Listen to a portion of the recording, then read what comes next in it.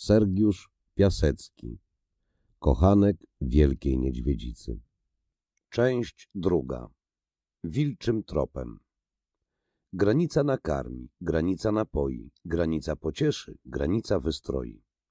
Z piosenki przemytników. Zbliża się koniec marca. Czuję nadejście wiosny. Tęsknota rwie serce. Szósty tydzień siedzę w pierwszym podwale miejskiej zwyczajki. Cela, do której mnie wrzucono, jest ciemna i wilgotna.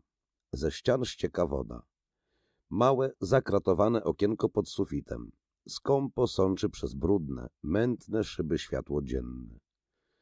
Przez okno widać buty przechodzących dziedzińcem żołnierzy i czekistów. Wokoło okropne brudy. Wszystko się lepi od błota. Z początku bałem się dotknąć ścian i drzwi i pryczy. Teraz przyzwyczaiłem się. Powietrze wstrętne, cuchnące, przesycone wilgocią i fetorem nigdy nie mytych ciał. Bielizny nikt nie zmienia i nigdy nie myjemy się. Najbardziej zatruwa powietrze parasza. Duży drewniany kubeł, źle zamykany i przeciekający. Mocz sączy się z niego na podłogę, tworząc kałużę, którą więźniowie roznoszą nogami po całej celi. Jest nas tu jedenastu. Ledwie się mieścimy w malutkiej celi. Na pryczy śpi siedmiu, a czterech na podłodze. Czasem wrzucają nowych, lecz często zwalniają ich lub przeprowadzają gdzie indziej. My siedzimy tu najdłużej. Siedzi tu prócz mnie jeszcze dwóch przemytników, którzy zamieszkują stale za granicą, we wsi w pobliżu Stołbców. Są to bracia Jan i Mikołaj z Płądzionowie. Są młodzi, jeden ma dwadzieścia, a drugi dwadzieścia trzy lata. Wpadli na Melinie w pobliżu Kajdanowa. Ich meliniarz, umieński, tęgi, barczysty chłop, siedzi razem z nimi. Z początku siedzieli osobno, a teraz połączono ich. Z tego wnioskuję, że sprawa ich nie przedstawia się groźnie. Jest jeden samogońszczyk, Kasper Bunia. Olbrzymi kościsty chłop. Mieszkał w Smolarni, w pobliżu Zasławia i tam pędził ze zboża samogon. Przyłapano go na gorącym uczynku, przy aparacie. Ma na sobie duży kożuch, od którego śmierdzi w całej celi dziegciem. Przy oknie stoi żaba, złodziej recydywista. Wsadził ręce do kieszeni spodni i gwizdże. Trudno określić jego wiek. Może mieć i czterdzieści, i pięćdziesiąt, a może i więcej. Głowę ma olbrzymią, usta od ucha do ucha, oczy mętne, bez wyrazu. Wyglądają na tle zielonej, brudnej skóry twarzy jak zlepki flegmy. Jest stale zgarbiony, ciało ma nikłe, lecz cechuje go duży spryt. Mamy jednego bandytę, Iwana Łobowa. Siedzi za kilka napadów rabunkowych. Jest to przystojny mężczyzna w wieku 35 lat. Ma czarną brudkę w klin. Stale uśmiecha się, sprawia wrażenie włodzimierskiego bogomaza. Dawno puszczono by go w rozchód, lecz starają się o niego zamożni krewni. Jest technik telegrafu, Felicjan Kropka. Oskarżono go o sabotaż, bo spalił, przypadkowo, prądem o wysokim napięciu reostat. Jest ofiarą pewnego kominiarza, o którym często opowiada, który stale go prześladował, aż skorzystał ze sposobności i wpakował do czeka. Kropka sprawia wrażenie okropnie przestraszonego. Wzdryga się przy każdym otwarciu drzwi. Jest komiczny, mały, szczupły, stale zaciera dłonie, a gdy słucha kogoś, otwiera usta. Mamy tu i kontrrewolucjonistę, byłego oficera armii carskiej, Aleksandra Kwalińskiego, który służył w jakimś sowieckim urzędzie, a którego wpakowano teraz do lochu. Jest to wysoki, smukły mężczyzna około czterdziestki. Stale milczy. Twarz ma bladą, zmęczoną. Prawie zawsze leży na pryczy, lecz nie śpi, a godzinami patrzy w sufit. Do niego czuję najwięcej sympatii. Szkoda mi, że taki inteligentny, grzeczny, jak spostrzegam, bardzo dobry człowiek, poniewiera się razem z nami. Jest jeden Żyd, tłusty, gruby, ma przeszło pięćdziesiątkę, nazwisko jego Kober, a imię Girsz. Był przed wojną fabrykantem kart do gry. Teraz siedzi za spekulację. Jest najlepiej sytuowanym więźniem w celi. Codziennie otrzymuje z miasta obiady. Jego często wywołują na daprosy. Wówczas żaba mówi, że znów będą go doić. Jedenasty człowiek z naszej celi jest obłąkany. Nazywają go wszyscy, i my, i czekiści, i żołnierze, Bzik. Nikt nie zna jego imienia ani nazwiska. Aresztowano go w pociągu w pobliżu Słucka. Jest to wysoki, szczupły młodzieniec. Ma duże oczy, które świecą mu się niesamowicie. Stale chodzi po celi i często wybucha śmiechem, który nas bardzo irytuje. Był podejrzany o szpiegostwo. Obecnie nie badają go. Pewnie zapomniano o nim lub biorą go na wytrzymanie. Dni pełzną, nudne, smutne, długie. Trawi nas tęsknota, dręczy głód. Głód nie opuszcza naszej celi. Marzymy stale o jedzeniu. O jedzeniu nieustannie myślimy. Poruszamy się apatycznie, powolnie. Głód wybielił nam twarze, upudrował je na zielono i żółto. Położył czarne cienie pod oczami. Niektórzy mają spuchnięte ręce i nogi. Spostrzegłem, że mnie też zaczynają brzęknąć nogi. Drugą bolączką, która nam daje we znaki, są wszy. Olbrzymie więzienne wszy, leniwe, ospałe, jak i my. W nawiasie, chociaż nie z głodu, a raczej z przesytu, pasące się naszymi ciałami. Wszy jest mnóstwo. Pełzają nawet po ubraniu i po deskach pryczy. Nie bijemy ich. To niczego nie zmieni. Zamiast setki zabitych wszy zjawiają się tysiące nowych. Nazywamy je żartobliwie żywym srebrem. Od stałego drapania się na skórze robią mi się rany. A tam, gdzie ją nadgryzają wszy, szczególnie na plecach, karku i szyi, są strupy. W nocy, gdy w celi pali się lampa i kładziemy się do snu na gołej pryczy, ze szpar w deskach i ścianach wyłażą pluskwy. Te żrą wściekle, jak pokrzywa parzą ciało. Szczególnie dokuczają nowym więźniom. Pewnego razu obudziłem się w nocy. Otworzyłem oczy i spostrzegłem, że bzik siedzi w kąciku celi. Jakoś dziwnie przypatruje się leżącym na pryczy kolegom. Udałem, że śpię. Twarz miał w cieniu. Przez zmrużone powieki śledziłem go. Bzik długo i uważnie obserwował nas. Spostrzegłem, że ma na kolanach zdjętą z szyi bluzę. W pewnym momencie wariat pochylił głowę i nie przestając obserwować celi, zębami rozdzierał kołnierz bluzy. To jeszcze bardziej mnie zainteresowało. Chłopiec wyjął z kołnierza kawałek cienkiego płótna, obrzucając od czasu do czasu celem spojrzeniem, rozwinął je. Spostrzegłem, że są na nim jakieś napisy. Przez pewien czas Bzik odczytywał zapisany ustęp płótna, a potem zaczął szarpać je zębami. Za kilka minut trzymał w ręce tylko trochę nici. Zlasł z pryczy i wrzucił je do kubła. Zrozumiałem, że było tam coś bardzo ważnego i że Bzik tylko udaje wariata, a naprawdę jest mądrzejszy od tych, którzy uważają go za obłąkanego. Tej nocy nie spałem aż do rana. Głód skręcał mi kiszki. A co będzie dalej? Jak długo to potrwa? Myślałem nieustannie. We śnie nawiedzały mnie zwykłe, głodowe wizje. Nie śniły mi się po nocach wyśmienite potrawy, lecz duża pajda razowca, olbrzymie kawały słoniny i mięsa, miski gorącej strawy, garnki pełne buchających parą gotowanych kartofli. Budziłem się zmęczony, ociężały i jeszcze bardziej dręczył mnie głód. Jeszcze dotkliwiej odczuwałem swą niedolę. Posądzono mnie początkowo o szpiegostwo. Tak przedstawili moją sprawę ci, którzy mnie aresztowali. Sprawę moją prowadził sędzia śledczy Stefan Niedbalski. Polak pochodzący z miasteczka Mir w pobliżu Stołbców. Był to pucłowaty chłystek w granatowej gimnaściorce i spodniach galifet. Spostrzegłem, że jest głupi i zarozumiały. Badał mnie po nocach. Wypytywał całymi godzinami. Stawiał chytre pytania zasadzki, które łatwo było przewidzieć i które często pomagały badanemu zorientować się w sytuacji. Najczęściej powtarzał następujące zdania. No mów, no mów. My przecież sami dowiemy się prawdy. Cóż mam mówić? Przecież mówię prawdę. Chyba, że chcecie, żebym kłamał.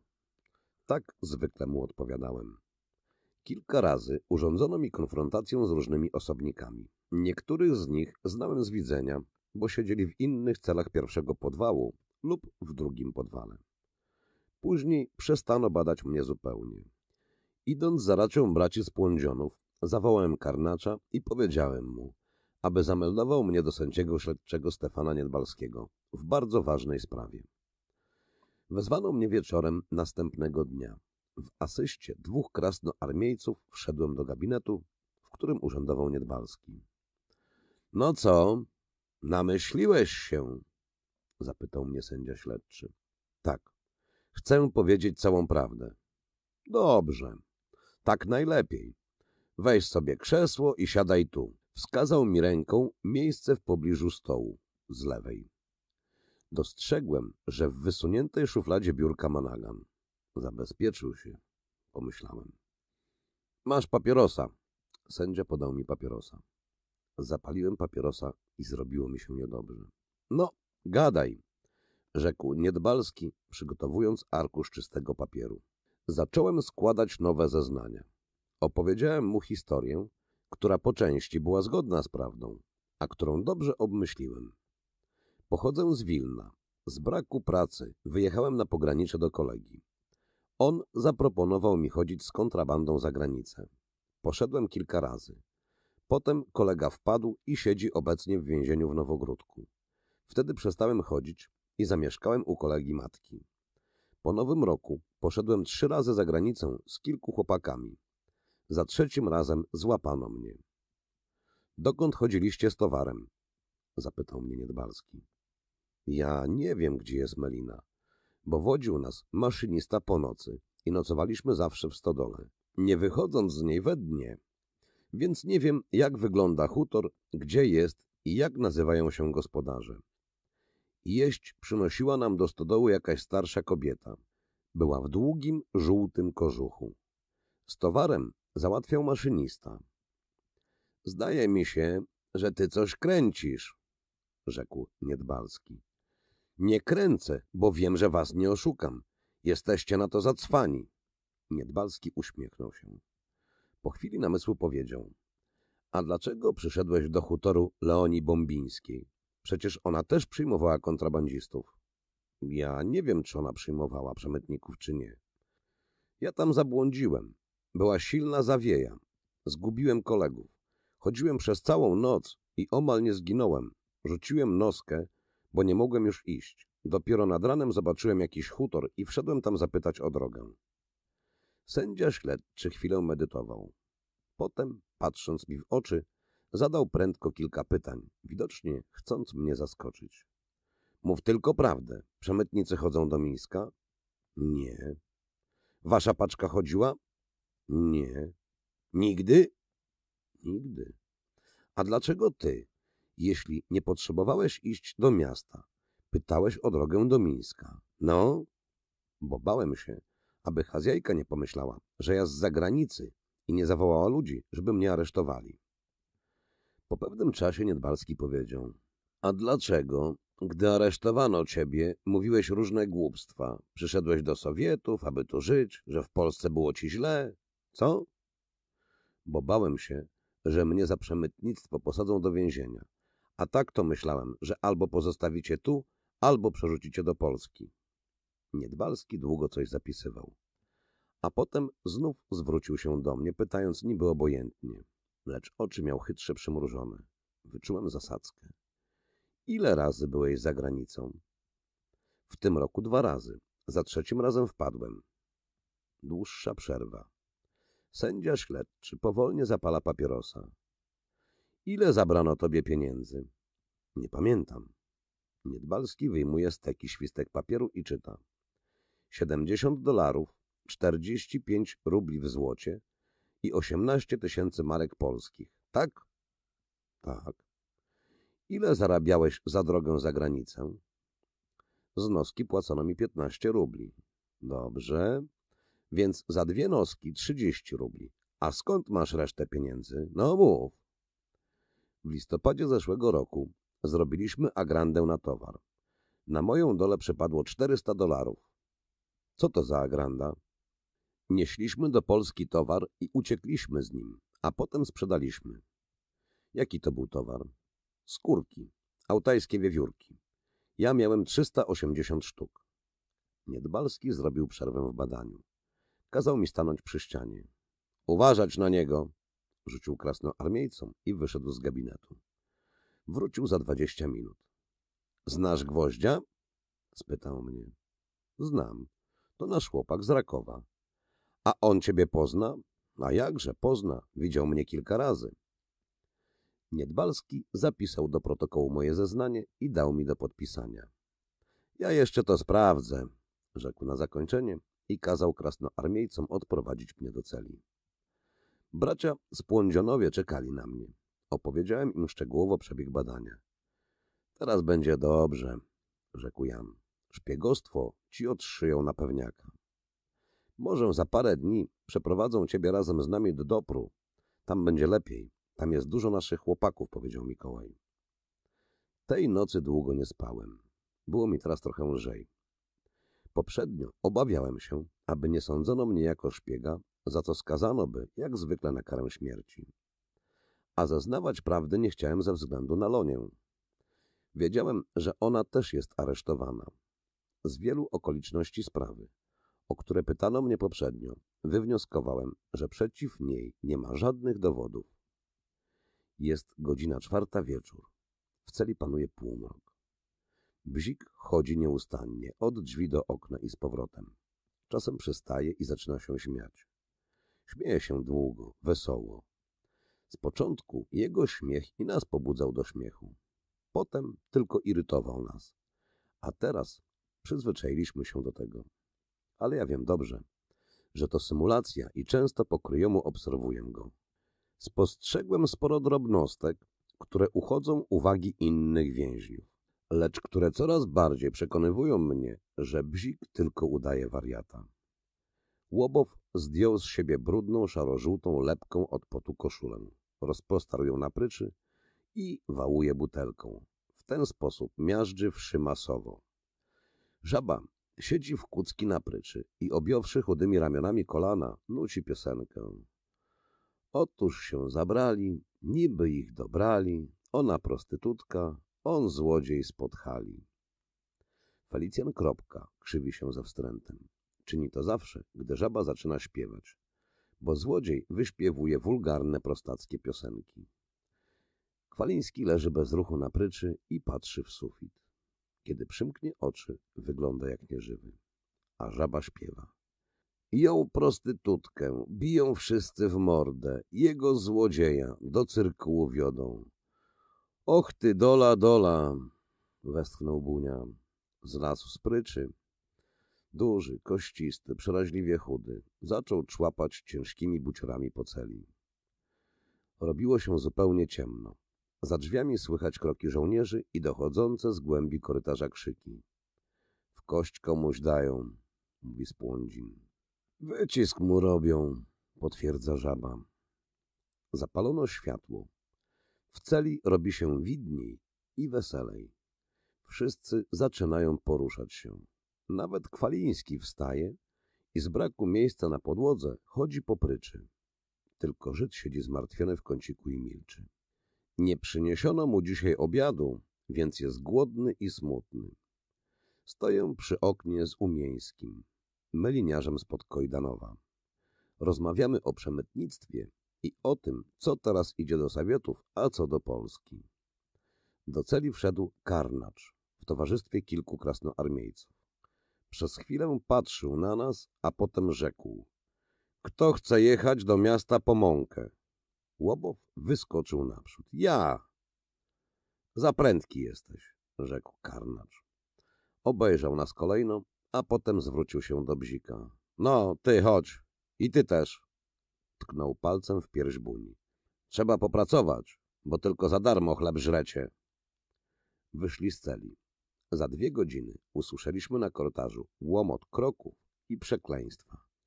Drzwi od celi otwarły się i do środka wepchnięto bunię. Był wystraszony. Długo stał w progu z rozłożonymi bezradnie ramionami. Potem powiedział.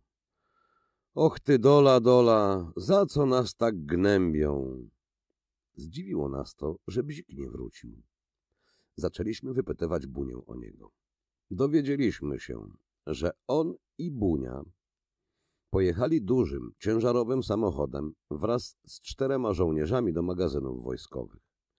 Tam załadowano na samochód kilkadziesiąt worków mąki i ruszyli z powrotem. W pobliżu mostu przez Świsłocz na ulicy Wesołej Bzik zeskoczył z samochodu i zaczął uciekać w kierunku rzeki. Samochód zatrzymano. Krasnoarmiejcy zaczęli ostrzeliwać uciekającego. Dwóch pobiegło ścigać go. Lecz korzystając z ciemności, uciekł im. Bunie przywieziono z powrotem. I tu, na korytarzu i na schodach, zbito go. Żołnierze powiedzieli, że on dopomógł uciec Bzikowi. Ta wiadomość wywarła na nas wielkie wrażenie. Zaczęliśmy obszernie komentować ucieczkę Bzika. Wszyscy mówili, że od dawna wiedzieli o symulacji Bzika. Kłamali. Uważali go za obłąkanego i traktowali jak wariata. Ech, bratcy, powiedział Łobow z żalem.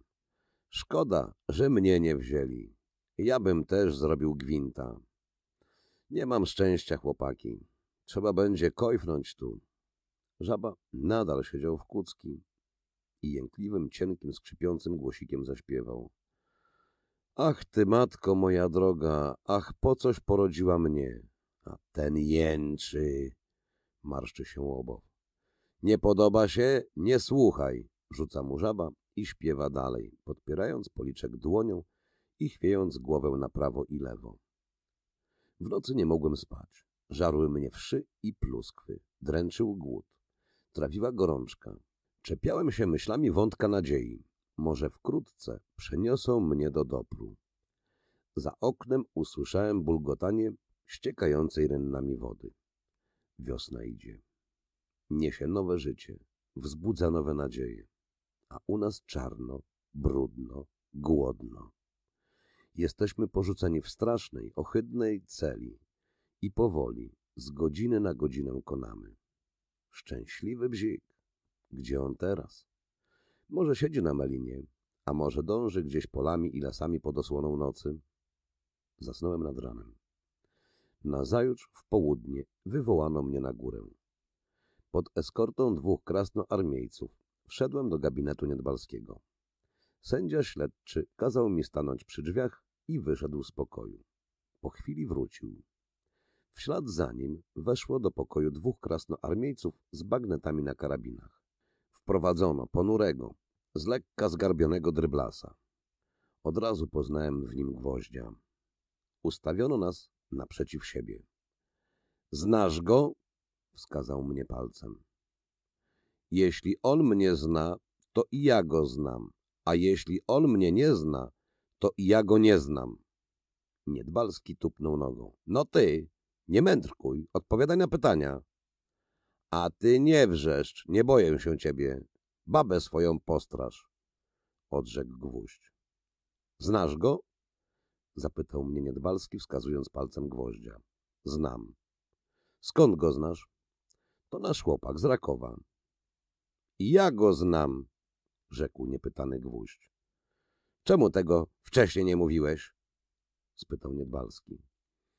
No, nie jestem twoim szpiclem. Może on, gwóźdź skinął w moją stronę, nie chciał, żebym go znał. Niedbalski kazał eskorcie wyprowadzić gwoździa. Dowiedziałem się później, że gwóźdź siedzi w dobrze i że przyprowadzono go stamtąd na konfrontację. Za dwa dni skonfrontowano mnie z Lonią. Wywołano mnie z celi zaraz po obiedzie. Gdy wszedłem do gabinetu Niedbalskiego, Lonia była już tam. Siedziała na krześle w pobliżu biurka. Eskortujący ją żołnierze pozostali za drzwiami. Sędzia śledczy coś do niej mówił i śmiał się. Lonia zachowywała się poważnie. Wyglądała dobrze. Miała na sobie czarne palto z dużym futrzanym kołnierzem. W rękach trzymała sporą paczkę. Zatrzymałem się wraz z eskortą u drzwi. Niedbalski przeglądał przez parę minut papiery, a potem skinął głową. — Chodź tu. Zbliżyłem się do biurka. — Znasz tę kobietę? — zapytał mnie Niedbalski. — Tak, znam. Niedbalski zmrużył oczy i uważnie na mnie spozierał. Lonia, nie spodziewając się takiej odpowiedzi, była mocno zaskoczona. — Skąd ją znasz? Wstąpiłem do niej zapytać o drogę i tam mnie aresztowano. A poprzednio byłeś u niej? Nie. Może wiesz coś o tym, że trzymała punkt? Nic o tym nie wiem. Zresztą ona mieszka pod Mińskiem, a tam punktów nie ma. Kłamałem, aby ułatwić Loni składanie zeznań. Skąd wiesz o tym? Wiem od chłopaków. To nie znasz jej wcale? Nie znam.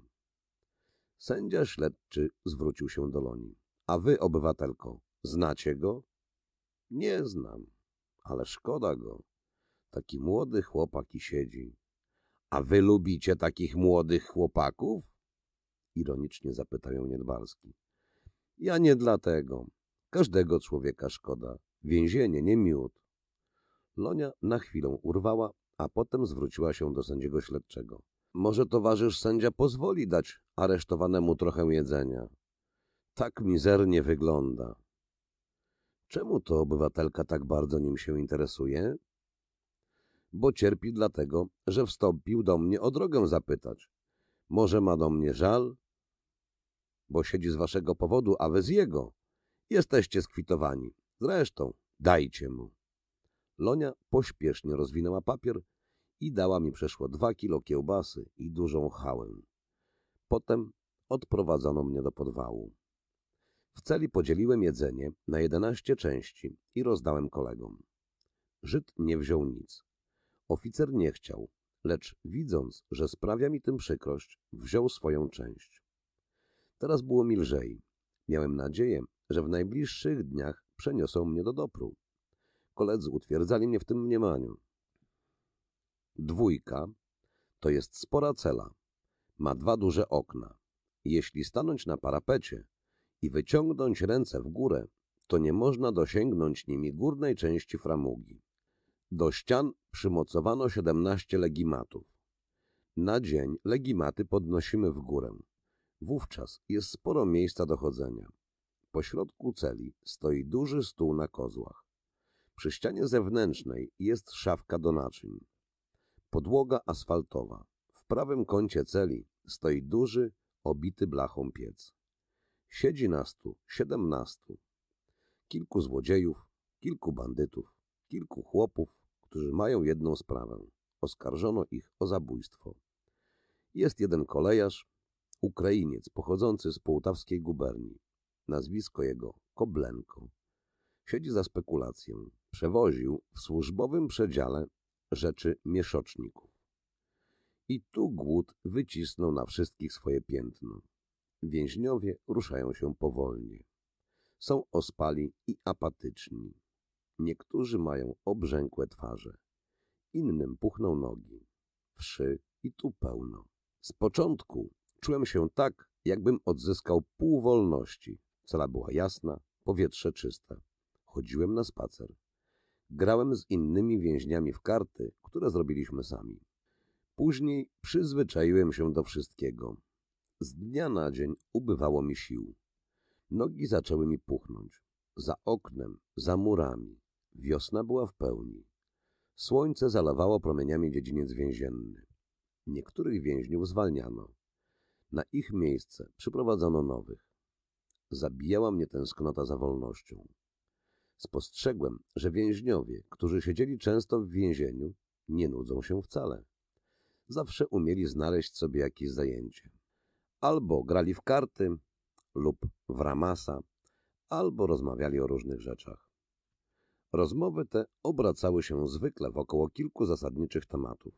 Jedzenie, roboty, kobiety, sprawy sądowe, no i administracja więzienna. Mnie rozmowy te nudziły. Tęskniłem strasznie za wolnością i chudłem coraz bardziej. Siadałem zwykle na parapecie okna i godzinami patrzyłem w daleki błękit nieba. O czym ja wówczas nie myślałem? Nie wiem. Zapomniałem wtedy o wszystkim. Po pewnym czasie przywracała mnie do rzeczywistości jakaś kłótnia w celi lub piosenka żaby. Pewnego razu podszedł do mnie błast. Był to smoleński złodziej. Ty, chłopaku, nie myśl tak. Zaminżujesz się. W okno też nie patrz. Pies ich drapał. A grunt nie myśl, bo kojfniesz. Cóż robić? Graj w karty, śpiewaj, rób cokolwiek. Ja kiedyś tak samo. Nic z tego. Wieczorem po prawierce opuszczaliśmy legimaty i układaliśmy się do snu. No, trzy dzwonki do pajki, mówił ktokolwiek z więźniów. Wówczas wszyscy łykali ślinę, myśląc o jutrzejszej dwustugramowej porcji lichego, źle wypieczonego chleba. Skórkę dzieliliśmy osobno, a surowy miąkisz nakładano łyżką na te skórki. To zawsze przypominało mi albo ciastka, albo lody w waflach. Noc schodziła mi najprędzej. Prędko zasypiałem ciężkim snem, pełnym trwożnych majaczeń i głodowych wizji. Z przebudzeniem się pierwsze wrażenia. Głód, pierwsza myśl, dwa dzwonki do pajki. Gdy otrzymywaliśmy swoje porcje chleba, każdego ręce drżały. Można było zjeść swoją część momentalnie, lecz każdy jadł, nie śpiesząc się, powolnie ogryzając chleb małymi kawałeczkami. Nie marnowała się ani jedna okruszyna. Zresztą i okruszyn nie było, bo chleb był zawsze niewypieczony. Po śniadaniu myśli wszystkich koncentrowały się wokół obiadu. Mijało wiele długich, głodnych godzin oczekiwania na obiad. Wreszcie nabierano do mosiężnych baczków rzadkiego, cuchnącego płynu. Zupy z suszonych jarzyn lub zamarzniętych kartofli. Jeden baczek na sześciu ludzi. Zaczynaliśmy jeść, a właściwie pić z łyżek rzadką, mętną, gorącą lurę. Parzyliśmy sobie usta i gardła, lecz zjadaliśmy wszystko bardzo prędko. Na pewien czas ogarniało ciało lube ciepło i złudne wrażenie sytości, a za kwadrans czasu rozpoczynały się jeszcze silniejsze skurcze żołądka. Jeść, jeść, jeść! Żołądka nie można było oszukać. Kolacja była jeszcze gorsza. Dają pić, a popić, mówili więźniowie. Pewnego razu, w dniu widzeń, o godzinie dziesiątej, wywołano mnie na korytarz. Było to przy końcu kwietnia. Poprowadzono mnie do pokoju dla widzeń. Było tam sporo nędznie wyglądających ludzi. Długi pokój był przegrodzony przez środek drucianymi siatkami, pomiędzy którymi znajdowali się odwiedzający więźniów. Gdy rozpoczęto rozmowy, pokój wypełniał płacz, wrzask i krzyki, w których trudno było coś usłyszeć. Zbliżyłem się do siatki i starałem się dostrzec po tamtej stronie kogoś znajomego. Przypuszczałem, że ktoś z rakowskich chłopaków za pomocą krewnych lub znajomych w Mińsku uzyskał pozwolenie na widzenie ze mną. Wtedy spostrzegłem radosny uśmiech i wesołe oczy Loni. Przywitałem ją. Starając się przekrzyczeć innych, zaczęliśmy rozmawiać. Co u ciebie słychać? Zapytałem Loni. Jestem wolna. Jesteś zupełnie wolna? Tak. Dałam rozpiskę, że nie opuszczę miejsca stałego zamieszkania i stawię się na każde żądanie władz. Dużo kosztowało? Dużo. Ale nic, nie zbiedniałam. Dobrze wyglądasz, ale ty zmizerniałeś. Bezradnie rozłożyłem ręce i powiedziałem, nie ma z czego utyć. Dwieście gram chleba dziennie. Przywiozłam dla ciebie paczkę. Będę przyjeżdżała co tydzień, na każdy targ. Dziękuję ci. Może ty wkrótce się zwolnisz. Nie wiem, mogę dostać kilka lat dopru. Słyszałam, że na pierwszego maja dadzą amnestię. Wkrótce widzenie przerwano. Odwiedziny Loni dodały mi otuchy. Było mi lżej. Nie czułem się taki bezradnym, opuszczony. Poza tym zacząłem lepiej odżywiać się, bo Lonia zapewne wiedziała, jaki głód panuje w więzieniu i przywoziła dla mnie sporo chleba, sucharów, słoniny i serów. Po tygodniu znów otrzymałem paczkę od Loni, lecz widzenia nie miałem. Może nie miała czasu, a może nie dano pozwolenia na widzenie. Na początku maja wyrokiem ref Trybunału skazano mnie za uprawianie przemytnictwa na trzy lata wysyłki do Niżgorodzkiej guberni. Pieniądze moje skonfiskowano. Przewidywałem ten wyrok i nie byłem zasmucony. Nawet wolałem jechać na zesłanie, niż odbywać karę w Dobrze. Postanowiłem, że z miejsca zesłania zbiegnę przy najbliższej sposobności. Po sądzie Lonia znowu odwiedziła mnie. Mówiła, że będzie pomagać materialnie, a jeśli znajdzie wolny czas, to odwiedzi mnie na zesłaniu. Prosiła pisać często listy. Powiedziała, że teraz wyglądam o wiele lepiej.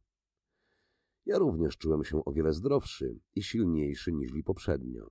Opuchlizna zeszła mi z nóg. Najgorsza choroba to głód, a najlepsze lekarstwo na nią jedzenie, aby tylko nie za późno. Chłopaki w celi mówią, że mnie wkrótce mogą przewieźć etapami na miejsce zesłania. Dają mi różne praktyczne wskazówki. Radzą mi uciekać w drodze z pociągu. O tym myślę teraz najwięcej. W połowie maja kazano mi zabrać swoje rzeczy i odprowadzono do kancelarii. W bramie zobaczyłem eskortę. Ośmiu żołnierzy i podoficera z trzema trójkątami na rękawie. Aresztowanych było sześciu.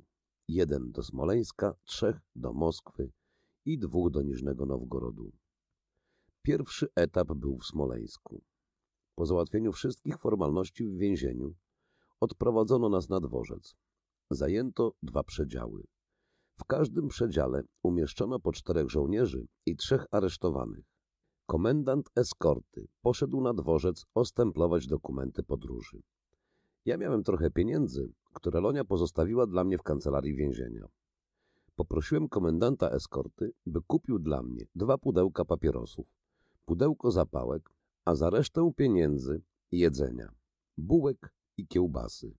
Podoficer dał pieniądze żołnierzowi i posłał go po zakupy do straganów umieszczonych na peronie dworca. Żołnierz przyniósł dla mnie pięćdziesiąt papierosów, pudełko zapałek, kilka bułek i trochę kiełbasy.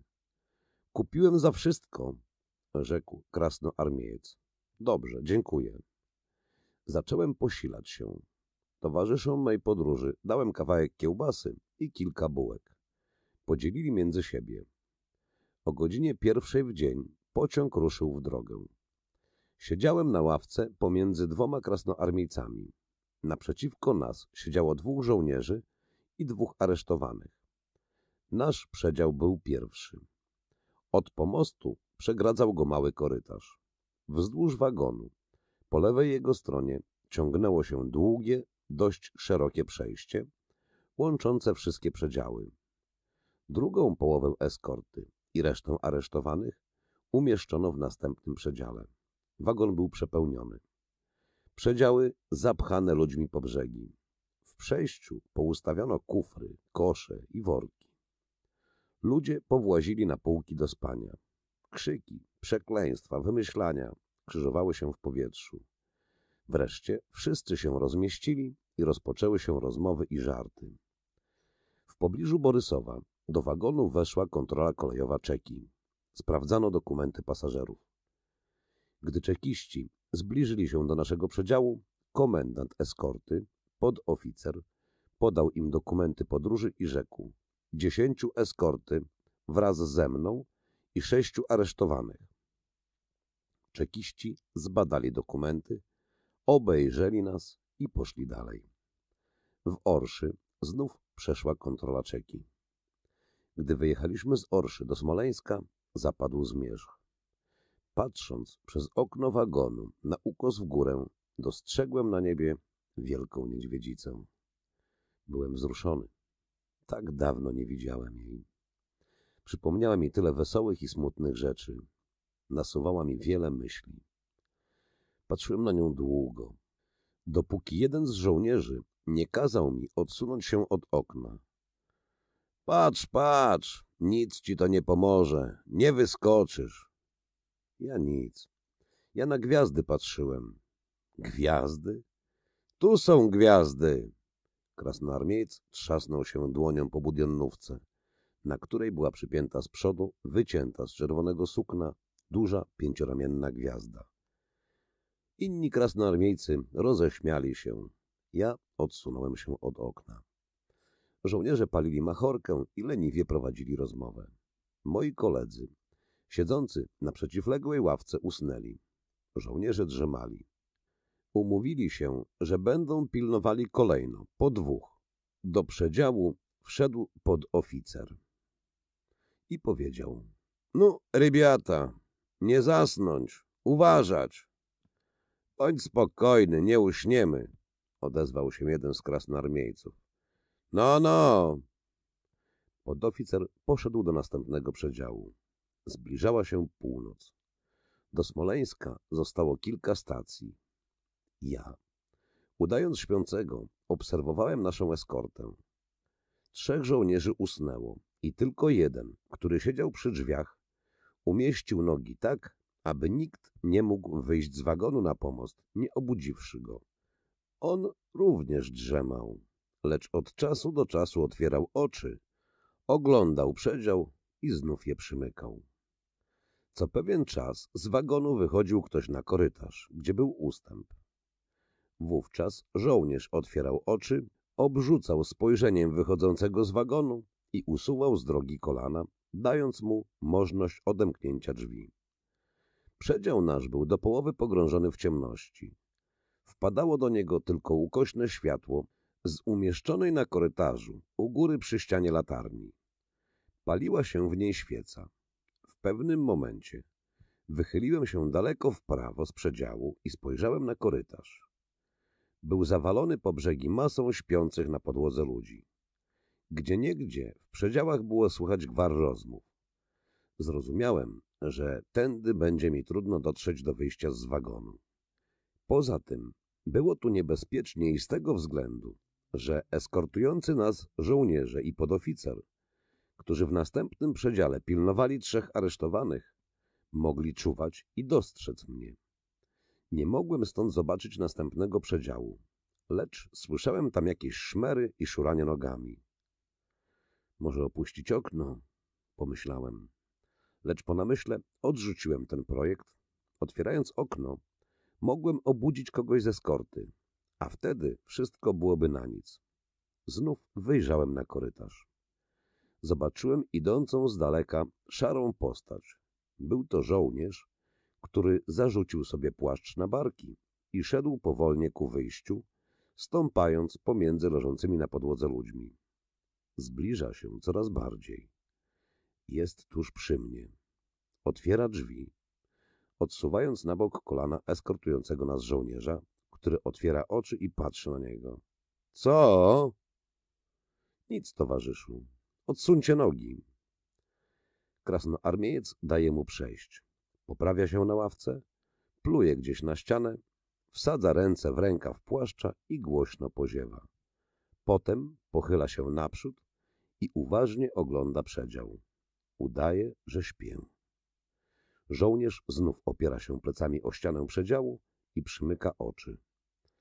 Pas od karabinu ma przerzucony przez kolano, a lufę wsadził między uda. Zapomniał zagrodzić nogami drzwi. A może chciał zaczekać na powrót krasnoarmiejca, który przed chwilą wyszedł z wagonu. Przyglądałem się uważnie żołnierzowi. Postanowiłem uciekać, nawet w najgorszej sytuacji, lecz chciałem uzyskać lepszą.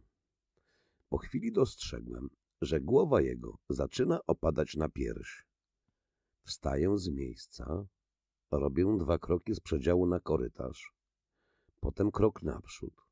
Powolnie naciskam klamkę u drzwi i otwieram je.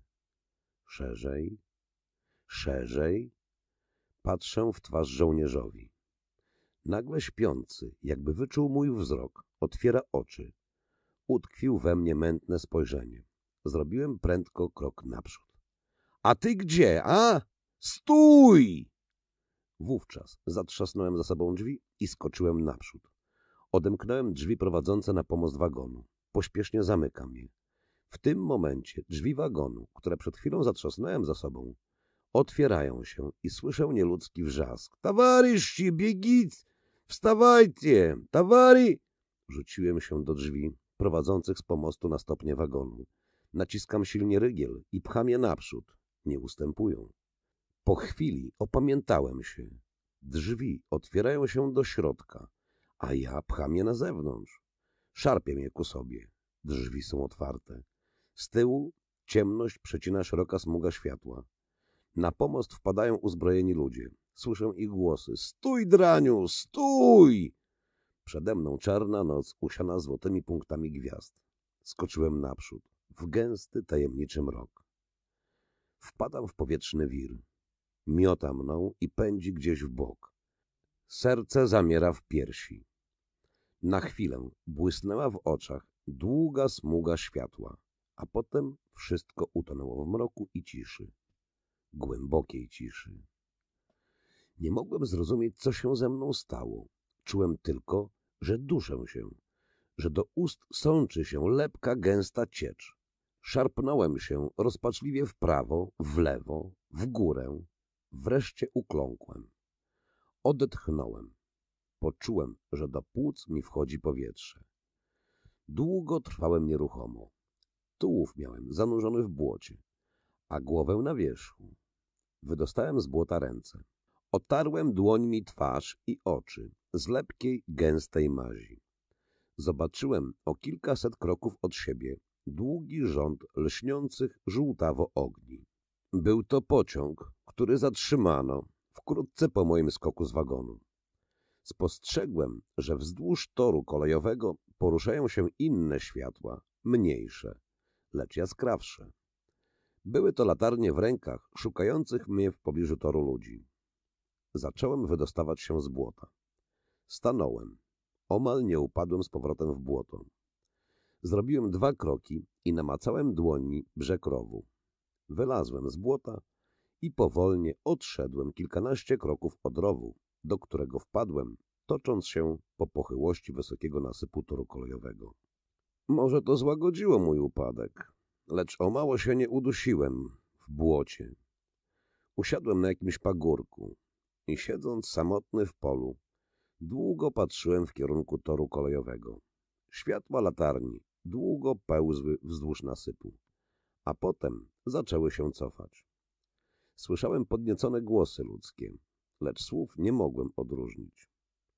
Rozległ się gwizdek lokomotywy, silny, długi, natarczywy. Światła na torze zaczęły poruszać się prędzej. Zbliżyły się do rzędu świateł w oknach pociągu. Lokomotywa znów gwizdnęła i długi rząd świateł popłynął w mrok. Po chwili zlał się w ruchome ogniste pasmo i wkrótce utonął w ciemnościach. Wstałem. Czułem się jeszcze oszołomiony. Chwiałem się na nogach. Poszedłem w kierunku niewidocznego w ciemności toru kolejowego. Drogę mi zagrodził rów. Przeszedłem go na drugą stronę. Był szeroki na dwa metry, a dno jego, od dawna nieczyszczone, zaległa gruba na 70-90 centymetrów warstwa rzadkiego błota. Znalazłem się w pobliżu stromej pochyłości nasypu. Przez chwilę namyślałem się, czy pójść górą po torze kolejowym, czy dołem. Tam mogę kogoś napotkać. Lepiej tu, pomyślałem. Spojrzałem w niebo. Wielka niedźwiedzica była dobrze widoczna na północnej jego stronie. Pochylony w dół dyszel wozu wskazywał mi kierunek na zachód. Powoli poszedłem naprzód. Od czasu do czasu zatrzymywałem się i nasłuchiwałem. Kilka razy wyminąłem domki dróżników. Obszedłem z dala jakiś przystanek kolejowy. Po dwóch godzinach drogi dostrzegłem z dala światła stacji kolejowej. Poszedłem wolniej. Dostrzegłem w pobliżu dworca sporo budynków. Było to jakieś osiedle. Obszedłem z dala budynki i znów znalazłem się w pobliżu toru kolejowego. Tu usiadłem na stosie starych podkładów i wypoczywałem. Zamierzałem zaczekać na jakikolwiek pociąg i jechać nim dalej. Było to jedyną moją nadzieją, bo pieszo mogłem przejść przez noc 30-40 kilometrów, a pociągiem w tymże czasie można było przejechać 250-350 kilometrów.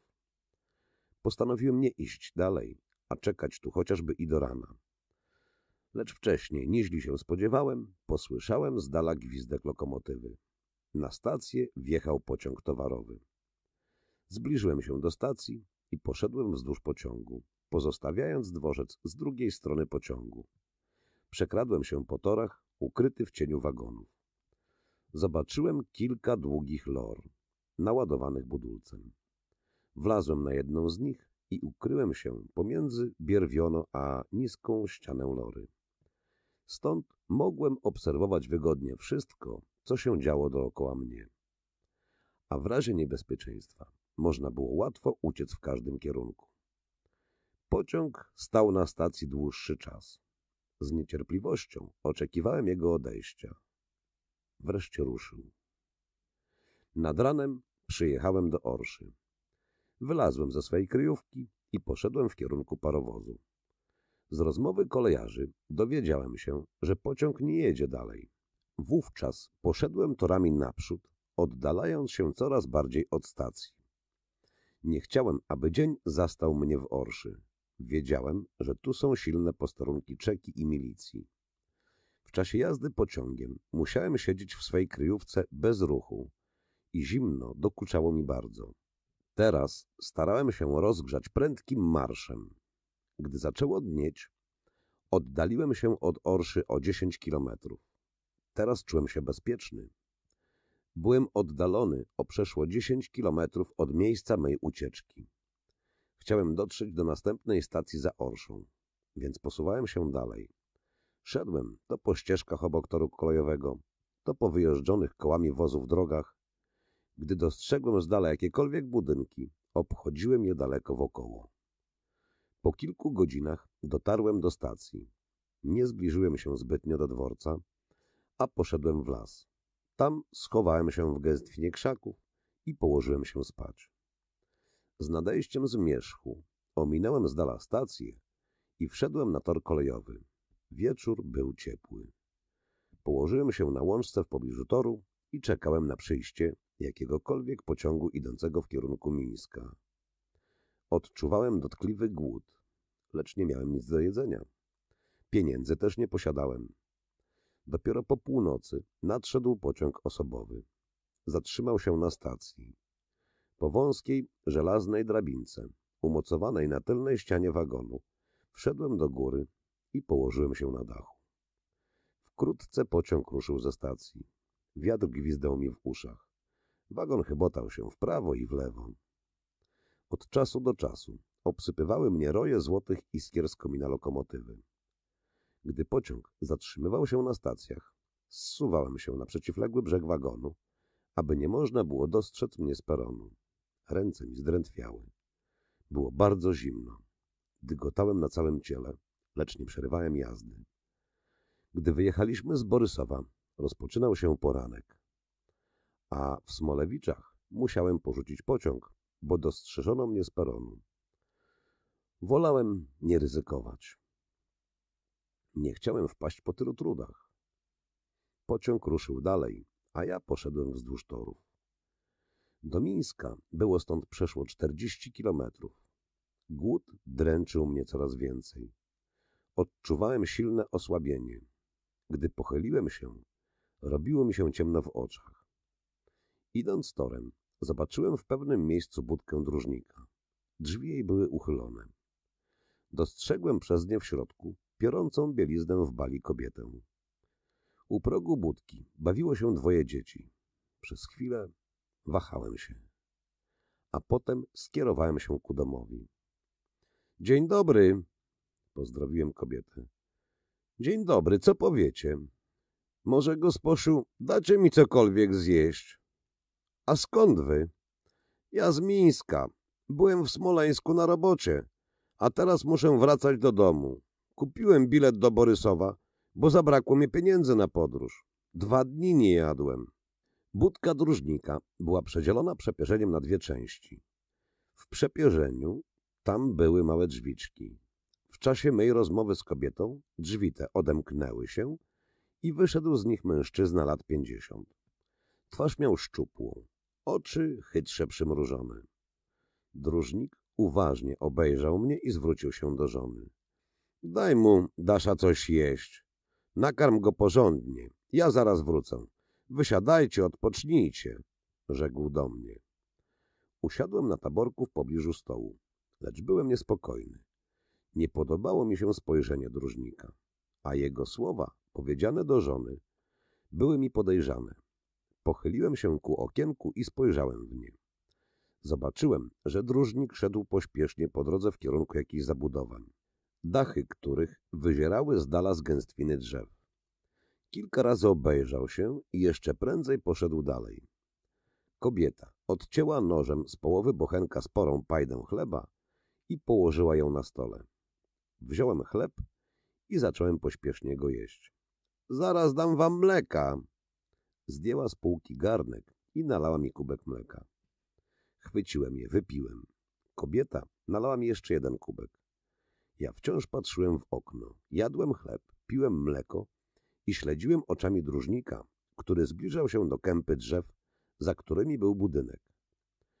Wówczas włożyłem niedojedzony chleb do kieszeni i powiedziałem Dziękuję wam bardzo, gosposiu, za chleb i za mleko. Jeśli chcecie, to zostawię wam tę kurtkę, którą mam na sobie, bo pieniędzy nie mam. Nic nie trzeba, gdzie wy? Zaraz ugotuję obiad. Nie mam czasu czekać. To usmażę jajecznicę. Dziękuję, jajecznicy nie lubię. Do widzenia. Pośpiesznie wyszedłem z budki dróżnika i poszedłem z powrotem w kierunku Smolewicz. Gdy odszedłem dość daleko, obejrzałem się za siebie. Kobieta stała na torze i patrzyła za mną. Dalej tor kolejowy robił zakręt. Gdy znalazłem się za zakrętem, wówczas, nie zostawiając za sobą śladów, zszedłem z toru i skierowałem się ku krzakom rosnącym na skraju lasu.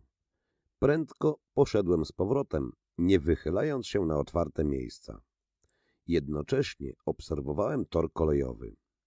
Zrównałem się idąc lasem z budką dróżnika zobaczyłem idących pośpiesznie ścieżką od budynków z głębi lasu ku budce dróżnika. Trzech ludzi. Był to dróżnik w towarzystwie dwóch mężczyzn w wojskowych ubraniach.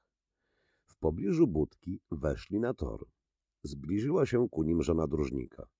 Coś mówiła do nich, wskazując ręką w tamtym kierunku, w którym ja poprzednio oddaliłem się.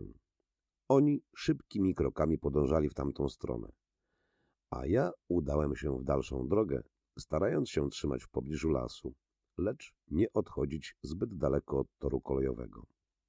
Przeprawiłem się przez jakąś rzekę, a w południe znalazłem się w pobliżu stacji Kołodziszcze. Tu wszedłem do lasu i zdecydowałem się pozostać do wieczora. Gdy zapadła noc, dotarłem do Mińska. Nie wchodząc do miasta, skierowałem się na przełaj przez pola, idąc początkowo na zachód, a potem na południowy zachód. Po czterech godzinach drogi wyszedłem na trakt prowadzący z Mińska do Rakowa.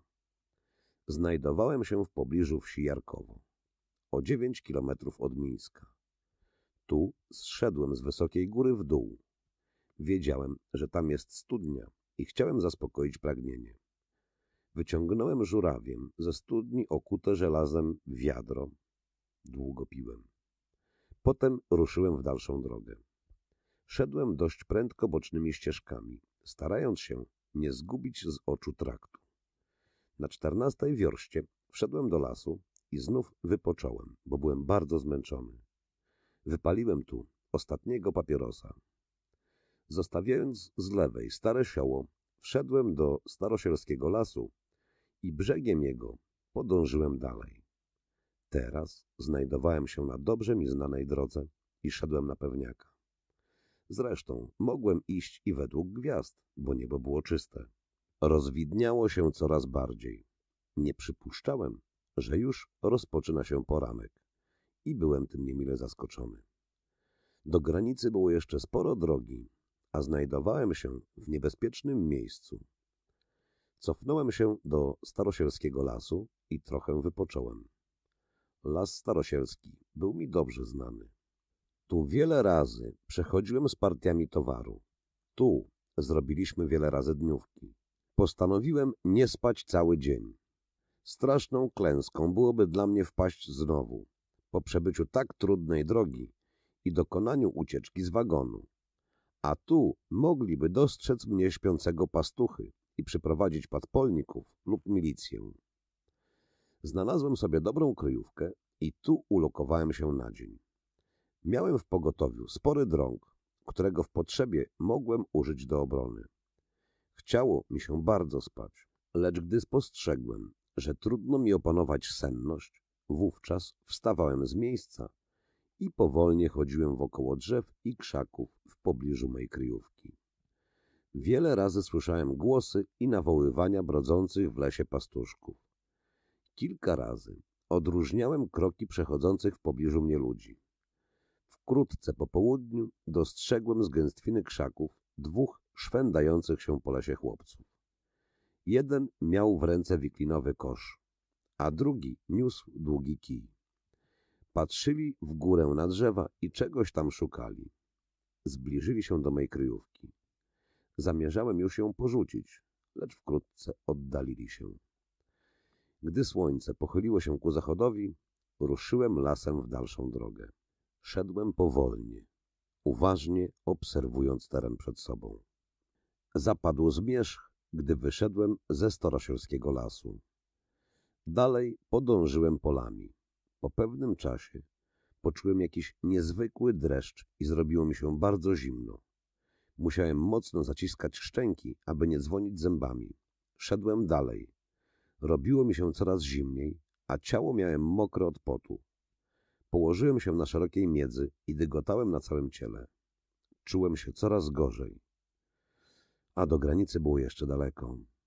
Zerwałem się na nogi i ruszyłem w dalszą drogę. Zęby szczękały mi nieustannie. Ledwie mogłem zorientować się w otaczającym mnie terenie. Często zatrzymywałem się i patrzyłem na wielką niedźwiedzicę. Gwiazdy to wirowały w miejscu, to pełzły w górę, to zapadały się gdzieś w dół. Znów odnajdywałem je i prawie instynktownie dążyłem naprzód, ku zachodowi. Nie wiem, kiedy przekroczyłem drugą linię, a kiedy znalazłem się za granicą. Pamiętam, że w pewnym momencie rozległy się strzały karabinowe. Było to na prawo od kierunku mojej drogi. Te strzały zaostrzyły na pewien czas moje zmysły i byłem prawie zupełnie przytomny. Poszedłem prędzej w lewo. Gdy strzały huknęły ponownie, bardzo blisko ode mnie, zacząłem pełznąć po trawie, która zdawała mi się bardzo zimną. Następnie pamiętam, że z wysiłkiem wspinałem się na jakieś wzgórze. Upadłem na jego szczycie, zupełnie wyczerpany z sił. Trochę później zrozumiałem, że to kapitańska mogiła. Tu omal zupełnie straciłem przytomność. W pewnym momencie wróciła do mnie znowu chwila świadomości i nagle dostrzegłem w okrywającym polu mroku jakąś niezwykłą, ruchliwą białą plamę. Posuwała się w tył i w przód, opadała w dół, unosiła w górę. Czasem znikała zupełnie z pola mego widzenia. To zbliża się coraz bardziej ku mnie. Pewien wysiłek pamięci przywraca mi wspomnienie opowiadania Józefa Trofidy i innych przemytników o widmie. Potem przypomniałem sobie, że w pobliżu tego wzgórza spotkałem się po raz pierwszy z Saszką Weblinem. Gdyby on wiedział, że ja tu jestem, a widmo coraz bardziej zbliża się ku mnie, jest blisko, coraz bliżej. Potem, po pewnym czasie, Widzę pochyloną nade mną twarz. Odróżniam spokojne, surowe spojrzenie oczu i ciemne brwi. Słyszę głos. Pytano mnie o coś i coś odpowiedziałem, lecz nie wiem co. Wreszcie ostatni błysk świadomości. Pytano mnie, czy znam Pietrka. Spostrzegłem, że zaczynam się śmiać, szczękając w przerwach zębami. A jakże! Znam, znam, jego nie znać. Ha, ha, ha, ha. Potem wszystko mknie z zawrotną szybkością w nieskończoną dal. Grają kolory, walczą dźwięki, szaleje burza głosów, wir twarzy, obrazów i barwy. Mknie naprzód straszny, gorący potok, który unosi mnie w górę, a potem rzuca w dół, czarną, zimną otchłań. Ocknąłem się w małym pokoiku. Zobaczyłem z prawej strony drzwi, a z przodu otwarte okno, zawieszoną firankę, którą poruszał lekki wiatr. Nasłuchiwałem. Gdzieś z dala dolatywały mych uszu głosy rozmawiających na podwórzu kobiet. Nie mogłem zrozumieć, gdzie jestem. Nigdy nie byłem w tym pokoju. Chciałem wstać z łóżka, lecz zabrakło mi sił. Wtedy powiedziałem głośno. Kto jest w domu? Drzwi do pokoju odemknęły się i zobaczyłem w nich małego komicznego człowieczka. Patrzył na mnie przez duże szkła okularów i uśmiechał się. Obudziłeś się? rzekł po chwili. Tak. Przypomniałem sobie, że jest to zegarmistrz murzański. U niego mieszka Julek wariat i Pietrek filozof. Nie mogłem zrozumieć, w jaki sposób znalazłem się tu. No, napij się tego. Murzański nalał do szklanki jakiegoś lekarstwa i dał mi je wypić. Chłopaki przyjdą później. Wyszedł z pokoju, a ja znowu usnąłem. Wieczorem obudziłem się po raz drugi. W moim pokoiku było ciemno. Przez uchylone drzwi usłyszałem głosy kolegów. Zawołałem na nich. Julek i Pietrek weszli do mojego pokoju, wnosząc zapaloną lampę. Jak się czujesz? Zapytał mnie Julek. Wyspałeś się? Rzekł Pietrek. Owszem, wyspałem się. Ja myślę. Długo spałeś, oj długo, powiedział Julek. Jak ja się tu dostałem? Koledzy spojrzeli po sobie i Julek spytał mnie. To ty nic nie pamiętasz? Nie. Chociaż pamiętam kapitańską mogiłę i widmo. Rozmawiało ze mną. Pietrek uśmiechnął się i powiedział. Właśnie widmo ciebie uratowało, bo albo tam byś zginął, albo zabraliby cię zielonki. Jak się czujesz? Dobrze. Nie trudno ci mówić? Nie. To opowiedz, jak tam się dostałeś? Tylko powolnie i szczegółowo. Mamy czas, rzekł Pietrek. Zacząłem im opowiadać wszystko, co przeżyłem od tamtego poranka, kiedy aresztowano mnie na punkcie u Bombiny. Koledzy często przerywali moje opowiadanie i zadawali różne pytania. W tym czasie usłyszeliśmy, że drzwi do ogólnej izby odemknęły się. Poznałem głos lorda. Po chwili kolega radośnie mnie przywitał. A ja tak martwiłem się o ciebie, rzekł lord.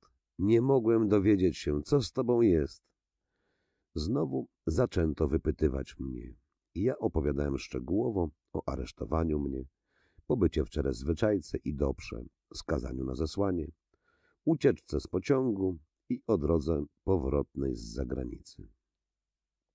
Koledzy zadawali mi mnóstwo pytań i szczerze cieszyli się ze szczęśliwego zakończenia tych wszystkich przygód. Potem zapytałem lorda, co się stało z nim po moim aresztowaniu. Wiesz, rzekł lord, czekaliśmy na ciebie pięć minut, czekaliśmy dziesięć, czekaliśmy kwadrans. Nic, a nic. Radzimy, co robić. Jedni mówią wracać, drudzy posłać kogoś na malinę. No i szczur poszedł na zwiady. Polami doszedł z tyłu do hutoru i tam zakradł się na dziedziniec. Zobaczył żołnierzy. Chodzą po dziedzińcu, zaglądają do stodoły. Sprawa jasna, wsypa. No, on zaraz do nas i opowiada to. My za noski i jazda z powrotem. Ale chłopaki wprost padli ze zmęczenia.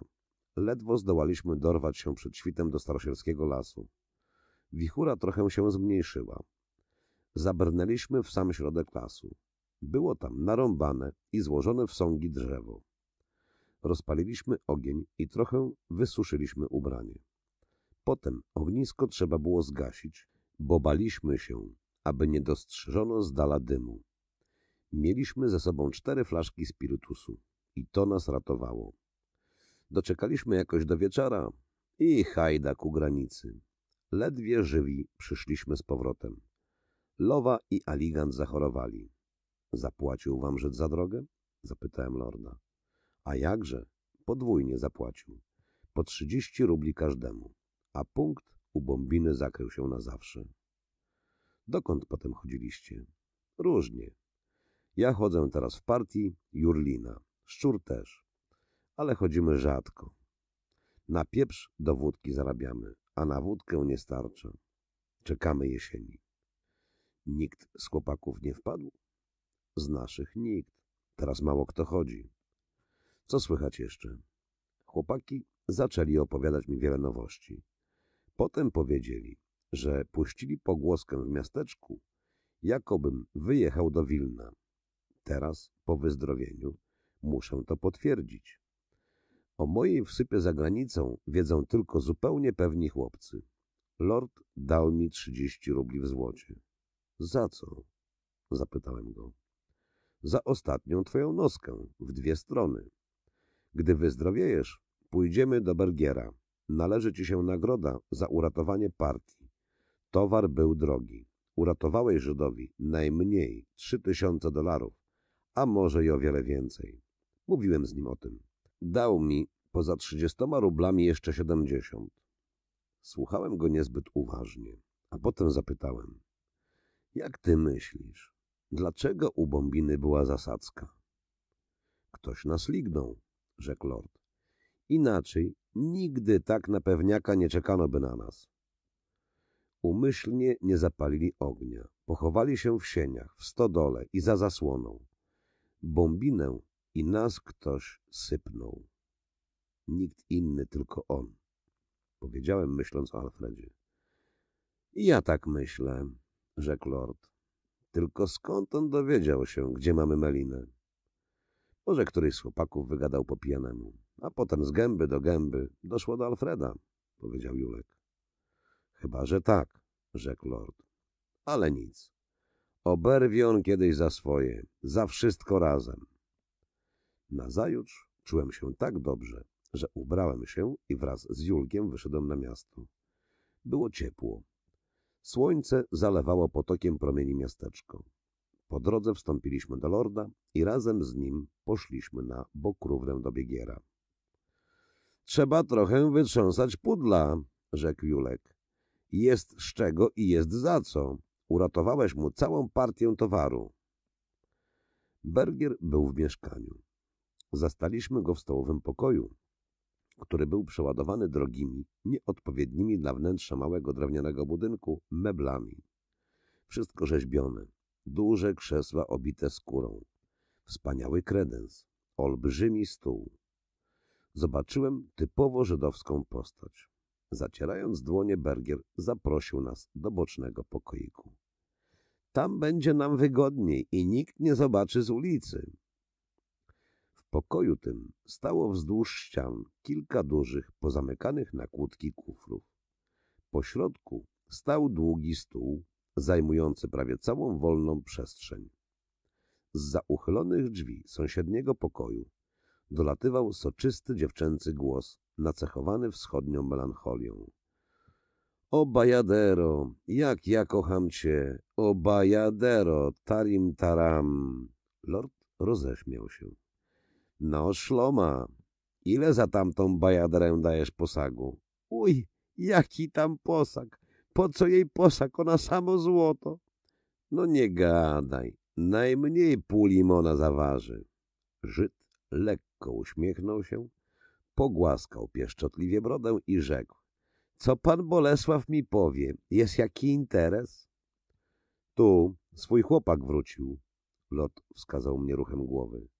Szloma wie, ten co w marcu nam partię ocalił, a sam wpadł.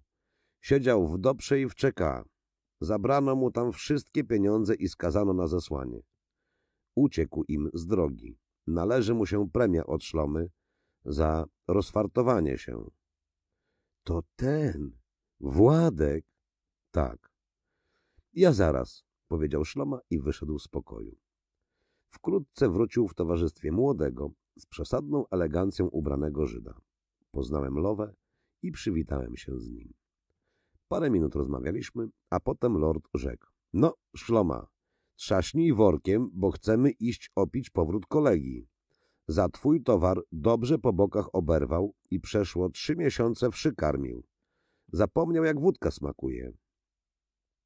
Żyd wyjął z kieszeni długą, paciorkową sakiewkę. Zapewne własnoręcznie zrobiony prezent imieninowy od kogoś z rodziny. Wyjął z niej i ułożył na stole, pieszczotliwie dotykając palcami złota.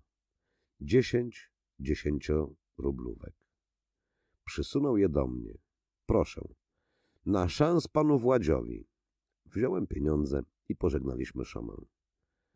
Skąpy tartar, rzekł lord idąc ulicą. Tyś mu tyle tysięcy ocalił, a on ci stówkę odwalił.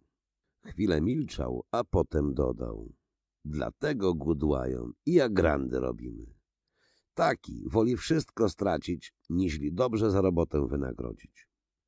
Następnie skierowaliśmy się do Ginty. Gdy wszedłem do naszego salonu, zobaczyłem wesołe twarze chłopaków. Na mój widok zaczęli wykrzykiwać Hurra, niech żyje, dawać go tu! Zobaczyłem za środkowym stołem stałych bywalców knajpy. Bolka kometę, Felka marudę, mamuta i szczura. Był tu i kruczek. Bardzo młodo wyglądający przemytnik, który na wieczorynce u Saszki grał do spółki ze mną w karty i uderzył butelką w łeb Alfreda za to, że grał cynkowanymi sterkami. Obok komety siedział Jurlin, słynny przemytnik maszynista, który od dawna prowadził partię i chodził nawet w lecie. Był to mężczyzna lat pięćdziesiąt, wysoki, barczysty, rudy. Jurlin był pijany. Głośno śmiał się i powtarzał stale — aby tylko cicho! W kącie pokoju drzemał harmonista Antoni. Gdy zbliżyłem się do stołu i przywitałem obecnych, Bolek kometa uniósł w górę ręce i powiedział — Mówię i powiadam wam, chłopaki, że z tego powodu, miał na myśli moją ucieczkę, o której wiedziało już wielu chłopców, trzy dni i trzy noce szklankami, nie, nie, nie szklankami, a wiadrami wódkę trąbić trzeba. Mądrze, rzekł lord. Aby tylko cicho, dodał Jurlin. Rozpoczęto hulankę. Ja piłem tylko piwo i w małych ilościach. Nie czułem się jeszcze zdrowy. Antoni grał na harmonii. Ja płaciłem dzisiaj za wszystko. Potem, zmęczony hałasem, udałem się wraz z Julkiem do domu. Położyłem się do łóżka. Dowiedziałem się, że Józef Trofina odbył swą karę i wrócił do miasteczka. Poprosiłem Julka, aby obudził mnie wieczorem o ósmej. Lecz obudziłem się sam kwadrans przed ósmą. Ubrałem się i wraz z Julkiem poszedłem na Słobódkę. Tam zatrzymałem się. Ty, Julku, idź do domu, a ja wrócę sam. Uważaj, żebyś znowu nie zachorował. Jestem zdrów. Zresztą idę tylko do Trofidów. Julek wrócił, a ja wszedłem na podwórko domu Trofidów. Tu było wszystko tak jak dawniej. W oknach mieszkania dostrzegłem światło od palącej się w stołowym pokoju lampy. Odemknąłem drzwi do pokoju i wszedłem do środka. Zobaczyłem na stole lampę z niebieskim kloszem, a w jej świetle opartą na dłoniach głowę Janinki. Dziewczynka długo patrzyła mi w twarz przez całą szerokość pokoju, a potem, porzucając na stole czytaną przed chwilą książkę, rzekła — Czekałam na was. — Tak? A skąd wiedziałaś, że przyjdę? Uśmiechnęła się. Ja wiedziałam. Mnie kotka powiedziała. Ona dziś u młyna ryby łapała, a potem się myła i myła. Janinka pokazywała mi gestem rąk, jak myła się kotka. Wtem posłyszałem kroki w sieni i do pokoju wszedł Józef Trofida. A, to ty. Czekałem na ciebie. Wiedziałem, że wróciłeś. No, klawo jest. Wypijemy wódzi czy herbatki? Lepiej herbaty. No i morowo. Zaraz urządzimy to płukanko. Józef wyszedł z kuchni. Dziwiło mnie to, że nie dostrzegłem w mieszkaniu obecności Heli. Myślałem, że poszła do miasteczka. Gdy zasiedliśmy trochę później do herbaty, zacząłem wypytywać Józefa o to, jak spędził czas do mego powrotu. Natychmiast opowiedziałem mu szczegółowo o swoich przygodach. Janinka uważnie słuchała nas i nie wtrącała się ani słówkiem do rozmowy. W pewnym momencie zapytałem Józefa. Jak zdrowie Heli? Po twarzy Józefa przebiegł skurcz. Oczy szeroko się otwarły i długo patrzyły na mnie, nie odpowiadając na pytanie. Posłyszałem lekkie chlipnięcie i zobaczyłem, że Janinka wstała z miejsca i poszła do sypialni. Nie mogłem zrozumieć, co się stało. Dlaczego pytanie o zdrowie Heli tak silnie ich wzruszyło? Wreszcie Józef wykrztusił z siebie. To ty naprawdę nie wiesz? Nie wiem, a co się stało? Nie ma Heli, rzekł Józef, pochylając głowę. Nie ma. Nie ma Heli. Umarła? Nie. Józef zakręcił głową, jakby się dusząc. Potem dlaczegoś wstał z miejsca i powiedział bardzo cicho. Powiesiła się. Powiesiła się? Tak, na gruszy. Byłem przerażony tą wiadomością. Poczułem, że nogi mi słabną. Nagle. Nie wiem dlaczego. Przypomniał mi się taki obrazek. Hela stoi na drabince w sadzie i zrywa jabłka, a Alfred, wyfrantowany, z laseczką w ręce, stoi i przygląda się jej. Coś mówi do Heli. Dziewczyna rumieni się. Potem Alfred wyciąga rękę i przesuwa dłoń po łydce Heli. Dlaczego to zrobiła? Zapytałem kolegi. Józef długo patrzy mi w oczy. Widzę, że nie rozumie pytania. Powtarzam je. Dlaczego? Mówi Józef cicho, a potem prędko ciska. Bo była w ciąży, dlatego. Aha. Tak, była w ciąży i bała się, że wezmą ją na języki. Och, jaka głupia, głupia. Nikt by jej nie skrzywdził, dopóki ja jestem, a ona... Późno wieczorem wracałem do domu. Józef proponował mi zamieszkać nadal u niego, lecz powiedziałem, że pomówię o tym z Pietrkiem i Julkiem. Było mi strasznie przykro. Czułem, że w duszy mej urasta coraz większa nienawiść do Alfreda. Szedłem zamyślony i nie wiem, kiedy skręciłem z obranej poprzednio drogi. Zatrzymałem się w pobliżu jakiegoś domu.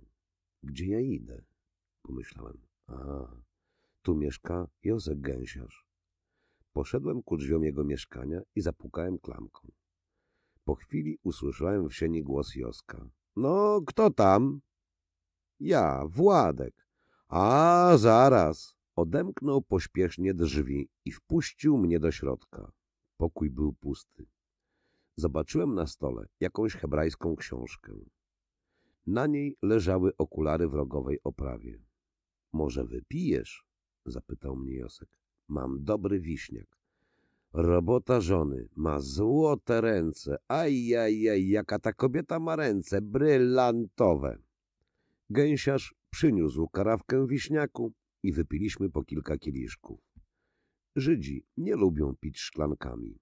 Potem zaczęliśmy rozmawiać o różnych rzeczach. O mojej wsypie gęsiarz wiedział. Ktoś nas lignął u bombiny, powiedziałem do niego. Inaczej. Nigdy nie trafiliby sami na melinę. Była zasadzka. Zrobili ją na P. Rozumiesz? To jego robota, rzekł Josek z wielkim przekonaniem. Ani imienia, ani nazwiska Alfreda. Jozek nie wymienił, lecz wiedziałem dobrze, o kim myśli. Jego, mówisz, robota. Jego. Żeby ja tak szczęścia nie miał. żeby ja tak żonę i dzieci oglądał. Jego.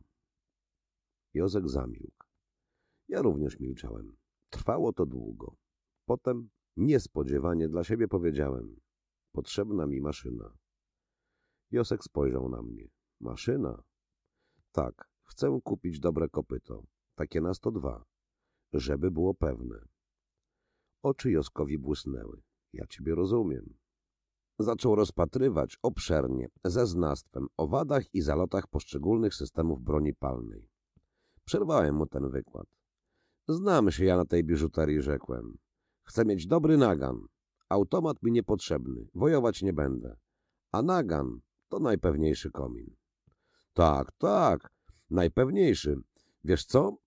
Ty zaczekaj trochę. Napij się jeszcze wiśniaku. Żona zrobiła. Brylantowe mówię. Ja tobie wiem, wiem. Ręce. Tak, a ja zaraz. Nie wiem dlaczego. Właśnie wtedy postanowiłem nabyć rewolwer, gdy dowiedziałem się o samobójstwie Heli. Owszem, miałem zawsze niechęć do Alfreda, lecz nie zamierzałem go nigdy zabić. Byłem daleki od tej myśli i nawet teraz kupowałem rewolwer, przypuszczając, że rozpocznę wkrótce pracę przemytniczą. Jeszcze, będąc aresztowanym w Czeka i Dobrze, postanowiłem, że jeśli urwę się i będę znów chodzić za granicę, to tak jak Alinczuki, z bronią. Wiedziałem, że Alfred nigdy nie pomnie żadnej sposobności, aby mi zaszkodzić i już parę razy to zrobił. Lecz zabić go? Nigdy o tym nie myślałem. Po prostu wstrętna była mi myśl zabić człowieka. Co innego pobić, urządzić jakiś kawał, lecz nie zabić. Gęsiarz wkrótce powrócił. Zamknął drzwi. Sprawdził, czy są dobrze zaciągnięte firanki na oknach, a wówczas wyjął z bocznej kieszeni palta, owinięty papierem i wielokrotnie przewiązany sznurkiem pakunek. Poprzecinał scyzorykiem sznurek i rozwinął papier. Ukazał się matowo lśniący, oksydowany nagam. Był to oficerski samowzwód. Gęsiarz pociągnął kilka razy za cyngiel. Kurek unosił się w górę i z suchym trzaskiem opadał w dół. Obejrzałem rewolwer. Był nowy i czysty. Działał bez zarzutu. Przyjemnie było go trzymać w ręce. Gęsiarz, widząc, że broń mi się spodobała, uśmiechnął się, ucałował końce palców u ręki i powiedział Rura jak zegarek. Siedem łubów pewnych. A naboje? Gęsiarz wyjął z kieszeni dwa tekturowe pudełka z nabojami. Mam tu pięćdziesiąt. Jeśli będzie ci trzeba więcej, to przyjdź do mnie. Można kupić ci tysiąc. Ile ci płacę? Tyle, ile mnie kosztuje. Ja nie handlarz. Więc ile? Hmm, dziesięć rubli. Masz piętnaście. Dałem mu piętnaście rubli, lecz gęsiarz zwrócił mi pięciorublówkę. Mówię, że nie chcę od ciebie zarobić. Gdybyś nie miał pieniędzy, dałbym ci maszynę darmo. Pożegnałem Joska. Gdy znalazłem się wraz z nim w sieni, powiedziałem. Ty nie myśl, że ja to na Alfreda przygotowałem. Ja tego wcale nie mówię. To dlatego, żeby w Sowietach nie wpaść w ręce gadom. Chamy lubią robić na nas zasadzki i czasem mogą zakatrupić. Tak, tak, wiem o tym, odparł gęsiarz, otwierając mi drzwi na podwórze. Dobranoc, powiedziałem, a wiśniak masz dobry. Szczęśliwie, odparł Josek, to żona, brylantowe ręce. Poszedłem ciemnym zaułkiem. W głowie mi szumiało od wiśniaku. W pewnym miejscu zatrzymałem się. Obejrzałem niebo. Znalazłem wielką niedźwiedzicę. Wyjąłem z kieszeni nagan i naładowałem go. Było przyjemnie trzymać w dłoni wygiętą, chropowatą rączkę rewolweru. Mrużąc lewe oko, celowałem do poszczególnych gwiazd. Nagle roześmiałem się. Przyszło mi na myśl, że teraz mam dwóch najlepszych przyjaciół. Wielką niedźwiedzicę, w skład w której wchodzi siedem gwiazd, które nieraz pomagały mi w drodze wskazując prawdziwy kierunek, i nagan, naładowany siedmioma nabojami, który w razie potrzeby może skutecznie mnie obronić. Będąc w dobrze, słyszałem od przestępców, że cyfra siedem jest złodziejską szczęśliwą liczbą. Może mniemanie to powstało dlatego, że cyfra 7 kształtem swym przypomina wytrych. Trzeci tydzień mieszkam u Murzańskiego. Nie chciałem wracać do Trofidów. U nich teraz stale panuje przygnębiający ponury nastrój. Józef wcale nie chodzi za granicę. Boi się o matkę, która po śmierci Heli zapadła w jakieś odrętwienie i przestała rozmawiać. Zresztą jest zawsze potrzebny w domu. Nie chciałem przysparzać mu kłopotu. Powiedziałem to Józefowi. Kolega musiał przyznać mi rację. Nigdy nie czułem się tak dobrze jak teraz, kiedy zamieszkałem u Murzańskiego. Stary zegarmistrz objechał pół świata. Zna wiele ciekawych krajów i wieczorami przy samowarze opowiada nam mnóstwo ciekawych historii. Codziennie rano idę wraz z Piotrkiem i Julkiem kąpać się do Isłoczy, a potem, po śniadaniu, udajemy się do okolicznych lasów. Zbieramy tam jagody i grzyby. A potem kładziemy się na mchu i długo leżymy nieruchomo, patrząc w głębokie, dalekie tło nieba, po którym uganiają się lekkie, wesołe chmurki. Pietrek zawsze bierze ze sobą jakąś książkę i czyta nam godzinami. Słuchamy go. Zdarza się, że zasypiam w czasie lektury, a potem pytam Pietrka, co było dalej od tego miejsca, od którego przestałem słuchać. Trzeba było nie spać, lecz daje się przeprosić i opowiada mi przyspaną część książki, nawiązując przerwany wątek. Potem czyta dalej. W południe się rozbieramy i opalamy na słońcu. Wracamy do domu na obiad, przynosząc ze sobą zapach lasu i wesoły nastrój. Basia, dziobata służąca Murzańskiego, podaje obiad. Siadamy do stołu i jemy, każdy za dwóch. Pijemy piwo. Od dłuższego czasu wódki nie używam wcale. Taki tryb życia wzmocnił moje zdrowie, lecz zacząłem się nudzić. Pietrek i Julek mają zajęcie. Pietrek daje kilka lekcji w miasteczku, a Julek pomaga w pracy murzańskiemu, który obiecał wyuczyć go na zegarmistrza. A ja nie mam nic do roboty. Kilka razy przychodził do mnie lord i wywoływał na drogę. On chodzi od czasu do czasu za granicę, lecz powiedziałem mu, że chcę jeszcze odpocząć. Kilka razy zapytałem kolegów, w jaki sposób dostałem się z granicy do ich mieszkania. Dziwi mnie bardzo, że nie chcą mi tego wyjaśnić. Julek rzekł, widmo nam powiedziało, a Pietrek, dowiesz się kiedyś. Ukrywają coś przede mną? Ale co? Nie chciałem zbyt natarczywie wypytywać. Może sami powiedzą mi w przyszłości. Pewnego dnia Julek pracował wspólnie z Murzańskim przy warsztacie. Pietrek poszedł do miasta, a ja wyszedłem z mieszkania, zamierzając udać się do Saszki Weblina.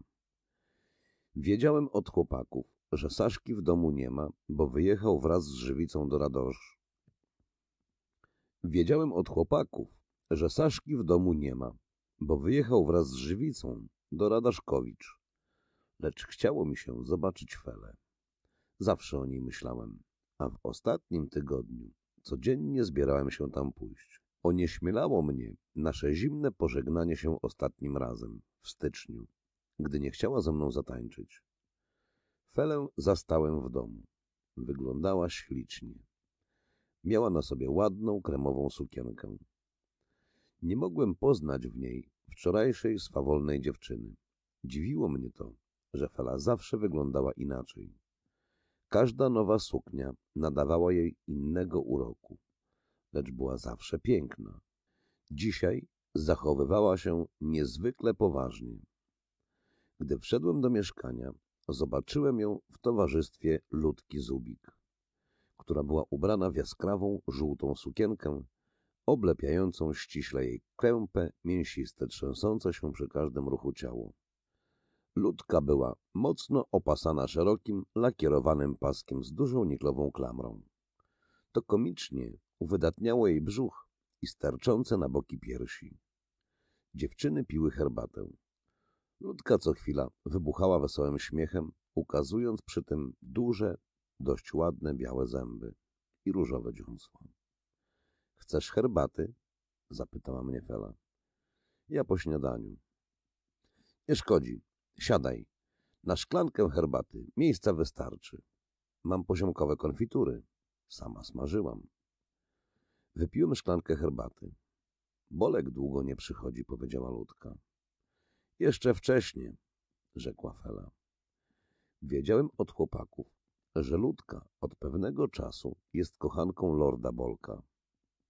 Bolek nie zamierzał jej poślubić, lecz dziewczynie nie zależało na tym wcale, bo była zupełnie wolna i nie bała się plotek.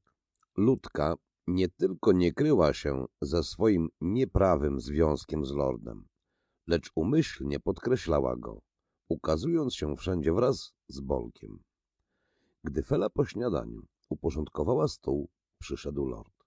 Był ubrany jak pan hrabia, elegancki kapelusz, białe spodnie, lakierki, laseczka, japoński krawat, mieniąca się wszystkimi kolorami tęczy kamizelka. Nasze uszanowanie, rzekł lord na progu.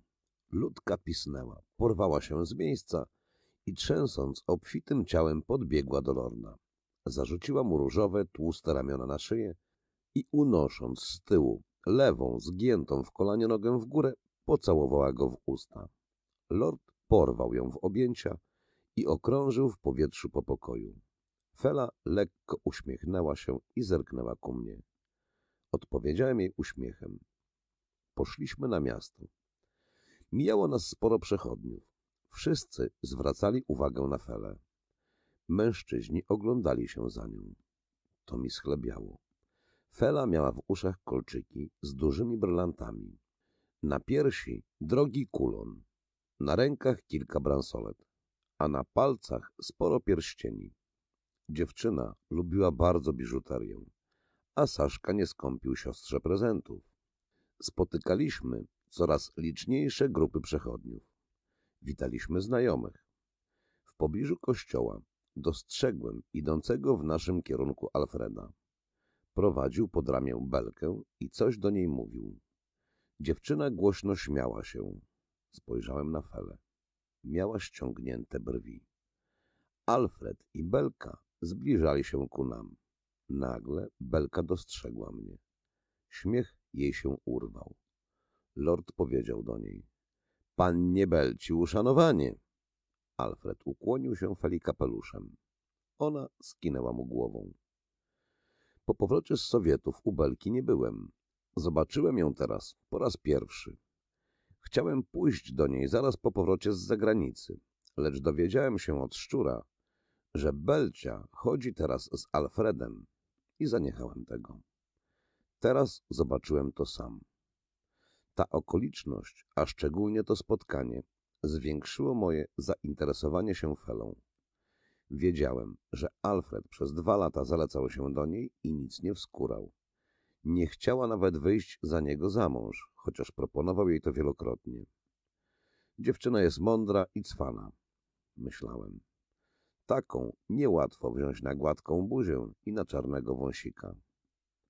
Fela i Ludka udały się do kościoła, a ja i Lord zaczęliśmy spacerować wśród odświętnie wystrojonych chłopaków, którzy napuszeni jak indyki przechadzali się grupkami, zerkając po kryjomu ku stopniom kościoła, które wyglądały jak zasadzony kwiatami kląb. Zajęły je wystrojone w jaskrawe, kolorowe sukienki dziewczęta. Stoją, szepczą, chichocą, szacująco oglądają chłopców, a ich te spojrzenia wprawiają w ekstazę. Chodzą jak konie wyścigowe, wstrzymane ręką jokeja i z ukosa spoglądają ku pannom. Do nas zbliżył się Jurlin. Przywitał nas i splunął na bok, trafiając umyślnie na lakierek starszego brata Alfreda, Albina Alinczuka, który w tym czasie znalazł się w pobliżu nas. Tamten zaczerwienił się i nie wiedział, co począć. Przepraszam, Albina, wyrzekł spokojnie Jurlin. Ładne, przepraszam, mruknął Albin, wycierając kawałkiem papieru opluty lakierek. No jak się nie podoba, przepraszam, to nie przepraszam. Z boku wyłonił się szczur. Jemu nie podoba się, że na nos lakierka trafiłeś, rzekł przemytnik. A linczuki lubią, żeby im w mordy pluć. Do Albina zbliżyli się bracia, a szczur dalej mu przygadywał. Po co wycierasz papierem? Zlisz językiem. Będą błyszczały jak słońce. Ludzie pomyślą, książę jaki, a nie syn kramarza. Książę, co psy wiąże, dodał lord. Hrabia, co skóry obrabia, powiedział szczur. A linczuki poszli dalej. Jurlin zwrócił się do lorda. Trzeba mi jeszcze dwóch chłopaków, towaru do cholery, a nie ma komu chodzić. Czy mało chłopców w miasteczku? Nie chcę byle kogo brać. A może ty pójdziesz? Zapytał mnie lord. Chwilę namyślałem się. Pieniędzy mi już brakowało. Trzeba było wziąć się do roboty. Dłuższa bezczynność też uprzykrzyła mi się bardzo. Kiedy idziesz? Zapytałem Jurlina. We wtorek. Dobrze. I ja z wami.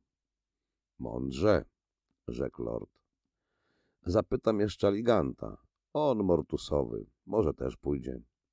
Dobra nasza, rzekł Jurlin. To przygotujemy dziesięć niosek.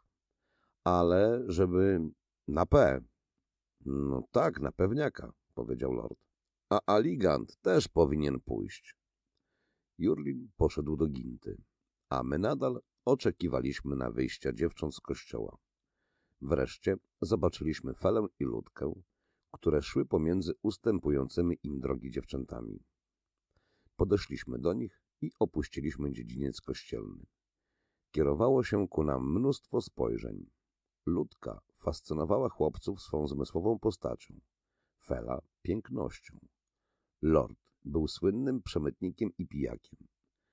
Ja dotychczas byłem ciekawym przybyszem, a moja obecność u boku Feli wzbudzała jeszcze większe zainteresowanie mną. Przedefilowaliśmy powolnie ulicami miasta. Lord w pewnym miejscu wszedł do owocarni i kupił cukierków, czekolady i orzechów. Wróciliśmy do domu. Fela podała obiad, który ugotowała poprzednio wraz z Ludką. Znalazła się na stole krawka wódki i flaszka wiśniaku. Lord zaczął pić zdrowie naszych dam. Potem ich krewnych po mieczu i kądzieli. Potem granicy i przemytników. Pił za szczęście, za powodzenie i diabli wiedzą za co jeszcze. Grunt, aby był pretekst golnąć. Ludka prawie dorównywała nam w piciu. Fela była wstrzemięźliwsza, lecz również wypiła sporo wiśniaczku. Twarz jej zbladła, oczy lśniły, wargi miała purpurowe. Prawie nie odrywałem od niej spojrzenia i co chwila dolewałem jej do kieliszka. Później odstawiliśmy stół na bok i lord puścił w ruch płytę gramofonu. Był jakiś stary walczyk. Lord ujął ludkę w pół i ciasno spleceni krążyli po izbie. Dziewczyna śmiała się, odrzucając głowę w tył. Oj, udusisz! A sama lgnęła ku niemu całym ciałem. Poprosiłem Felę do tańca. Wstała z miejsca. Zaczęliśmy krążyć po pokoju. Coraz silniej przeciągałem dziewczynę ku sobie. Nie opierała się mi. W pewnym momencie usłyszałem jej głos dochodzący mych uszu, jakby z bardzo wielkiej odległości. Może dość, bo się spalisz. Wieczorem odprowadziłem wraz z lordem Ludkę do domu. Gdy przedtem pożegnałem Felę, dziewczyna szczególnie uścisnęła mi dłoń i powiedziała — przyjdź kiedyś. — Kiedy? — Kiedy chcesz. — Dobrze, przyjdę. Było mi tak wesoło. Nie szkoda mi było ani belki, ani loni. Znajdowałem się całkowicie pod urokiem Feli. Jednakowoż, gdy po odprowadzeniu ludki do domu, lord powiedział do mnie — a może tego? Pójdziemy do kaliszanek. Widocznie był trochę zawstydzony. Odpowiedziałem mu, ukrywając istotny cel. Dobrze, warto by wypić. Właśnie, właśnie, bardzo mądrze, powiedział lord. Tej nocy, po raz pierwszy od czasu powrotu mego z zagranicy, nie nocowałem w domu. Jest nas jedenastu. Zwykła duża partia przemytników. Idziemy lasem w zielonym półmroku, po miękkich mchach, jak po dnie morza. Przekradamy się między drzewami bez szumu, jak widma. A górą, także cicho, chmury się przekradają. Puściły naprzód, nawabia, małą, lekką chmurkę i płyną za nią całą masą. Jurlin idzie pierwszy, kroczy powolnie, z lekka chwiejąc się w prawo i w lewo. Rysimi oczami ogląda teren przed sobą. Za nim podąża lord. Idzie lekko, jak po parkiecie. Rzuca spojrzenia w prawo i w lewo. Za nimi, dwoma słynnymi maszynistami, idę ja. Za mną idzie, chybocąc biodrami szczur. Ciągle się uśmiecha. Coś mu przypomniało się, jakaś granda albo obmyśla grandę. Dalej wali kometa. Rozpuścił czarne wąsiska w powietrzu i zamaszyście kroczy naprzód. Za nim drepcze Sonia, żona Jurlina. Umyślnie puszczamy ją w środku partii, bo tam najbezpieczniej. Kobieta idzie drobnym, lecz pewnym krokiem. Jest przyzwyczajona do tych podróży, bo chodzi z mężem drugi rok. Za Sonią człapie Wańka bolszewik. Idzie wpatrzony w jej łydki. Obserwuje, jak falują zaczepnie biodra kobiety. Roją mu się w głowie różne erotyczne obrazy i często, przez nie uwagę, łamie butami suchy chrust. Wtedy szczur obraca głowę w tył, robi groźną minę i pokazuje mu pięść. Wówczas Wańka mruczy. Ogląda się, jak kobyła na wilka. Za Wańką podąża smoczek. Wesoły, komiczny, łatwowierny chłopiec. Nie lubi bardzo, gdy wołają go smoczek. Przezwisko to otrzymał w następujący sposób. Pewnego razu poszedł na własną rękę za granicę. Towar miał niezwykły, kilka tysięcy smoczków dziecięcych. Zrobił sobie bandaż, ponawlekał smoczki na sznurki i włożył je pod kurtkę. Było to w lecie. Chłopiec nie zdążył w ciągu nocy dojść do swej meliny. Na dzień schował się w życie. Sprzykrzyło mu się tam i zaczął przekradać się polami dalej. W pewnym miejscu dostrzegł go patrol kawaleryjski. Żołnierze chcieli go zatrzymać, lecz on, jak szczupak do wody, dał nura w żyto. Złapano go po długich wysiłkach i po stratowaniu sporej przestrzeni pól. Żołnierze skopali go i zaczęli rewidować. Zdjęli kurtkę. I stoi przed nimi cały w smoczkach, jak w orderach. Bolszewicy wybuchnęli śmiechem. Potem jeden z nich powiedział — Wiecie co, towarzysze? Takiego spekulanta nie warto zatrzymywać. Drugi dołączył się do niego. Niech niesie dla małych komunarów, będzie rozrywka. I puścili go. Nie zabrano mu nawet towaru. Po powrocie do miasteczka chłopak opowiedział o całym zajściu kolegom, nie przypuszczając, że stanie się celem wyszydzeń i drwin. Od tego czasu wszyscy w miasteczku wołali na niego smoczek. Za smoczkiem idzie Leon Jubina. Chłopaki nazywają go kawalerczak za to, że lubi flirtować z dziewczynami i stale przesiaduje w ich towarzystwie na różnych wieczorkach. Jubina chodzi na granicę rzadko, gdy bieda go wypchnie. Boi się chłopak tych podróży. Za Jubiną podąża eleganckim krokiem, w eleganckich butach i spodniach, aligant. Tylko czapkę i kurtkę, aby nie wyróżniać się zbytnio swoim wyglądem, ma stare. Na końcu partii toczy się odprowadzający Girsz Knot.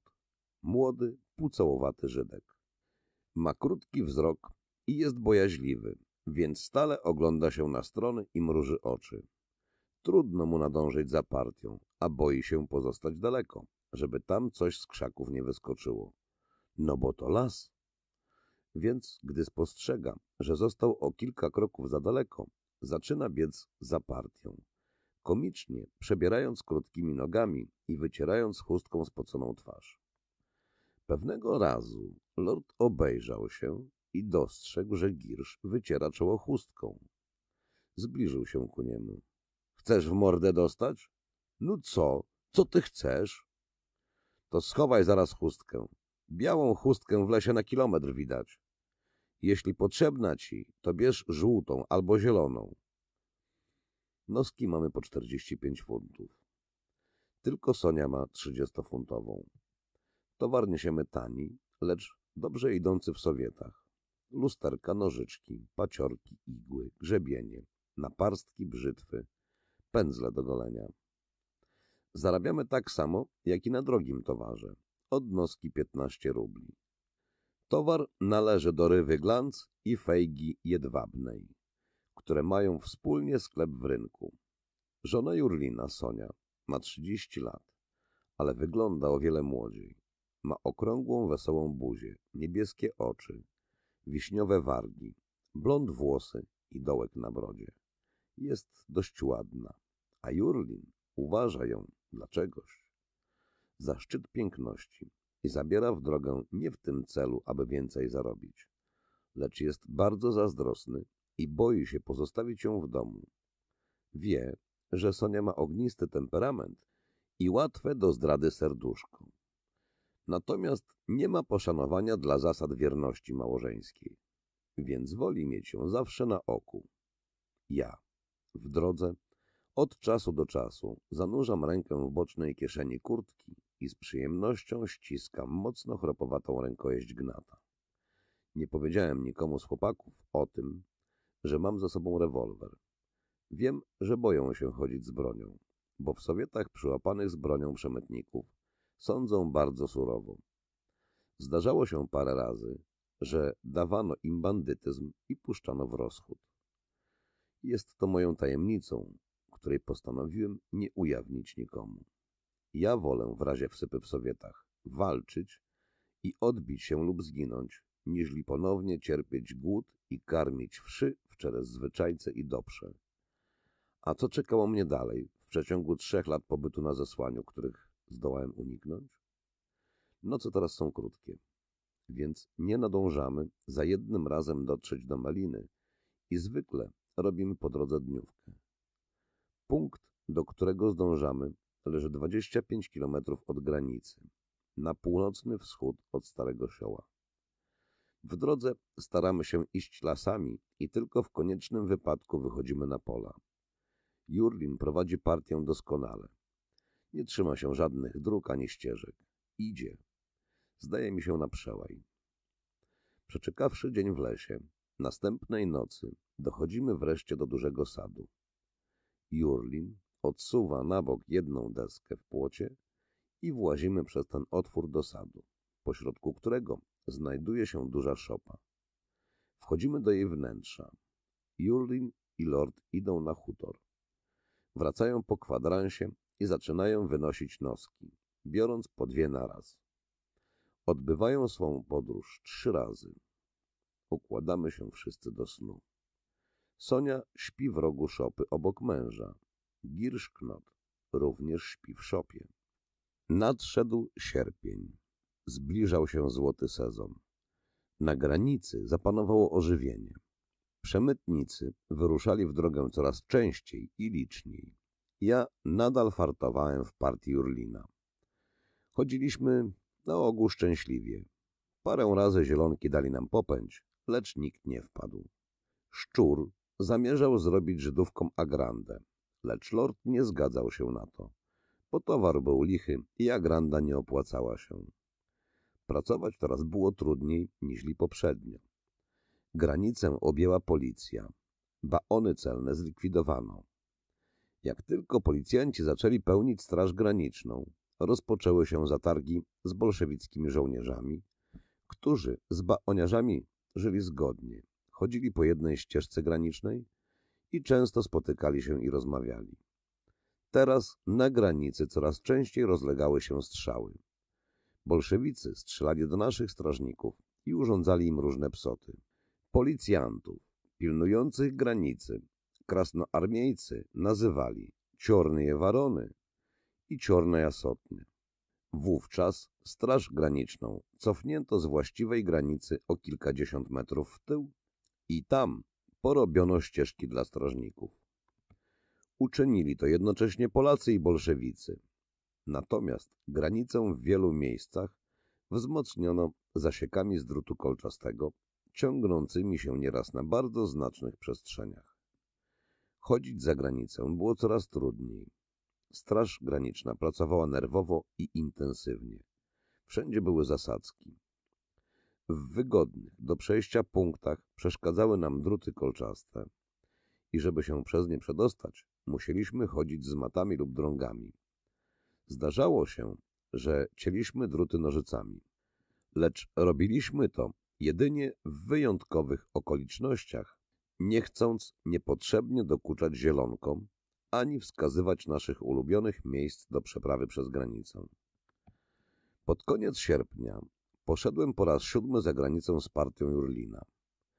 Wyruszyliśmy w drogę wcześnie. Noce były dłuższe, więc chcieliśmy do rana przejść na Melinę. Partia była w komplecie. Jurlin, Lord, ja, Kometa, Szczur, Sonia, Wańka Bolszewik, Aligant, Smoczek, Jubina i Girszknot. Noski mieliśmy po 40 funtów.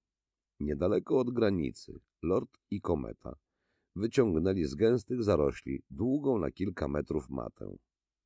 Była upleciona ze słomy i wikliny i mocno przeszyta po brzegach sznurkami. Lord niósł dwie tyczki, a kometa dźwigał zwiniętą jak chodnik matę. Idąc bardzo powolnie lasem, dotarliśmy do granicy. Noc była ciemna, niebo zamglone.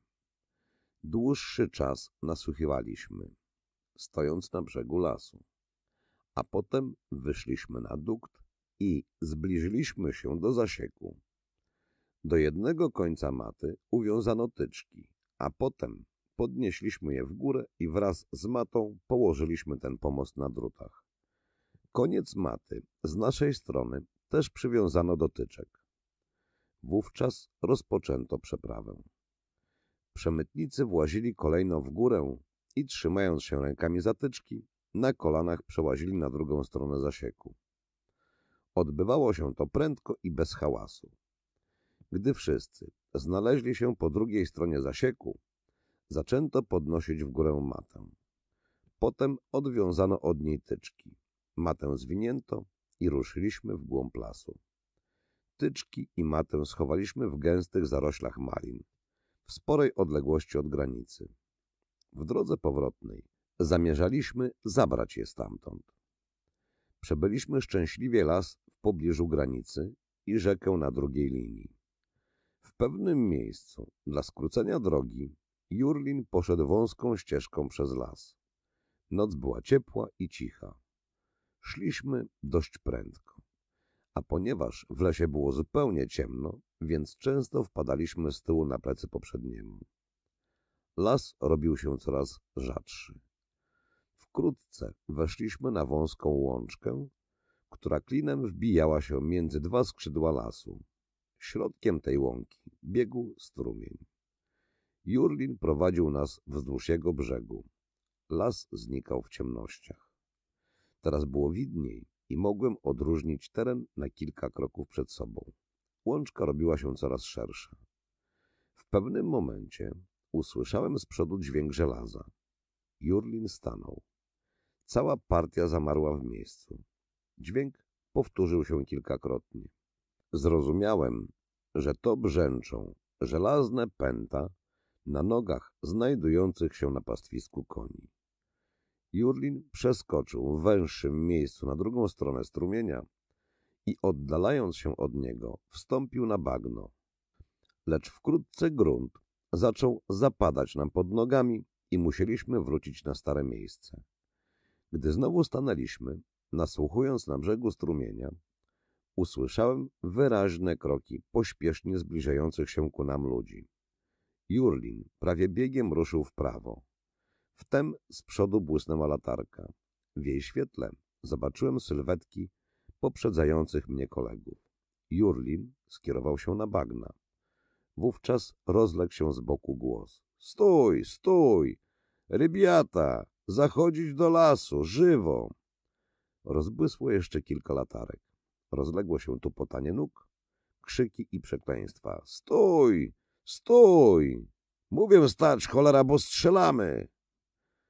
Pewnie nie mają karabinów przy sobie, pomyślałem, bo dawno by strzelali. Uchodziliśmy coraz dalej na bagna. Nogi zapadały głęboko w błoto, a prześladowcy podążali coraz bliżej za nami. Szczur biegł przy mnie i klął. To żłoby, to chamy, to dranie. Wiedziałem, że nie zdołamy uciec. W pewnej chwili skoczyłem w bok z naszej drogi. Szczur krzyknął. Ty gdzie? Nie odpowiedziałem mu.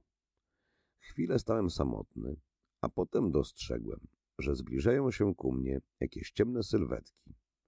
Oświetliłem je latarką, a jednocześnie strzał za strzałem. Zacząłem walić do nich z nagana. Dostrzegłem, że ścigający nas ludzie zaczęli uciekać. Pośpiesznie wyrzuciłem stemplem z rewolweru wystrzelone łuski i naładowałem go. Posłyszałem z boku, tuż przy mnie, lekkie kroki. Omal nie wystrzeliłem tam, lecz krótki błysk mej latarki wywołał z ciemności postać szczura. — To morowo! — powiedział przemytnik. — Kto to był? — zapytałem go. Albo masałki paśli konie i nie mieli karabinów, albo gady na noclegu. To najprędzej, dodał po chwili. A ty, Klawo, ich uraczyłeś. Oni by nas dogonili, znają tu każdy krok i nie mają nosek. A dobrze im, dobrze. Pójdziemy za naszymi? Zapytałem kolegi. Szczur ledwo świsnął. Za naszymi? Gdzie ty ich teraz znajdziesz? Wracamy do miasteczka. A towar jest nasz i bez grandy. Dodał po chwili i cicho się zaśmiał. Poszliśmy powolnie bagnem w kierunku strumienia, a potem brzegiem jego dotarliśmy do lasu. Jeszcze przed północą wróciliśmy do miasteczka. Gdzie sprzedasz towar? Zapytałem szczura. Przemytnik czmychnął nosem. Ja ci sto fur towaru sprzedam, tylko dawaj. Może i mój sprzedasz? Dobra jest. Pomóż tylko zanieść do domu, a jutro będziesz miał forsę. W pobliżu mieszkania szczura pożegnałem go. Kolega zatrzymał na chwilę moją dłoń. Ty tego mm, nie mów chłopakom, że kropiłeś z kopyta do tamtych gadów, bo będą się bać z tobą chodzić. Dobrze. A o towarze mów, że porzuciłeś na bagnie, bo ledwie sam wylazłeś, rozumiesz? Żeby nie pomyślał, że to agranda. Dobrze. Wieczorem przyjdę do ciebie, rzekł szczur i z dwiema noskami na plecach zniknął w głębi podwórza, a ja poszedłem do domu. W ten sposób po raz pierwszy wypróbowałem mój rewolwer. Nazajutrz szczur przyszedł do mnie w południe. Opliłeś noski? Zapytałem go. Nie.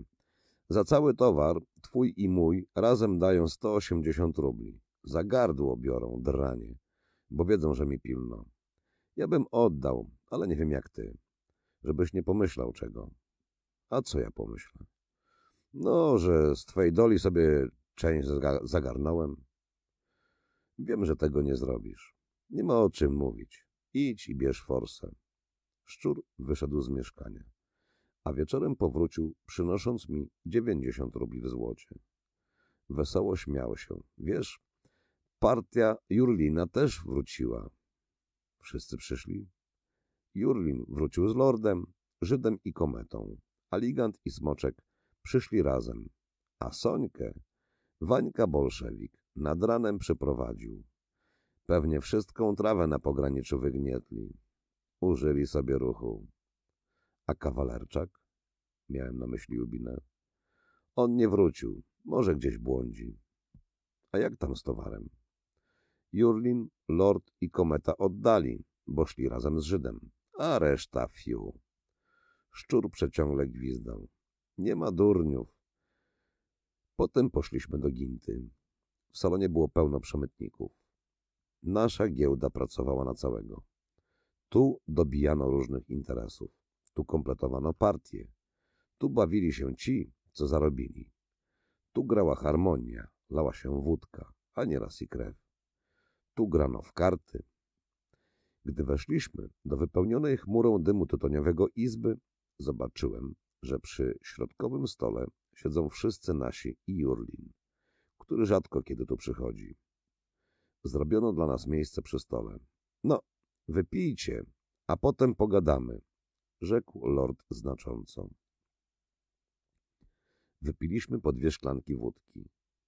Potem lord zwrócił się do szczura. Ty wczoraj waliłeś z maszyny do hamów? Nie, nie ja, co? Nic. Lord zwrócił się do mnie. Ty rąbałeś do gadów? Nie. Jurlin podniósł głos. Oni strzelali. Albo jeden, albo drugi. Ja wiem, ja byłem blisko. A może to oni do nas walili? Rzekł szczur. A latarką kto ich oślepiał, co? spytał Jurlin. O co wam idzie? Zapytałem lorda, trochę zgniewany tym badaniem. Rozchodzi się o to, że nasza partia spokojna. Chodzimy na czystą robotę i nie chcemy maszyn brać. Bo jak iść z maszynami, to wszystkim, bo inaczej jednego złapią z maszyną, a wszyscy pójdziemy pod ścianę. Ot, kawalerczak nie wrócił. Może go tam i cupnęli. Szczur roześmiał się. Ech, wy zające. A żeby nas wszystkich cupnęli, to co? To nic, odparł Jurlin. Tam, tobie nic. Ciebie Żydzi wykupią, a my w zwyczajce powyzdychamy.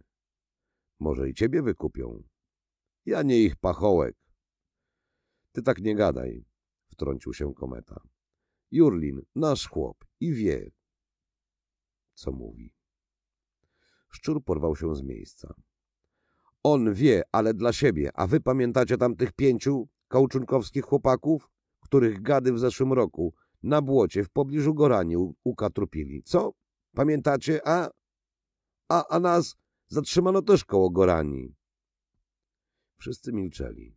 Wówczas ja wstałem i rzekłem. To ja rąbałem do gadów z maszyny. Nikt nie odezwał się. Tylko szczur powiedział uroczyście. I dobrze zrobiłeś. Po chwili głos lorda. To co innego. Ty nie wiedziałeś, że nikt z nas maszyn w drogę nie bierze.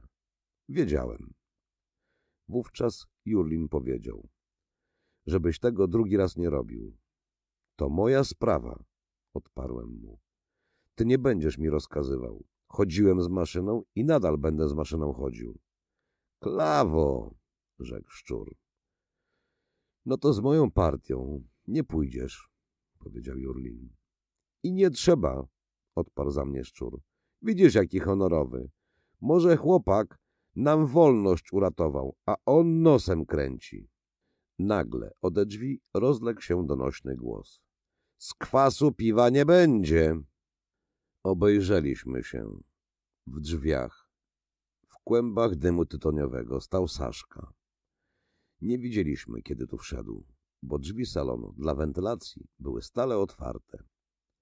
Saszka, stojąc u progu, słyszał całą naszą rozmowę. Teraz powolnie zbliżył się do stołu. Za nim kroczył żywica. Obaj mieli ręce w kieszeniach.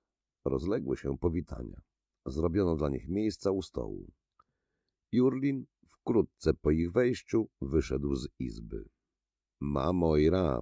— rzekł Saszka, nalewając dwie szklanki wódki. Szczur parsknął pogardliwie. Ma cienkie bebechy. Saszka zwrócił się do mnie. Waliłeś wczoraj do gadów? Tak.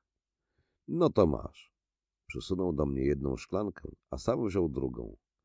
Wypijmy, na szczęście. Trąciliśmy się szklankami i duszkiem wypiliśmy wódkę. Potem Saszka zapalił papierosa i rzekł. Jak będę miał robotę dla trzech, to pójdziesz ze mną w drogę. Zrobiło mi się wesoło. Ze szczerą wdzięcznością spojrzałem Saszce w oczy i skinąłem mu głową. Dobrze.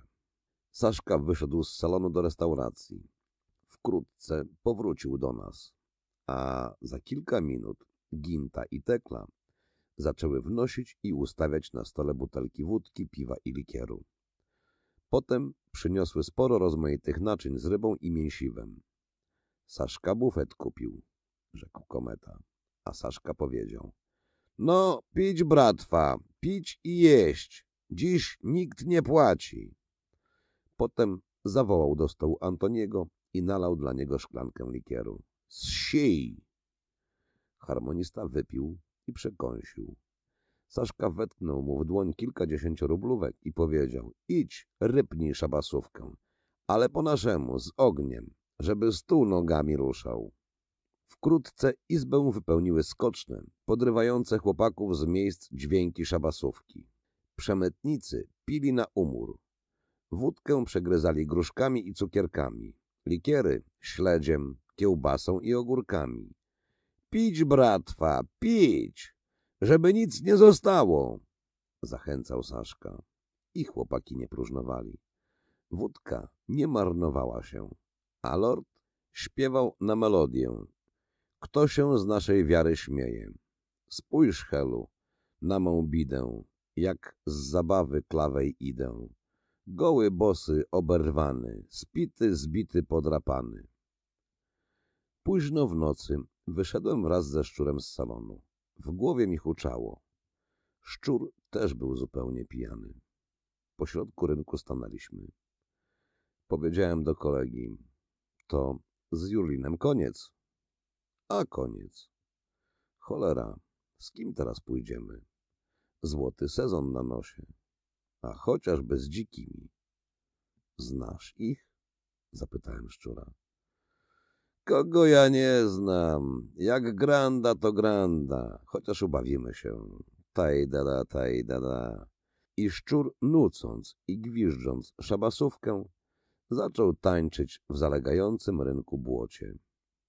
Potem długo odprowadzaliśmy się kolejno do domu. On mi coś opowiadał, a ja jemu, lecz nic z tego potem nie pamiętałem. Była na pograniczu jedna niezwykła partia. Nazywano ją dziką, a chłopaków, którzy do niej należeli, dzikimi albo też wariatami. Dzicy nie zachowywali prawie żadnych środków ostrożności i chodzili przez granicę na hurra. Często wpadali. Maszyniści zmieniali się w niej co kilka miesięcy. Lecz dziwna rzecz. Ta wariacka partia pracowała trzeci rok, sto razy rozbita, sto razy znów się dobierała i dalej trzęsła po nocach granicą i pograniczem. Powstawało i znikało mnóstwo partii. Kładli się najwyrafinowańsi maszyniści, a te diabły pracowały bez przerwy. Robili grandy i agrandy. Przetrwali lata. Chociaż w coraz innym komplecie.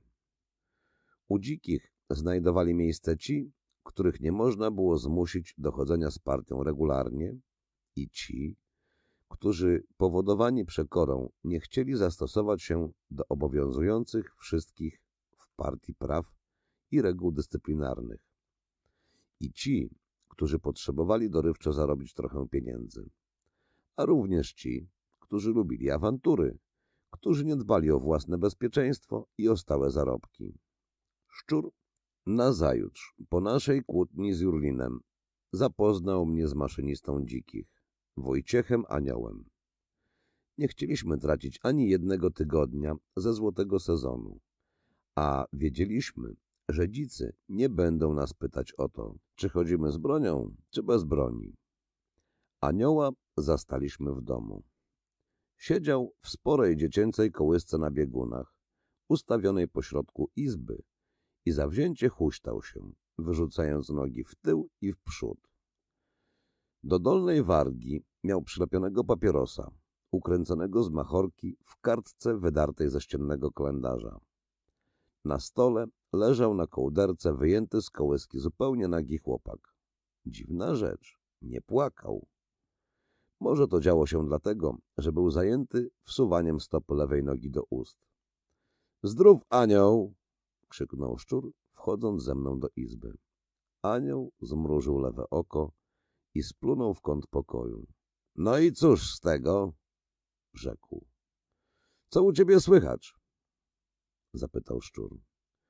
Interes w ruchu, a ruch w interesie, odparł anioł, nie przestając się bujać w kołysce i zapewne mając to na myśli. Chcemy chodzić z wami za granicę, rzekł szczur. Możecie. Nie daje wam, czy co? Anielski interes. To kiedy idziecie? Dziś. Skąd? A cholera wie skąd. To jakże was znaleźć? Cholera wie jak. Szczur wyjął z kieszeni flaszkę wódki. To zakropimy interes. Anioł przyzwalająco kaszlnął i puścił pod sufit gęsty kłąb dymu. Szczur podał mu flaszkę. Anioł lekkim ruchem dłoni wybił korek z butelki i huśtając się spojrzał na mnie. To też do moci?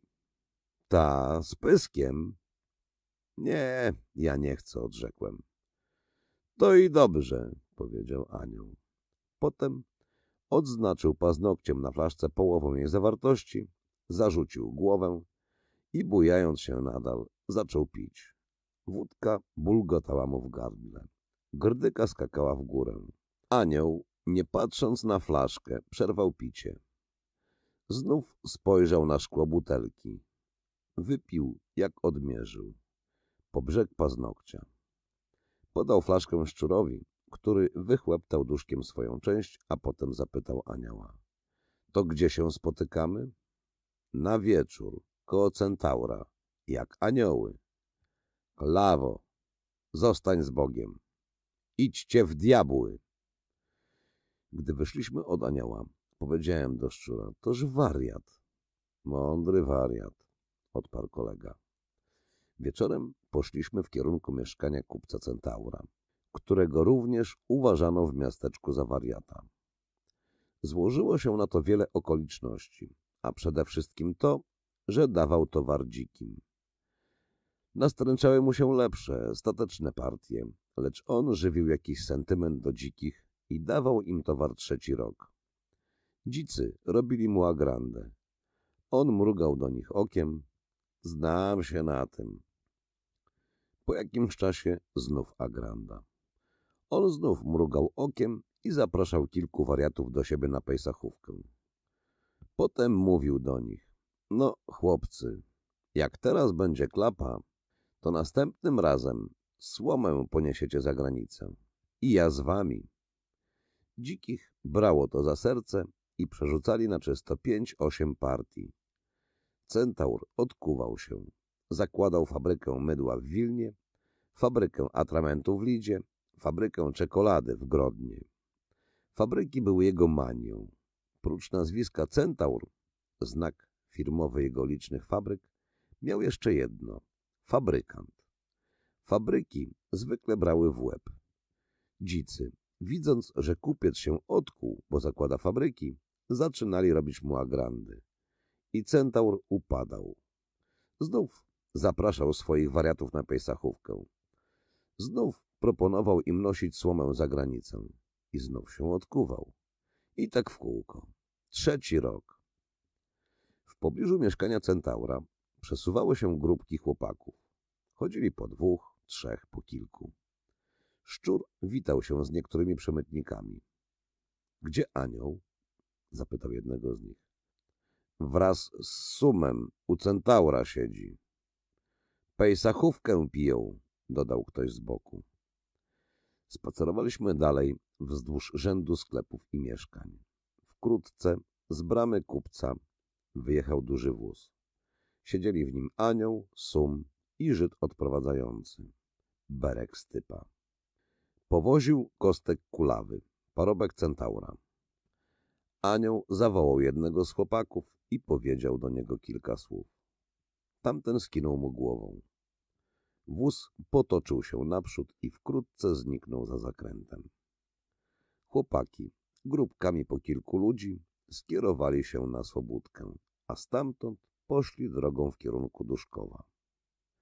Niedaleko, za wygoniczami, z lasu naprzeciw pierwszej grupki przemytników, wyszedł anioł.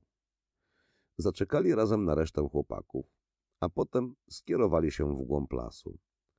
W pewnym miejscu anioł zatrzymał się w pobliżu olbrzymiego stosu chrustu, obok którego stali sum i berek stypa. Anioł zaczął wyjmować spod gałęzi noski. Rzucał je niedbale na ziemię, licząc głośno. Raz, dwa, trzy. Odliczył osiemnaście i urwał. Zwrócił się do nas. Brać noski, po anielsku. Iść w drogę było za wcześnie.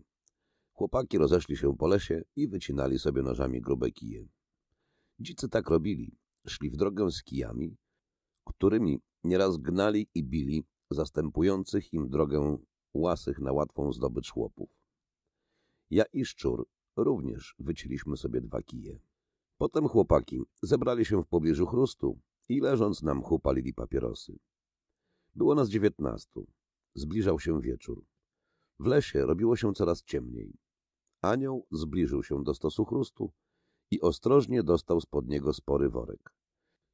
Zaczął wyjmować z niego i rzucać na mech w różnych kierunkach flaszki spirytusu. Odliczył dziewięć i powiedział, po jednej na dwóch, jak aniołki. Chłopaki zabrali się do picia, a anioł starannie zawiązał worek i dał go Sumowi jako dodatkową noskę. Ty poniesiesz, tylko nie stłucz i nie uchlaj się. Sum coś mruknął i wziął worek. Chłopaki pili. Niektórzy zachłystywali się spirytusem i kaszlali. Rozległy się wesołe głosy i wybuchy śmiechu. Zapadł zmierzch. No, wariaci, brać noski! krzyknął anioł. Wszyscy powstali z miejsc i zaczęli zakładać na barki paski nosek. Noski były ciężkie. Nieśliśmy skórę na podeszwy. To tani, ale dawał od 150 do 300% zysku. No, ciach, ja nim mrumru, rzekł do chłopaków anioł, ruszając w drogę. Ktoś w odpowiedzi wybuchnął głośnym śmiechem, inny gwizdnął. Partia poszła naprzód. Chłopaki nie zachowywali ciszy ani dystansu. Łamali krzaki. Trzaskali gałęziami, kaszleli, kleli, śmiali się i rozciągnęli na ćwierć kilometra. Anioł kilka razy zatrzymał się i groził pięścią, lecz to nie skutkowało i wywołało tylko śmiech. Wówczas anioł poszedł tak prędko naprzód, jakby chciał uciec od nas. Musieliśmy prawie biegiem podążać za nim. Ja i Szczur szliśmy w środku partii. Z początku mnie dziwiło takie zachowanie przemytników w pobliżu granicy, a potem zrobiło mi się też wesoło. Spirytus mnie rozgrzał, a niesforny marsz chłopaków wykluczał myśli o niebezpieczeństwie. Ktoś, idąc o kilkanaście kroków przede mną, zaciągnął się na motyw jabłoczka. Co ja widzę, co ja słyszę, Trocki wlazł na kryszu. I tak wrzeszczy do narodu. Figę macie nieswowodę. Zdrowo! Rąbaj dalej! Rozległy się głosy przemytników. I Waluś szympans, bo to on śpiewał, przepitym tenorem ciągnął dalsze sfory jabłoczka. Nagle partia zatrzymała się. Do szympansa podbiegł anioł. Zamknij mordę, żłobie! No, bo co? Bo to, bo do bolszewików w łapy was zaprowadzę. Jak aniołków. Zaraz granica. Masałki drogę zastąpią. Anioł ruszył naprzód. Idziemy prędko. Teraz nikt nie śpiewa, lecz i bez tego sprawiamy wiele hałasu. Po pewnym czasie wpadamy na dukt graniczny. Tak samo prędko, nie nasłuchując i nie zatrzymując się wcale. Ruszamy dalej. Jest dość widno. Można odróżnić teren na przestrzeni kilkudziesięciu kroków. Widzę przed nami wysoki i szeroki zasięg z drutu kolczastego. Anioł skręca w prawo i idzie wzdłuż duktu. Mijamy słupy graniczne. Chłopaki w przejściu trzaskają w nie dłońmi lub uderzają końcówkami kijów w kopce. Anioł skręca w prawo i przystaje w zasieku. Zbliżamy się do niego. Migdał, nożyce, mówi anioł. Kostek migdał wyjmuje z zapasa nożyce i anioł zaczyna prędko ciąć druty, które dzwonią pod ostrzami nożyc i spadają na strony. Robota idzie prędko. Chłopaki odgarniają kijami zwisające druty. Przejście wolne. Przechodzimy na drugą stronę duktu i podążamy naprzód. Spostrzegam, że nie wszyscy idą wilczym tropem. Niektórzy kroczą obok siebie. Słyszę z przodu głośne pluśnięcia wody. To chłopaki przechodzą rzeczułkę bez żadnych ostrożności. W galop. Wpadłem prawie po pierś w wodę i dążę pośpiesznie za poprzedzającym mnie szczurem. Wyłażę na brzeg i prawie biegnę za kolegą. Dotarliśmy do zagajnika. Wtem słyszę z boku jękliwy krzyk. Kto idiot? Swój. Kto swój? pytają z dala. Wuj! ryczy sum. W kilku miejscach słyszę wybuchy śmiechu, a o kilkanaście kroków od nas, z ciemnej grupy krzaków, buchnął strzał karabinowy. Z naszej strony błysnęło naraz kilka latarek i oświetliły wyraźnie tamtę grupę krzaków. Zobaczyłem niewyraźne postacie żołnierzy w długich, szarych płaszczach. Kilka kijów poleciało w ich stronę. Ktoś z chłopaków krzyknął — Hurra! Na nich! Żołnierze pośpiesznie ukryli się w krzakach. Wszystko to odbyło się w marszu, którego nie przerwano ani na chwilę. Gdy odeszliśmy na kilkaset kroków od tamtego miejsca, z tyłu rozbrzmiały strzały i kroki. Nie zwracając wcale na to uwagi, dążyliśmy coraz prędzej naprzód. O dwa kilometry od granicy anioł poszedł po dobrze wyjeżdżonej drodze. Później skręcił w prawo i poszliśmy wąską ścieżką przez las. Chłopaki rozmawiali. Od czasu do czasu błyskały latarki. Anioł nie reagował na to wcale i szedł bardzo prędko naprzód, trzymając w lewej ręce latarkę, którą był gotów oślepić napotkanego człowieka, a w lewej kij, do oparcia się i do obrony. Od czasu istnienia partii dzikich Anioł był dziewiątym maszynistą. Pierwszym maszynistą i założycielem partii był Antoni Mur w nawiasie. Stale używał wyrazu mur, jak mur, murowane, murem. Był to wariat w lepszym stylu. Pracował nie tylko dla zarobku, lecz przede wszystkim dla wariackich kawałów. Potrafił przejść z partią wzdłuż granicy parę kilometrów i powyrywać słupy graniczne, które potem odniósł wraz z chłopakami na drugą linię i wrzucił tam do rzeki. Jego kawały pamiętają chłopaki dotychczas i nieraz wspominają Antka wariata, zabitego na strażnicy bolszewickiej, dokąd pijany w drabiazgi poszedł zapytać o drogę i rozpoczął drakę z żołnierzami. Po nim nastąpiło sześciu mniejszych lub większych wariatów. Żaden nie skończył szczęśliwie. Jednych zabito, innych rozstrzelano lub zesłano.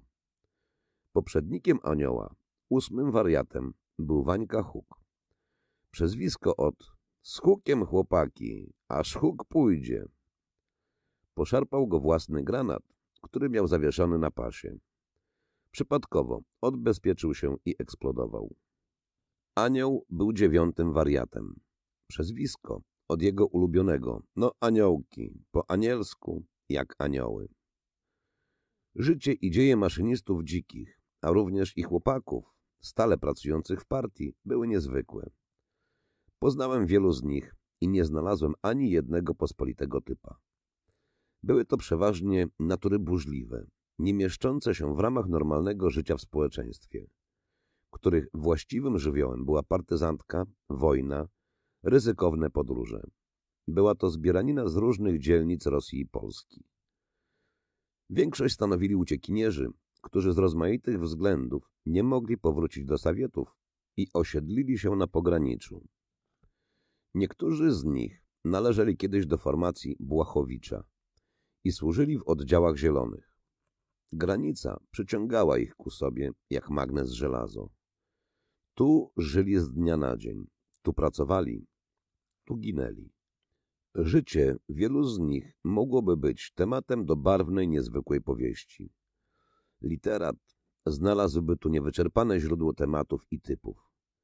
Myśmy nie rozumieli tego i wcale nie myśleli o tym. Rzadko który z nas umiał pisać. Nikt nic nie czytał. Polityka nie zajmowała nas wcale.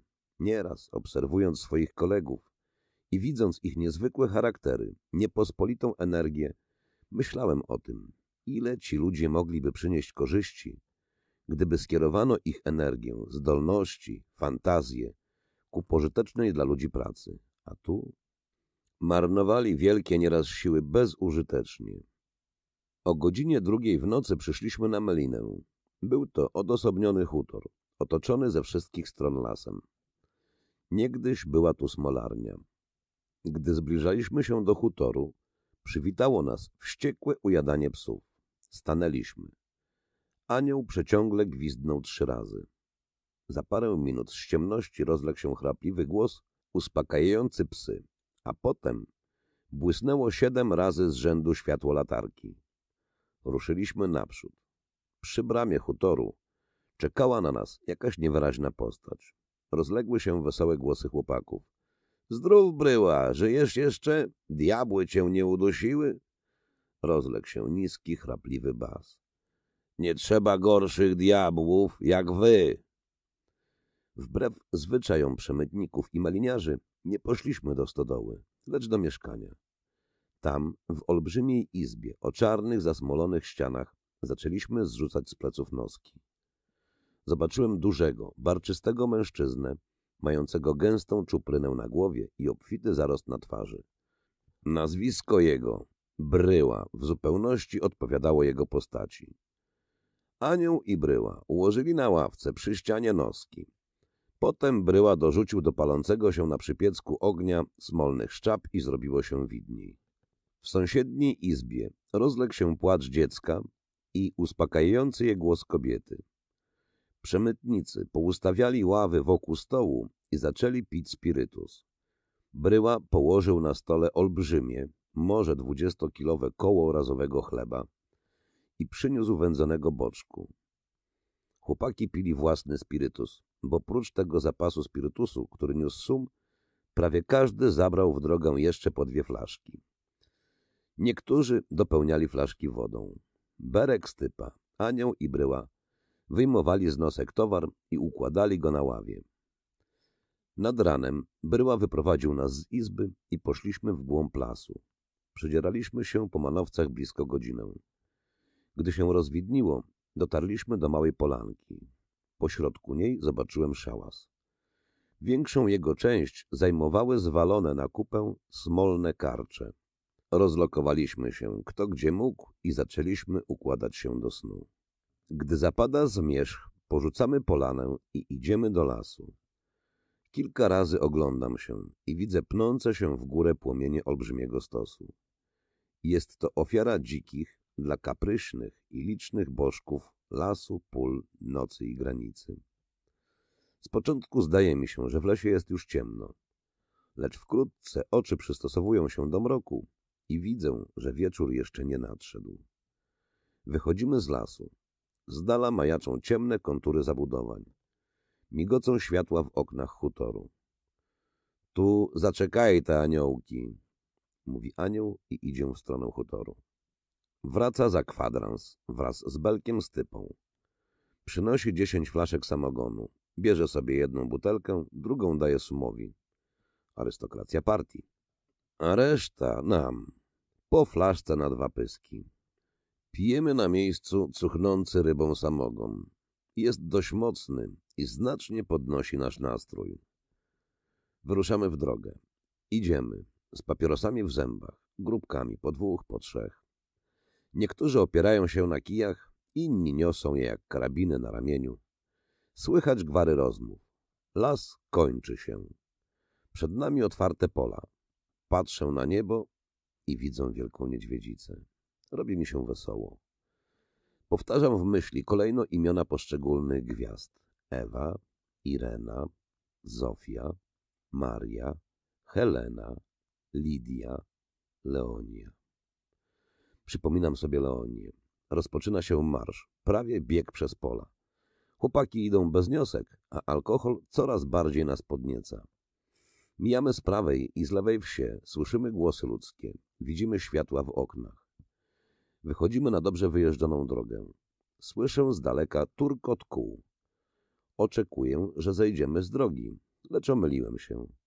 Podążamy dalej drogą. Turkot rozlega się coraz bliżej. Z ciemności wyłania się siwy koń, a za nim długi, drabiniasty wóz. Widzę w nim trzech chłopów i kobietę, która ma na głowie białą chustkę. Zatrzymują konia i zdziwionymi oczami patrzą na nasz pochód. Słyszę głosy chłopaków. Patrzcie, trzech na jedną. Co, sprzedaliście krówkę czy jałówkę? Chodź, mała na trawkę, pogrzejemy się. Mijamy wóz i zanurzamy się w mroku. Powietrze jest ciepłe, aromatyczne. Wsadzam rękę do kieszeni kurtki i ściskam dłonią, ciepłą od mego ciała rączkę nagana. Nagle ogarnia mnie dziecięca radość. Chce mi się śmiać, skakać, koziołki fikać. Czuję nadmiar sił i zdrowia, a niebezpieczeństwa. Nie dbam o to. Mam maszynę, co nie zdradzi mnie nigdy. Siedem nabojów pewnych. Siedem nabojów w maszynie, siedem gwiazd na niebie. Robię oko do wielkiej niedźwiedzicy, a potem pokazuję jej język. Potem pluję. Cholera, chyba i ja wariat. Brniemy lasem na zachód. Idę z rewolwerem w ręce. Nikt tego nie dostrzeże. A druga linia już blisko. Mijamy strumienie, wąwozy, rowy. Nagle stanęliśmy. Pierwszy anioł, a za jego przykładem wszyscy. Jesteśmy dwieście kroków od brzegu dużego lasu. Drzewa stoją tu rzadko, lecz wzrok sięga zaledwie o dwadzieścia kroków. Stoimy długo w milczeniu. Potem anioł rusza stanowczym krokiem naprzód. Obok niego idą sum i szympans. Wtem z przodu usłyszałem jakiś szmer. Ktoś z naszych krzyknął – stój! Błysnęło kilka latarek. Anioł, sum i szympans z kijami w pogotowiu skoczyli naprzód. My za nimi. Rozległ się trzask chrustu. Łomot szedł po lesie i oddalał się coraz więcej od nas. Zbliżyliśmy się do brzegu lasu. Zobaczyłem anioła, suma i szczura. Mieli w rękach i oglądali jakieś worki. Spojrzałem na nie uważnie. Były to noski przemytników. To plitowali, jak anioły, rzekł nasz maszynista. Drapnęli jak koty, dodał szympans. Kto to był? zapytał plusz. Pewnie nasi. Z Rakowa, rzekł Sum. Zaraz zobaczymy. Anioł zaczął rozpakowywać noski. Były w nich pończochy, trykocina, chrom. To partia Adama druniły. On bierze towar od Arona z Wileńskiej, powiedział Sum. No, chłopaki, będzie gaz dla wszystkich i po parę guzików też. Wzięliśmy noski i poszliśmy przez szeroką łąkę ku rzece. Druga linia. Woda tu dość głęboka, lecz na brody nie idziemy, bo tam w ostatnim miesiącu wpadło kilku chłopaków z różnych partii. Chłopaki rozbierają się zupełnie i niosąc ubrania w rękach, idą ku przeciwległemu brzegowi. Zanurzają się po piersi w wodzie. Pośpiesznie docieram do brzegu i zrzucam tam ubranie. Idę z powrotem do wody i kilka razy zanurzam się głową w wodzie. Potem wybiegam na brzeg i prędko się ubieram. Znów idziemy naprzód, ku granicy. Idziemy pośpiesznie, lecz każdy się stara nie sprawiać niepotrzebnie hałasu, aby nas nie posłuszano z dala. Prawie wszyscy mają w rękach latarki. Ja trzymam w ręce wciągnięty do rękawa kurtki nagan. Granica tuż, tuż. Prawie biegiem wpadamy na dukt, posuwamy się wzdłuż zasieku. Znów zgrzytają ostrza nożyc i przecięte druty opadają na strony. Droga wolna jazda naprzód. O godzinie drugiej w nocy przyszliśmy na cmentarz leżący na brzegu miasteczka. Stąd chłopaki rozchodzą się na wszystkie strony. Ja idę spać do szczura. Nie pukamy do mieszkania, a idziemy do stodoły i układamy się tam na miękkim, wonnym sianie. Śnią mi się dzicy, granica, pościgi, ucieczki i lonia. Często widzę ją we śnie. Może myśli o mnie. Chciałbym bardzo ją zobaczyć. Dotychczas nie miałem od niej żadnej wiadomości. Zamierzam koniecznie odwiedzić ją przy najbliższej sposobności. Chciałem napisać do niej list i oddać chłopakom, którzy bywają w Mińsku. Lecz obawiałem się, aby nie pochwycono ich w drodze. Wówczas Lonia mogłaby mieć znowu różne przykrości. Nazajutrz rano poszedłem do Pietrka i Julka, lecz nie zastałem ich w domu. W czasie mej nieobecności wyruszyli w drogę z partią Jurlina. Po naszym wystąpieniu z partii Jurlina oni zaczęli z nim chodzić. To bardzo mi się podoba. Bądź co bądź, ta partia najpewniejsza i ma dobrą melinę. A chłopaki potrzebują zarobić na zimę. Julka wariata nie poznaje. Pod wpływem Pietrka zrobił się stateczniejszy. Wiele się uczy i czyta. Wieczorem poszedłem do Ginty i bawiłem się do późna w naszym salonie. Szczur również tam był. Dał mi 45 rubli, 15 za noskę, a 30 to dola z tamtych nosek, które zabraliśmy w lesie uciekającym przemytnikom. Później po cichu wymknąłem się z salonu. Poszedłem do Saszki. Nie, nie, do Saszki. To tylko pretekst. Chciało mi się bardzo zobaczyć Felę. W mieszkaniu Weblinów było ciemno. Obszedłem je wokoło. Zobaczyłem, że jedno okno jest oświecone. Okno to wychodziło z pokoju Feli do ogrodu. Po cichu skradałem się bliżej. Okno było zasłonięte firanką, która u dołu nie dochodziła do parapetu. Pochyliłem się. Zajrzałem przez szparę do środka. Omal nie cofnąłem się. Przy oknie znajdował się mały stolik. Na nim paliła się lampa i w jej świetle zobaczyłem wyraźnie twarz Feli. Oparła głowę na dłoniach i czytała jakąś książkę. Twarz jej przy świetle lampy wyglądała uroczo. Nie mogłem oderwać od niej spojrzenia. Przewróciła kartkę. Znowu czyta. Po chwili jej twarz rozbłysła w wesołym uśmiechu. Oczy mieniły się i lśniły, jak drogie kamienie. Były w nich dziwne głębie. Tryskały z nich ciepłe promienie, które i mnie przepoiły radością. Chwyciła zębami dolną wargę i chwilę tak trzymała. Potem uśmiech znikł. Twarz jej zrobiła się zimna, prawie surowa. Lecz ten chłód palił mnie jak ogień i pociągał ku sobie nieodparcie. Gotów byłem stać tak długo i upajać się jej widokiem, lecz bałem się, aby nie dostrzeżono mnie z ulicy. Po cichu oddaliłem się od okna. Stanąłem pośrodku dziedzińca. Długo wahałem się, potem stanowczym krokiem zbliżyłem się do drzwi mieszkania. Ująłem klamkę. Chwilę tak trwałem, potem poszedłem powolnie ku bramie. Na ulicy długo stałem nieruchomo. Wąski sierp księżyca płynął po niebie. Gwiazdy świeciły jasno. Noc pachniała. Wielka niedźwiedzica była szczególnie piękna. Czułem, że nie mogę stąd odejść, że muszę zobaczyć Felę, usłyszeć jej głos, powiedzieć jej coś, coś bardzo ważnego. Poszedłem znów ku domowi. Poruszyłem klamką, drzwi zamknięte. Nagle pokusa. Mogę jeszcze cofnąć się. Bo co ja jej powiem? Lecz wbrew temu życzeniu zbliżam się do okna, do tego okna, w które pukałem kiedyś na jesieni zeszłego roku, gdy przyniosłem tu Saszkę Webina. Pukam w szybę. Wiem, wiem, że robię to zbyt silnie, lecz nie wiem dlaczego. Zaczynam pukać jeszcze mocniej, natarczywiej. Wkrótce słyszę w mieszkaniu prędkie stąpnięcia, a potem z za okna rozlega się głos Feli. Kto to? Co jest? Ja. Kto ja? Władek. Władek? Zaraz. Znów słyszę jej kroki. Idzie do swojego pokoju. Później wychodzi do ogólnej sali z zapaloną lampą w ręce. Stawia ją na stole i prędko idzie do sieni. Zgrzyta zasówka. Otwieram drzwi, wchodzę do sieni, a potem do mieszkania. Zapomniałem przywitać Felę. Stoję w pobliżu drzwi i patrzę jej w oczy. Co panu jest? Przez pewien czas milczę. Fela zawsze mówiła do mnie na osobności na ty, a teraz na pan? Później mówię do niej, co? Nic mi nie jest. Czytam w jej oczach zdumienie. Myślałam, że stało się coś. Pan wygląda jakoś... Nie skończyła.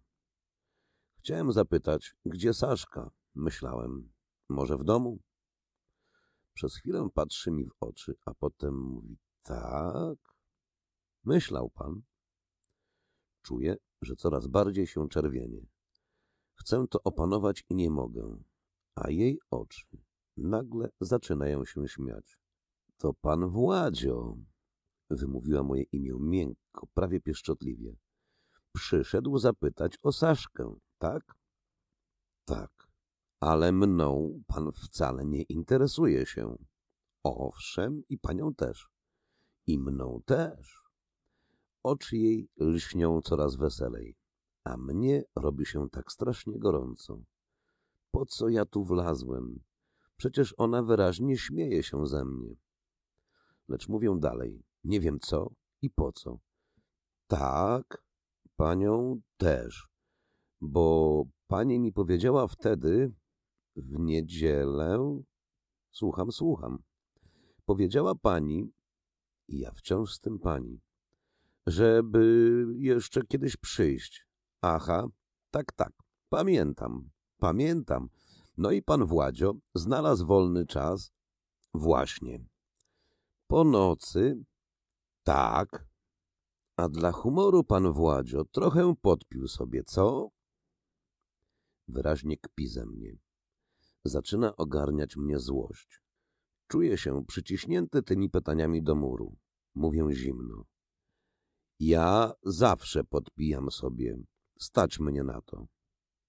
A jakże, pan Władzia chłopiec fartowny. Chcę coś powiedzieć, lecz Fela zatrzymuje mnie ruchem dłoni i mówi dalej. A czy pan Władzio zawsze tak, gdy sobie podpije, idzie do znajomych dziewczynek? Nagle czuję, że tracę panowanie nad sobą. Zaczynam mówić, chcę zatrzymać się i nie mogę. Mówię coraz zapalczywiej. A czy to pannę Felcie tak bardzo obchodzi? Gdzie ja chodzę po nocach? Ja nie pilnuję, gdzie panna Felicja idzie po pijanemu i chłopaczków też nie liczę. No, Fela bierze się jedną ręką pod bok. A to bardzo ładnie, bardzo. Dziękuję pannie Feli za uznanie. A co się tyczy tego, że zaniepokoiłem pannę Felicję, to ślicznie przepraszam. Proszę bardzo. Pani mi przerywa. Przepraszam. Proszę, więc przepraszam. I w ogóle mogę więcej nigdy panny Felicji nie niepokoić swym towarzystwem. A to jak pan uważa? Patrzę w jej twarz zimną, spokojną, prawie martwą, a tak cudną. Nagle spostrzegam na jej czole długą pionową zmarszczkę. Zmarszczki tej nie było przed chwilą. Co ona mi przypomina? Aha, Saszka ją ma. Dobranoc pani. Dobrej nocy panu. Zawracam w miejscu i stanowczym, szybkim krokiem opuszczam mieszkanie. Na podwórzu zatrzymuję się i czuję, jak fala goryczy zalewa mi duszę. Po co ja to wszystko mówiłem? Po co? Ona była z początku w tak dobrym humorze.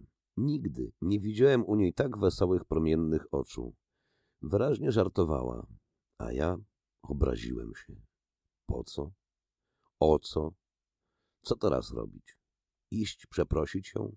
Nie, nie mogę. Za nic nie zrobiłbym tego, za nic. Patrzę w oświetlone okna mieszkania. Widzę poruszającą się w izbie postać. Na okna pada ruchomy cień. Potem słyszę otwieranie drzwi do sieni. Potem drapie mnie po sercu zgrzyt zasówki. Wkrótce w izbie zrobiło się ciemno.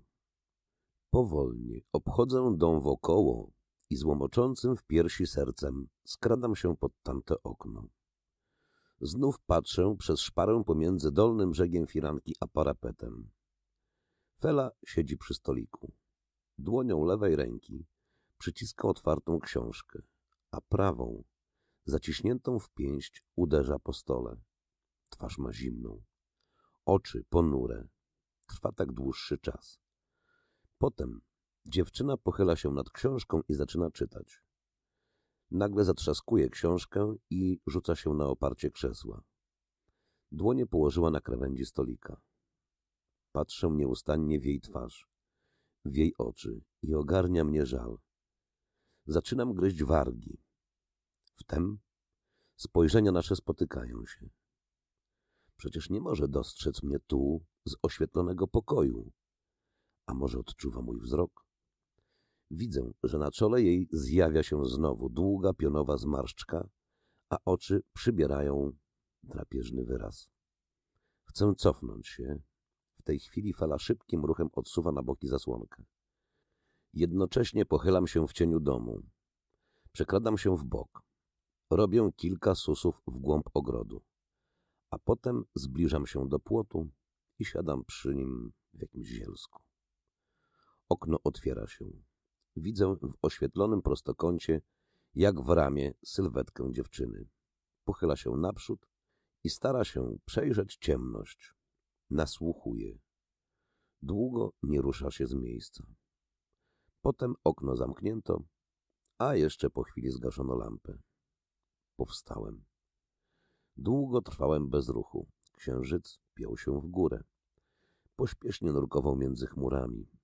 Gwiazdy spoździerały wymownie i spokojnie. Wielki wóz nieustannie pędził ku zachodowi. Przelazłem przez parkam i poszedłem wąskim zaułkiem. Było dość widno. Przechodniów nie spotykałem wcale. Gdy zbliżyłem się do ulicy Mińskiej, dostrzegłem idącą mi naprzeciw grupę ludzi. Głośno rozmawiali i śmiali się. Widocznie byli pijani. Gdy zbliżałem się ku nim, odróżniłem głos Alfreda. Chciałem cofnąć się, lecz wiedziałem, że dostrzegli mnie, więc poszedłem naprzód. Gdy byłem już blisko, poznałem braci Alfreda, Alfonsa i Albina Alinczuków. Do kompletu brakowało Adolfa i Ambrożego. Byłem o kilkanaście kroków od nich.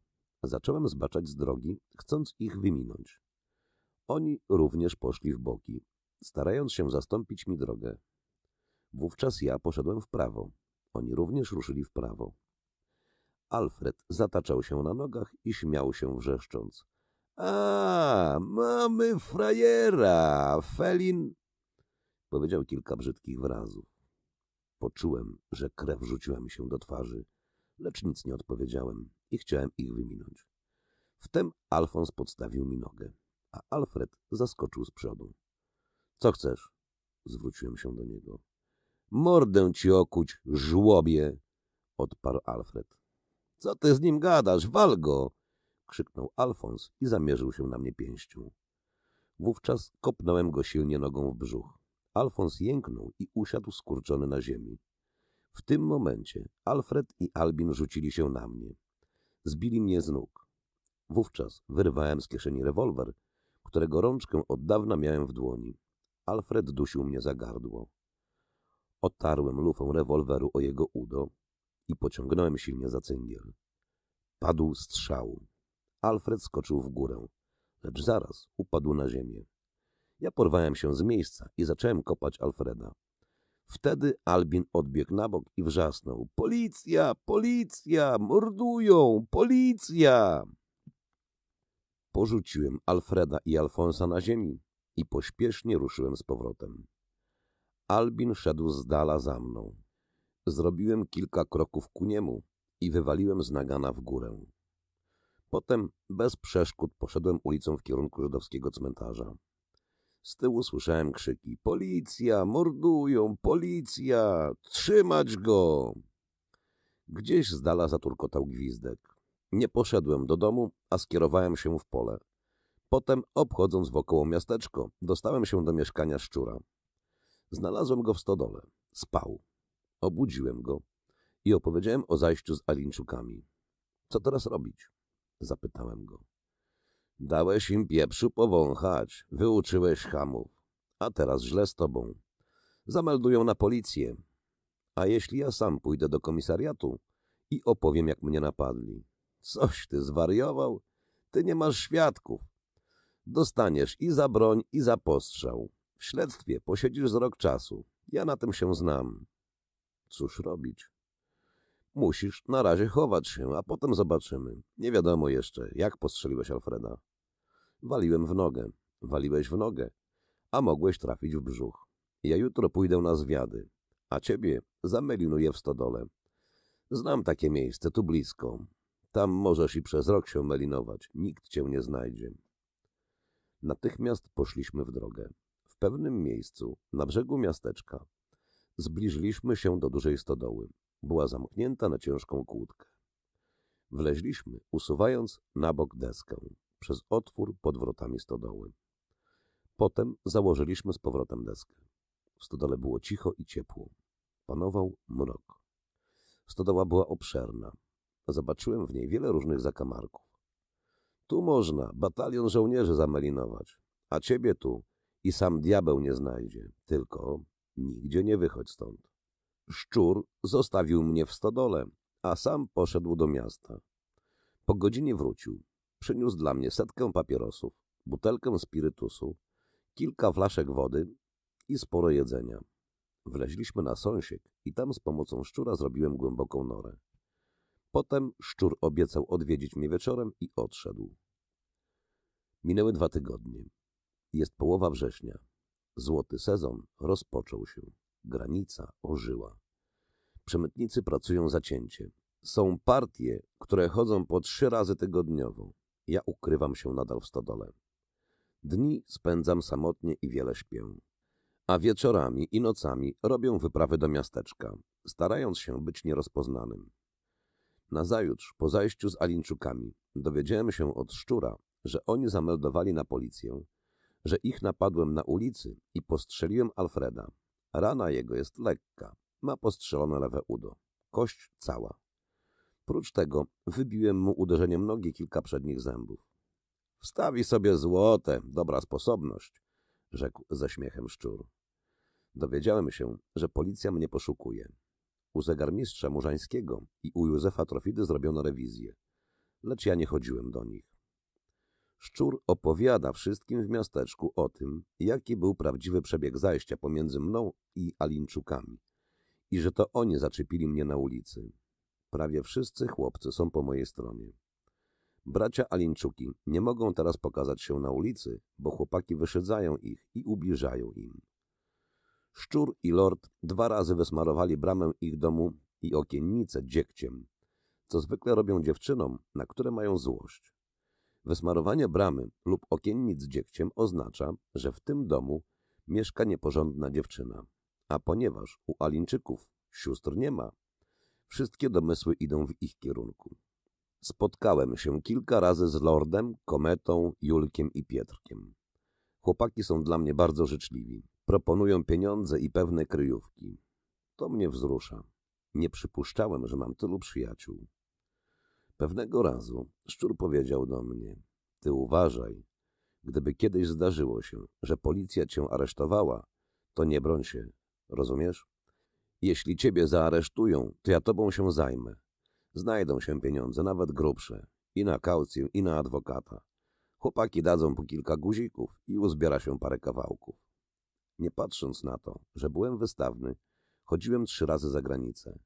Fartowałem z dzikimi. Ci nie boją się pracować ze mną.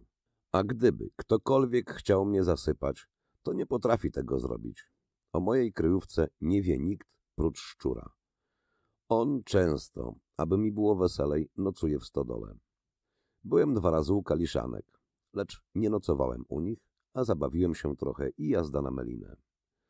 Zaczyna mnie dręczyć ciągłe ukrywanie się w stodole. Gdy spędzam tam samotnie długie dnie, przychodzą mi do głowy różne głupie myśli. Często nachodzi mnie chęć pójść, wystrzelać Alinczuków i samemu zgłosić się na policję. A najwięcej myślę o Feli.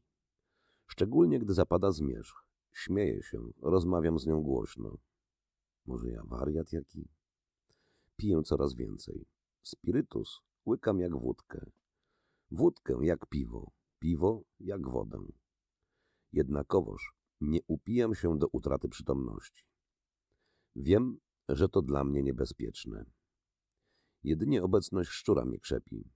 Nie wiem, jak mu się odwdzięczyć za wszystko, a on taki brutalny i zgryźliwy dla wielu. Ze mną jest bardzo grzeczny i łagodny.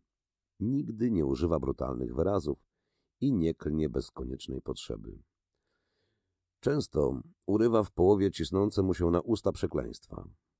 Pewnego dnia szczur powiedział mi, że Józef Trofida chce mnie widzieć. Powiedziałem mu, żeby czekał na mnie o dziesiątej wieczór na Słobódce. Na moście, w pobliżu młyna. Wieczór był ciemny. Przekradłem się wraz ze szczurem, ulicami i zaułkami w kierunku Słobódki. Józef czekał już na nas. Potem szczur poszedł z powrotem do miasteczka, a ja wraz z Józefem poszedłem obok młyna. W pewnym miejscu usiedliśmy nad brzegiem i słoczy. Długo milczeliśmy, a potem Józef zapytał mnie. Jak żyjesz? Jakoś tam trzymam się. Może chcesz wyjechać stąd? A gdzie ja pójdę? Mam w pobliżu Iwańca krewnych na wsi. Jeśli chcesz, to urządzę ciebie u nich. Nie, nie chcę. Tam umarłbym z nudów. Znowu milczymy. Później Józef mówi. Daj grabę. Mocno ściska mi dłoń i mówi hamując wzruszenie. Dziękuję ci. Za co? No, za Alfredczuka. Teraz go wszyscy za psa uważają. Szkoda, że nie zabiłem gada, mówię z nienawiścią. Nie żałuj, tak lepiej. Znów zapada dłuższe milczenie. Potem zwracam się do niego. A co ty zamierzasz? Nie zbierasz partii? Ja? Pyta zdumiony. Nie. Ze mną, bracie, klapa. Ja z granicą pożegnałem się na zawsze. Tak? Tak, brachu. Jedną siostrę zgubiłem, łażąc jak wilk po nocach. Drugiej nie dam skrzywdzić. Nie, cholera, nie dam. Posłyszałem, że zgrzytnął zębami. Było ciemno. Nie widziałem go, lecz wyczułem, że kolega cierpi. On bardzo lubił swoją siostrę. Mnie też serce bolało. Wtedy powiedziałem. Uspokój się, Józek. Alfred będzie miał za swoje. Z nim jeszcze nieskończone. Mówię ci. Chwilę zawahałem się, a potem powiedziałem. Tylko nikomu tego nie powtarzaj. Alinczuki trzymają sztamę z podpolnikami w Sowietach. Tak? Tak. Ja dowiem się wszystkiego. Wtedy załatwimy się z nim raz na zawsze. Znów zapada dłuższe milczenie. Potem Józef zwraca się do mnie. Może ci coś potrzebne? Nie, mam wszystko. A jak będzie trzeba coś, to powiedz. Dobrze. Potem Józef mówi, po co ja ciebie tu wciągałem?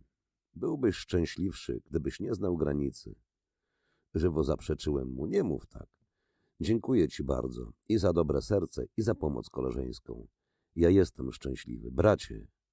Czasem jest mi smutno, ale na to nie ma rady. Nigdy nie myśl o tym i nie mów mi tego. Długo rozmawialiśmy, siedząc w ciemnościach nad brzegiem rzeki. Potem żegnamy się i wzruszony długo brnę za łukami, nie wiedząc gdzie. Noc ciemna. Nie można dostrzec twarzy przechodniów napotkanych na ulicy. Późno w nocy wracam do swej kryjówki. Wypijam pół flaszki wódki i zagrzebuję się w sianie. Lecz nieprędko usnąłem. Nazajutrz spotkałem się z lordem. Szczur powiedział, że lord ma do mnie jakąś pilną sprawę. Oczekiwał nas na cmentarzu. Miał ze sobą trzy flaszki wódki i trochę przekąsek. Siedząc na trawie, w pobliżu niskiego kamiennego ogrodzenia, piliśmy wódkę. Potem zapytałem go, co chciałeś mi powiedzieć? Fela pytała o ciebie. Na chwilę za nie mówiłem. Dobrze, że nie widzieli mej twarzy. Potem zapytałem, niby obojętnie. A o co jej idzie? Ona słyszała, że ty miałeś kiedyś zatarg o nią z Alfredem w pobliżu kościoła. A drugi raz, wtedy, gdy go postrzeliłeś, że on powiedział o niej coś ubliżającego, a ty za to strzeliłeś do niego. Przez chwilę nie odpowiadałem, a potem rzekłem. O pierwszym zajściu i ty dobrze wiesz. A gdy Alinczuki zaczepili mnie w nocy, to Alfred powiedział ubliżająco o mnie i o Feli razem. Ale ja nikomu o tym nie mówiłem. Nie wiem, skąd ona dowiedziała się o tym. Właśnie Fela prosiła mnie dowiedzieć się od ciebie, co ci powiedział o niej Alfred. Ja wahałem się jeszcze. Wówczas lord powiedział. Ty mów. Fela to taka baba, której można wszystko powiedzieć. Jej to potrzebne. Może powie Saszce. Alfred powiedział. Powtórzyłem dokładnie lordowi słowa Alfreda. Dobrze, rzekł kolega, powiem jej to. Lepiej nie mów. Może pogniewać się, że z mojego powodu obgadują ją. Ty o to nie martw się. Ona niczyjego gadania się nie boi. Ona sobie poradzi, a chce wiedzieć prawdę. Wkrótce lord pożegnał nas. Idziesz do niej? Zapytałem go. Tak. Może chcesz coś jej powiedzieć? Nie. Nic. Do widzenia. Szczęśliwie. Ja i szczur. Długo jeszcze leżeliśmy na cmentarzu. On mi opowiadał o ostatnich zajściach na granicy, o miasteczkowych nowinach, o tym, co słychać u chłopaków. Potem odprowadził mnie do stodoły i poszedł do miasteczka. Tej nocy długo nie spałem. Myślałem wciąż o Feli. Nazajutrz szczur przyszedł do mnie, jak tylko zapadł zmierzch. Był bardzo wesoły. Tajemniczo mrugał do mnie okiem i wciąż się uśmiechał. Zaraz pójdziemy w jedno miejsce. Zbieraj się prędzej. Gdzie? O co idzie? Zobaczysz. Kogo co? Ech, jaki ty, pocierp trochę. Będziesz zadowolony. Pośpiesznie szedłem obok kolegi i starałem się domyślić, co to może być. W pewnym miejscu przeleźliśmy przez parkan do ogrodu i weszli na podwórko jakiegoś domu. Stanęliśmy wkrótce na progu dużej izby o pobielonych wapnem ścianach. Zobaczyłem siedzących za stołem Saszkę i Żywicę. — A jest! — rzekł Saszka. — Jest! — odezwał się szczur. Zbliżyłem się do stołu i powitałem kolegów uściskiem dłoni. — Siadaj! — rzekł Saszka. — Pogadamy trochę. Usiadłem do stołu. — To dobrze go wysztyftowałeś na perłowo — rzekł Saszka. — Trzeba było, zaczepili mnie. — Dobra jest. Jak trzeba, to trzeba. Saszka napełnił do połowy wódką cztery szklanki i kiwnął nam głową. No, siach! Wypiliśmy duszkiem wódkę. To teraz ciasno ci tu. Chowasz się, rzekł Saszka. Tak, chowam się, ale jakoś żyję i na robotę też chodzę. On mi pomaga. Wskazałem głową na szczura. Żeby nie on, nie wiedziałbym, co począć. Saszka klepnął szczura dłonią po ramieniu i zapytał mnie. Z kim fartujesz? Z Jurlinem? Nie, z dzikimi. Żywica krótko zaśmiał się. Z dzikimi? rzekł Saszka. No tak, co robić? Inni boją się. Chyba, że na swoją rękę chodzić. Saszka zamyślił się. Długo patrzył nieruchomo w kąt pokoju. Nagle na czole jego wyryła się długa pionowa zmarszczka, jak u Feli. Patrzę na niego wzruszony i milczę. Milczymy wszyscy. Szczur skubie zębami dolną wargę i patrzy to na mnie, to na Saszkę, to na żywicę, który gniecie w palcach kulkę z chleba. Potem Saszka patrzy mi w oczy i mówi jutro pójdziesz ze mną na robotę. Nie namyślając się, mówię radośnie. Chętnie. Widzę uśmiech na twarzy szczura. Saszka zwraca się do żywicy. Przyda nam się, co? Przyda się, mówi żywica, robiąc potwierdzający znak głową. No to dawaj grabę. Saszka silnie ściska mi dłoń. Żywica idzie za jego przykładem, tylko ściska lekko. Silny uścisk jego dłoni mógłby zgnieść mi palce. Saszka znów nalewa do szklanek wódkę i mówi, no, to za powodzenie, ciach. Wypiliśmy. Patrzę na czoło Saszki, jest gładkie. Zmarszczka znikła. Zaglądam radośnie w oczy kolegów. Jest mi tak lekko i tak wesoło. Znowu słyszę głos Saszki. No, ciach, chłopaki. Jedziemy na zachód. Konie mkną na wyścig z wiatrem. Wiezie nas Jankiel Parch. W miasteczku nazywają go Żydzi Maszyginę. Jan Kielparch lubi szybką jazdę, lubi ryzykowne eskapady, a nade wszystko lubi Saszkę, którego ubóstwia za śmiałość, za szczerość, za szeroki gest. Pracuje z Saszką często. Jankiel Parch jest nałogowym pijakiem. Nieraz po pijanemu zaganiał i kaleczył konie. Parę razy kupił dla niego konie kachał. Lecz gdy Jankiel przestał furmanić, a zaczął jeździć z przemytnikami na fart, Kachał pozostawił go własnej przemyślności. Obecnie Jankiel miał parę wronich koni, młodych, silnych, wytrwałych. Wóz jest naładowany towarem, na który narzucono z wierzchu grubą warstwę siana. Ja siedzę obok żywicy. Saszka leży pośrodku wozu, otulony w duży kożuch. Drzemie. Żywica milczy. Mnie zachwyca prędka jazda i perspektywa ciekawej pracy wraz z Saszką i Żywicą. Również jestem zadowolony. i ze zmiany miejsca. Wieczór jest ciepły, powietrze aromatyczne. Noc wychodzi z za lasu na wschodzie. Stanęła nad ziemią ponura, olbrzymia. Obu ramionami z wysiłkiem ściągnęła z góry w dół czarną kurtynę, ciężką, zimną.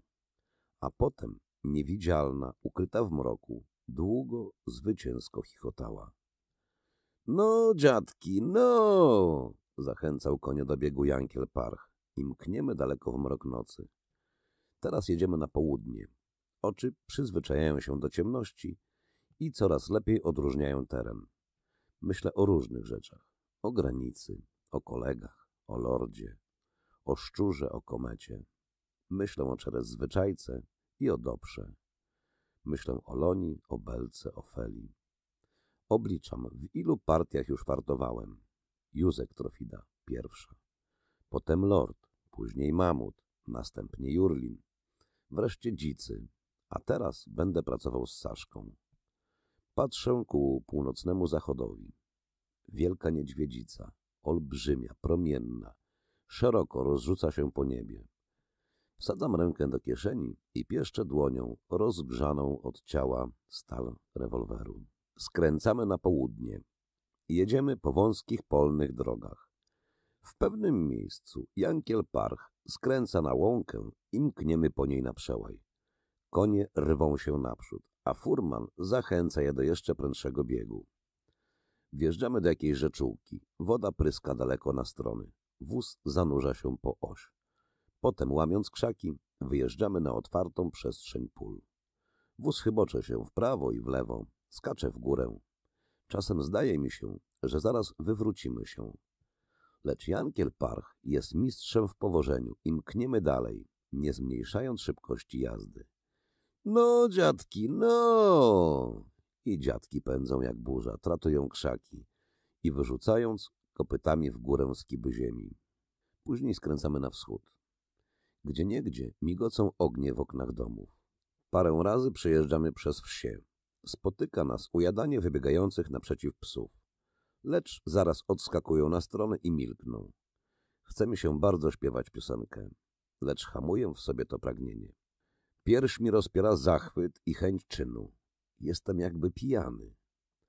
Późnym wieczorem przyjeżdżamy na odludny hutor, daleko za Wołmy. Jest ukryty z trzech stron skrzydłami lasu. Z czwartej strony osłania go olbrzymi ogród. Wóz wjeżdża na obszerny dziedziniec i zatrzymuje się w pobliżu domu. Jesteśmy na miejscu. Wyłazimy z wozu. Dziedzińcem idzie ku nam jakiś mężczyzna z dużą latarnią w ręce. Wita uściskiem dłoni Saszkę i mówi — Znakiem tego, panie Olku, będzie robota. — Jeszcze jaka? — mówi wesoło Saszka. Jest ciemny wieczór. Ja, Saszka i Żywica idziemy powolnie przez duży sad. Niewidzialne w ciemności gałęzie drzew biją po twarzy. Osłaniam głowę rękoma i nisko pochylam się. Przedzieramy się przez gęste zarośla malin. W pewnym miejscu Saszka zatrzymuje się. Otwiera doskonale ukryte drzwiczki i nie świecąc latarką schodzi po stromo ustawionej drabinie w dół. Idę za jego przykładem. Ostatni schodzi żywica. Przymyka za sobą drzwiczki. Jesteśmy w małej piwnicy. Boki jej są oszalowane grubymi deskami i dylami. Saszka powiesił na gwoździu w kącie latarkę z dużym reflektorem, która wyraźnie oświetlała całą piwnicę. Z jednej strony piwnicy, na masywnej drewnianej ławie, widzę kilka pełnych worków. Na drugiej ławce leżą trzy noski. Saszka ma zawieszoną przez ramię sporą skórzaną torbę. Siada na ławie w pobliżu latarki i wyjmuje z torby trzy rewolwery. Jeden z długą lufą i dwa zwykłe. Kładzie je na ławie i wyjmuje z torby kilkanaście zapasowych magazynków. Uważnie ogląda broń. Potem naładuje rewolwery i zabezpiecza. Daje mi jedno parabelum i pyta, znasz to kopyto? A jakże znam. No to masz. Potem daje mi sześć zapasowych magazynków. Wyjmuję z kieszeni nagan i pokazuję mu. Mam jeszcze jedną maszynę. I ten nie zawadzi. odpowiada Saszka, dając następne parabolom żywicy. Potem zwraca się do mnie. Uważaj, żeby kieszeń, w której są magazynki, była czysta. Najlepiej w lewej. Rozmieszczam wygodnie broń i magazynki. Sprawdzam, jak działają latarki. Potem Saszka wskazuje mi na mniejszą noskę i mówi. To twoja. Włożysz, gdy wyjdziemy na wierzch. Powolnie wyłazimy po drabinie na górę. Zakładam na plecy noskę. Waży pewnie czterdzieści funtów. Noska Saszki jest o wiele większa, a noska Żewicy waży około stu funtów. Jesteśmy w sadzie. Idziemy powolnie, gdzieś w ciemność. Na brzegu sadu zatrzymujemy się. Saszka lekko gwizdnął. Po chwili z ciemności wyłania się jakaś niewyraźna postać. Słyszę głos gospodarza. Wszystko znakiem tego w porządku. Idźcie borem, a potem łąką. Pewnie do rana nie wrócicie. Nie zdążymy, mówi Saszka, a po chwili dodaje. No, to zostańcie zdrowi. Daj Boże szczęścia, odpowiada gospodarz. Saszka rusza naprzód. Za nim idzie żywica. Ja zamykam pochód. Idziemy po miedzach, aby nie zostawiać śladów w otwartym polu. Po kwadransie wchodzimy do starego boru. Górą leci głuchy poszum drzew. Pachnie pleśnią i wilgocią. Nogi stąpają bez szmeru po gęstych mchach. Robi się coraz ciemniej. Po pół godzinie wyszliśmy na skraj boru. Przed nami rozciąga się duża łąka. Widzę tylko jej początek, bo dalszy teren kryje mrok. Znów marsz. Idziemy równo, powoli, blisko jeden od drugiego. Rozpoczyna się bagno. Idziemy jeszcze powolniej. Gdzie niegdzie widzę lśniące kałuże. Przeglądają się w nich gwiazdy i lśnią mgławo z dołu, jak z głębokiej przepaści. Wkraczamy na pola. Idziemy coraz powolniej. Z tego wnioskuję, że granica jest bliska. Gdzieś daleko od nas szczeka pies. Ujada długo, ze złością. Brniemy naprzód krok za krokiem. Ściskam rączkę rewolweru i rozglądam się po stronach, lecz nie mogę nic dostrzec w ciemności. Spostrzegam, że żywica stanął w miejscu. Ja również zatrzymuję się. Trwamy tak bez ruchu bardzo długo. Słyszę gdzieś z boku lekkie szmery. Potem odróżniam kroki idących ludzi. Uważnie patrzę w tamtym kierunku, lecz absolutnie nic nie mogę dostrzec. Czarna postać żywicy na ciemnym tle nieba wygląda jak pień drzewa. Saszki wcale nie widzę, a kroki zbliżają się ku nam. Słyszę lekkie kaszlnięcie. Ktoś pluje. Trzymam rewolwery w pogotowiu i dziwię się, że nie cofamy się lub nie idziemy dalej, aby uniknąć spotkania z niewidzialnymi w ciemności zielonkami. Kroki zbliżają się coraz bardziej. Suną niechętnie, człapią długo. Zdaje mi się, że są tuż przy nas. Nagle szmer kroków ustaje i słyszę wyraźnie głos mówiący po rosyjsku z wielkoruskim akcentem. Nikak, что to plasnuło. Po kilku sekundach odzywa się chrapliwy, niski bas. Это i u ciebie w gawie. Znów rozlegają się kroki. Szurają długo, ciężko. Zdaje mi się, że zaraz spotkam się z tymi idącymi naprzeciw nas ludźmi. Jest to złudzenie. Kroki zaczynają się oddalać. Po kilku minutach ogarnia nas zupełna cisza. Wówczas ciemna postać żywicy rusza naprzód, a w ślad za nim idę ja. Po kilku krokach przechodzimy ścieżkę graniczną. Mijamy spore bagno, obchodzimy wokół małe jeziorka. Zbliżamy się do długiego pasma krzaków, jak cybel wrzynającego się w bagna. Potem wychodzimy na twardy grunt. Pniemy się długo po stoku jakiegoś wzgórza. Jesteśmy na jego wierzchołku. Widzę z prawej, u stóp wzgórza, długi rząd świateł. Tam jest wieś. I stamtąd rozlega się szczekanie psa. Nagle słyszymy w ciemności przed nami turkot kół. Brzmią podniecone głosy. Potem następuje głośny wybuch śmiechu. No! rozlega się przeciągły krzyk. A gdzieś z dala od wsi leci piosenka. Nocka ciemna, ja bajusia, Prowadzi mnie Marusia. Ruszamy w dół stokiem wzgórza. Idziemy nie śpiesząc. Wymijamy jakieś doły, przechodzimy obok dużego głazu i podążamy dalej piaszczystym terenem pomiędzy gęsto rosnącymi krzakami jałowca. Piosenka nadal unosi się w powietrzu. Proważała, dowagzała, żałko stało, płakała. Teraz idziemy dość prędko. Mijamy pola, łąki, wąwozy. Podług gwiazd śledzę kierunek naszej drogi. Dążymy prawie po prostej linii, na wschód. Wychodzimy na jakąś drogę i długo idziemy po niej. Wprowadza nas do dużego lasu. Czuję w powietrzu zapach smoły. Jesteśmy w drodze już pięć godzin, a nikt z nas nie powiedział ani słowa. Idziemy równym, szerokim krokiem. Stąpamy lekko i cicho. Jestem pewien, że nikt nas nie zaskoczy niespodziewanie w drodze. A jeśli tak się stanie, to gorzej dla niego. Rozumiem bez słów i bez poprzedniego umawiania się, że nigdy nie poddamy się żywi. Rozumiem i jeszcze jedną rzecz, że żaden z nas nie porzuci kolegi w razie niebezpieczeństwa i nie pozostawi rannego. Przez całą drogę śpiewa mi coś w duszy.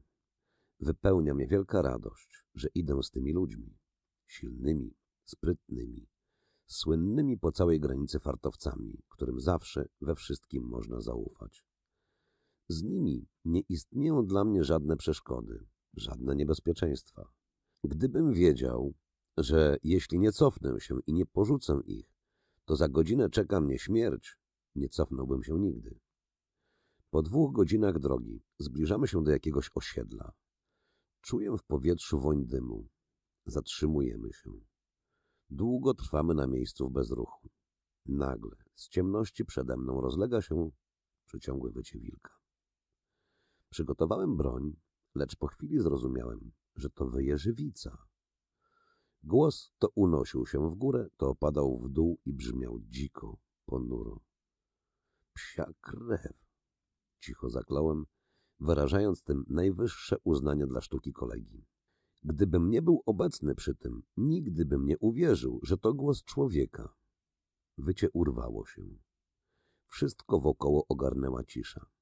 Tak upłynęło kilka minut. A potem posłyszałem dwa gwizdki, lekki, krótki, a po nim nastąpił silny, długi. Powtórzyło się to trzy razy. Wówczas ruszyliśmy naprzód. Po chwili słyszę w ciemności ciche kroki. Naprzeciw nas ktoś idzie. Słyszę głos Saszki. Jak tam? W porządku. Idziemy dalej. Za kilka minut weszliśmy do małej izby.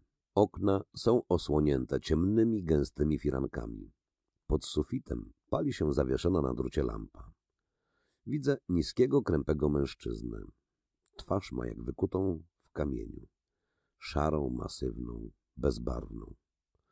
Olbrzymią głowę zarasta czupryna gęstych włosów. Oczy patrzą ostro, nieufnie. Mówi bardzo mało i niechętnie.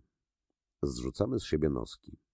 Borsuk, przezwisko maliniarza, Saszka i Żywica wyjmują z niosek towar i układają go na stole. Sacharyna. Ile? pyta Borsuk. Dwieście funtów, mówi Saszka. Borsuk wyjmuje ze skrzyni, stojącej w kącie pokoju, duży, mocny worek i wkłada do niego towar. Żywica lekko zarzuca sobie worek na plecy i wraz z borsukiem wychodzi z izby. Zostaje z Saszką. On wyjmuje z kieszeni pudełko papierosów, częstuje mnie i zapala sam. Milczymy obaj. Po kwadransie wracają Żywica i Borsuk. — Będziesz dniować? — pyta Borsuk. — W lesie — mówi Saszka. — Może cokolwiek zjecie. — Weźmiemy ze sobą. Przynieś tu. Borsuk wychodzi z izby za kilka minut powraca przynosząc bochenek lichego razowca i spory kawał słoniny. Żywica wkłada ten prowiant do próżnej noski. Saszka wyjął z kieszeni flaszkę spirytusu, skinął głową meliniarzowi i powiedział — dla ciebie. Saszka odpił trochę z butelki, wytarł gardziołek flaszki dłonią i podał ją meliniarzowi, który powtórzył ceremonię. Pijący do żywicy, a żywica pił do mnie. Potem dolano spirytu z wodą i wypiliśmy drugą kolejkę. Za powodzenie. Później wyszliśmy z domu i skierowaliśmy się do lasu. Gdy zaczęło się rozwidniać, znaleźliśmy się w dużym, gęstym lesie. Leżeliśmy pod olbrzymim dębem. Górą szedł poszum drzew. Saszka krajał nożem słoninę i chleb. Zaczęliśmy jeść. Spałaszowaliśmy większą część zabranego za sobą chleba i słoniny. Później zapaliliśmy papierosy. On sam tu mieszka? Zapytałem Saszki, myśląc o borsuku. Żona mu zbiegła. Zdziczał, odparł mi kolega. Gdy skończyliśmy palić, Saszka powiedział do mnie. Za trzy godziny obudź mnie. Jeśli będzie ci trudno, obudź wcześniej. Koledzy położyli się do snu, a ja siedziałem oparty plecami o pięć drzewa i z rewolwerem w pogotowiu pilnowałem ich bezpieczeństwa. Rozglądałem się po lesie. Patrzyłem na śpiących przemytników, na zegarek, na wspaniałe parabelum. Było mi bardzo przyjemnie, że pilnowałem snu tych słynnych fartowców, którzy wierzyli mi bez zastrzeżeń.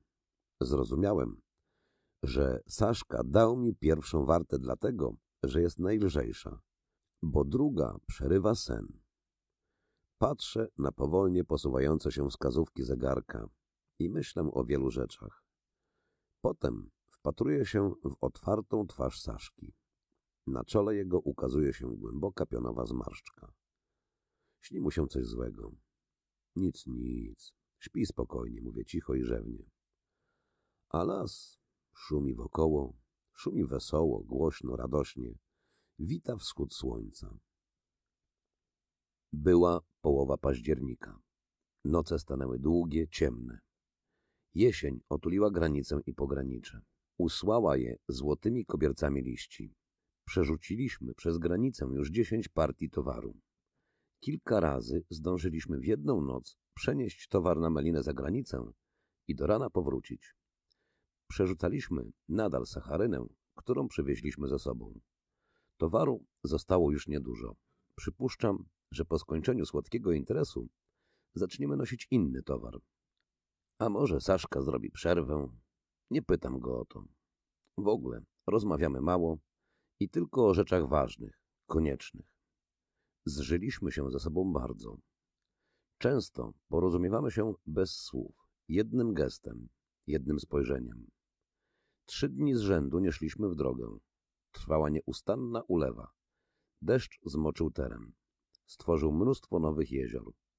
Małe strumyki obróciły się w szybko rwące potoki.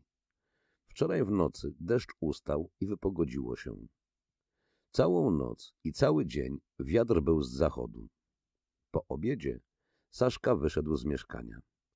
Widziałem przez okno, jak poszedł ku czerniejącemu w pobliżu hutoru lasowi. Nie było go, przeszło dwie godziny, a gdy wrócił, powiedział do nas. Dziś idziemy, trzeba skończyć z tym. Żywica skinął mu głową i grał dalej ze mną w karty, w 66. Graliśmy bezinteresownie. Po trzech wyprawach za granicę Saszka dał mi 75 dolarów. Twoja dola, rzekł krótko. Po następnych trzech drogach dał mi 100 dolarów. Pewnie dlatego, że brałem już nie 40, a 50-funtowe noski. Gdy wróciliśmy z ostatniej podróży, dał mi znowu 100 dolarów. Mam teraz 275 dolarów. Zapytałem Saszki, czy należy się coś ode mnie meliniarzowi za utrzymanie. On powiedział, to ciebie nic nie obchodzi, to ja załatwiam. Wyruszyliśmy w drogę bardzo wcześnie, jak tylko zapadł zmierzch. Wiatr teraz zmienił się i wiał ze wschodu. Niebo przetarło się z chmur. Księżyc toczył się w górę, duży, blady, wykrzywiony jak porycynie. Iść było trudno, bo ulewa obróciła pole w grzęzawiska. Z trudnością wydobywaliśmy nogi z błota. Wreszcie dotarliśmy do lasu. Tu iść lżej, tylko jest ciemno. Promienie księżyca zaledwie przedzierają się gdzieniegdzie między gałęziami. Prawie za każdym razem idziemy za granicę inną drogą. Kierunek zawsze pozostaje ten sam. Tylko idziemy zwykle tak, aby granicę i przylegające do niej pogranicze przechodzić w coraz to innym miejscu. Saszka bierze pod uwagę tę okoliczność, że zawsze pozostawiamy ślad po swoim przejściu. Więc na tropie naszym zielonki mogą urządzić zasadzkę, przewidując, że kiedyś musimy pójść po jednej z dobrze znanych nam dróg. Lecz my nigdy nie idziemy dwa razy tą samą drogą.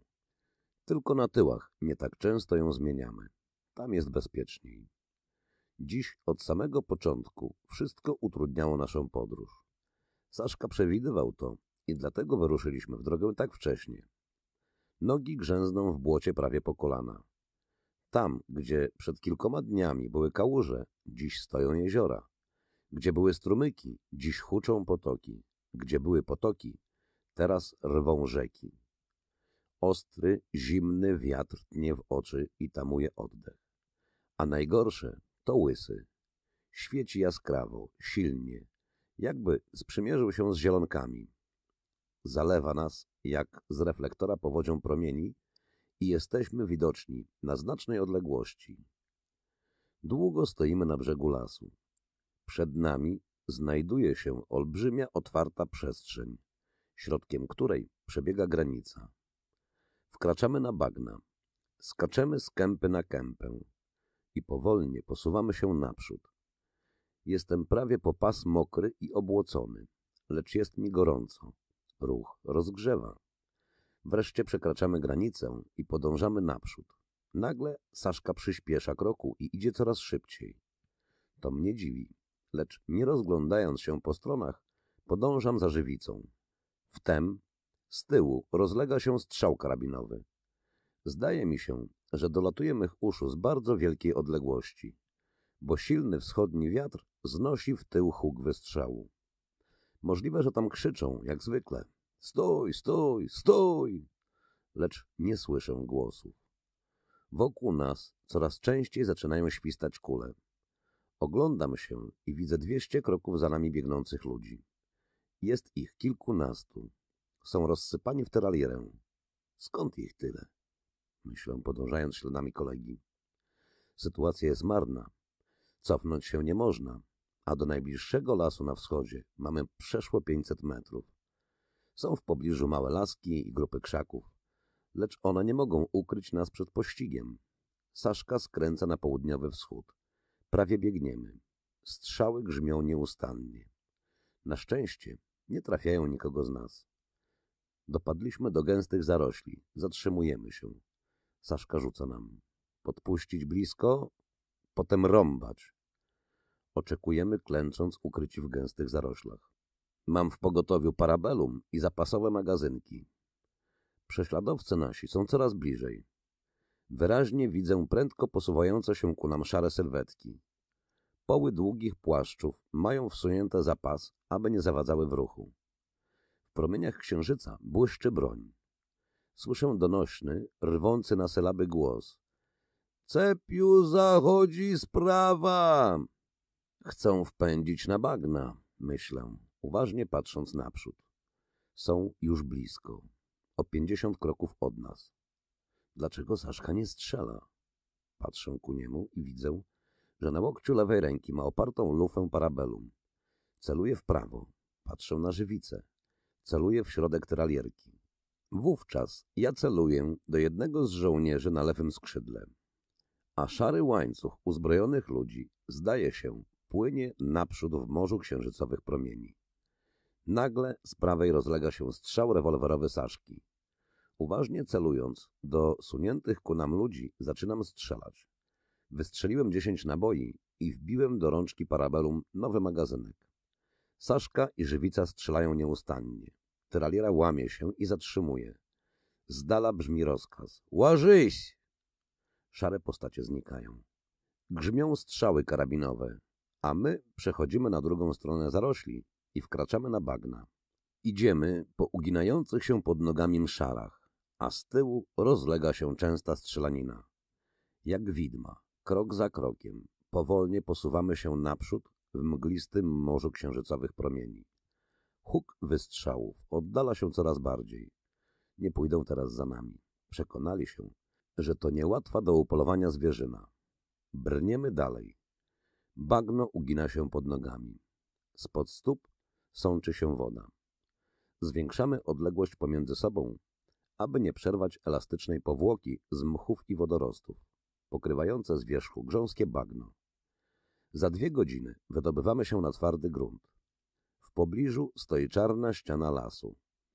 Saszka błyszczącymi oczami wskazuje na przebyte przez nas bagna.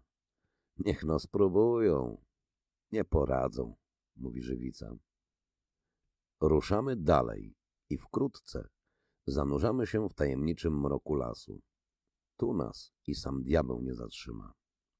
Przerzuciliśmy przez granicę już dwanaście partii towaru. Wczoraj Saszka dał mi za ostatnie trzy podróże 150 dolarów. Jest to bardzo dużo, lecz miałem noski po 70 funtów. Mam teraz 425 dolarów. Cały kapitał zarobiony bez agrandy. Spostrzegłem, że przez rok i trzy miesiące pobytu mego na pograniczu bardzo rozwinąłem się fizycznie. Teraz lżej mi dźwigać 70-funtową noskę, niźli kiedyś 30-funtową. A najtrudniejsze drogi przebywałem tak łatwo, jakby to był zwykły spacer. W czasie naszej pracy mieliśmy sporo różnych zajść na granicy i pograniczu, lecz nie opowiadam o nich, aby nie przedłużać zbytecznie mej opowieści. Gdy wracaliśmy ostatnim razem z zagranicy, Saszka prowadził nas po zupełnie nowej, okrężnej drodze. Teraz wymijamy z dala tamten odcinek, na którym mieliśmy harataninę z zielonkami. Nadkładamy po kilka kilometrów drogi, lecz tu teren dogodniejszy, nie ma bagien i wokół duże lasy. Otóż, wracając do domu, spostrzegliśmy w pobliżu granicy w lesie karaulne pomieszczenie. Saszka zaczął skradać się ku niemu. Poszliśmy za nim. Broń mieliśmy w pogotowiu. Saszka zatrzymał się przy oświetlonym ze środka oknie. Stanąłem tuż przy nim. Zobaczyłem dużą izbę. W głębi jej była prycza, a na niej leżało kilku krasnoarmiejców. Pewnie spali. Przy oknie był stół, a na nim leżały jakieś papiery i paliła się duża lampa. Po środku izby stał wysoki, szczupły krasnoarmiejec i zwracając się do kilku siedzących na ławkach u ściany żołnierzy, coś im opowiadał, ożywienie gestykulując rękami. Widzimy wesołe twarze i błyszczące ciekawe oczy. Nagle rozlega się ogólny, głośny wybuch śmiechu. Wtem spostrzegam, że Saszka podnosi w górę parabelą. W pierwszej chwili myślałem, że Saszka zamierza strzelać przez okno do żołnierzy. Lecz wkrótce spostrzegłem, że celuje w lampę. Krasnoarmiejec opowiada dalej, wykrzywia twarz, unosi w górę brwi, rozkłada ręce. Potem robi krok naprzód i mówi tak głośno, że do mych uszu dolatują poszczególne wyrazy. Następuje nowy, jeszcze silniejszy wybuch śmiechu. W tejże chwili pada strzał Saszki. Rozlega się huk wystrzału, trzask, brzęk szkła i izbę zaległa ciemność. Przez pewien czas w środku panuje zupełne milczenie. Potem zaczynają wydobywać się na zewnątrz przestraszone głosy i krzyki. — Co za ciort! Какой мерзавец rozbił lampu! Słyszymy w środku szuranie nóg. Wreszcie błysnęła latarka. — Eta kto wystrzelił i zaróża? — krzyczał ktoś w izbie. Powolnie cofamy się w głąb lasu. Saszka cicho się śmieje. Wróciliśmy szczęśliwie na Melinę. To była nasza ostatnia droga z sacharyną. Przerzuciliśmy za granicę cały zapas sacharyny, którą przywieźliśmy ze sobą z miasteczka. Saszka po ostatniej podróży za granicę powiedział — No, bratwa, jutro szorujemy do Rubieżewicz.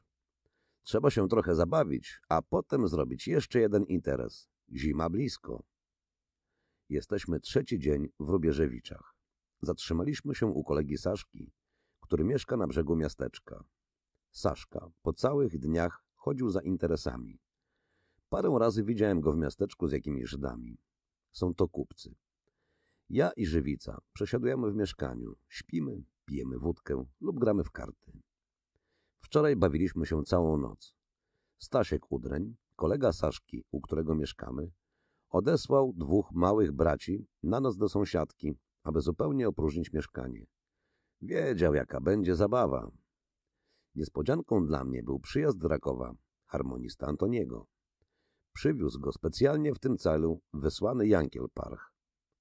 We dnie Stasiek i Saszka kilka razy przynieśli mnóstwo różnej wielkości paczek. Mieszkanie Staśka było dość obszerne, lecz bardzo zaniedbane. Ja i Żywica doprowadziliśmy je trochę do porządku.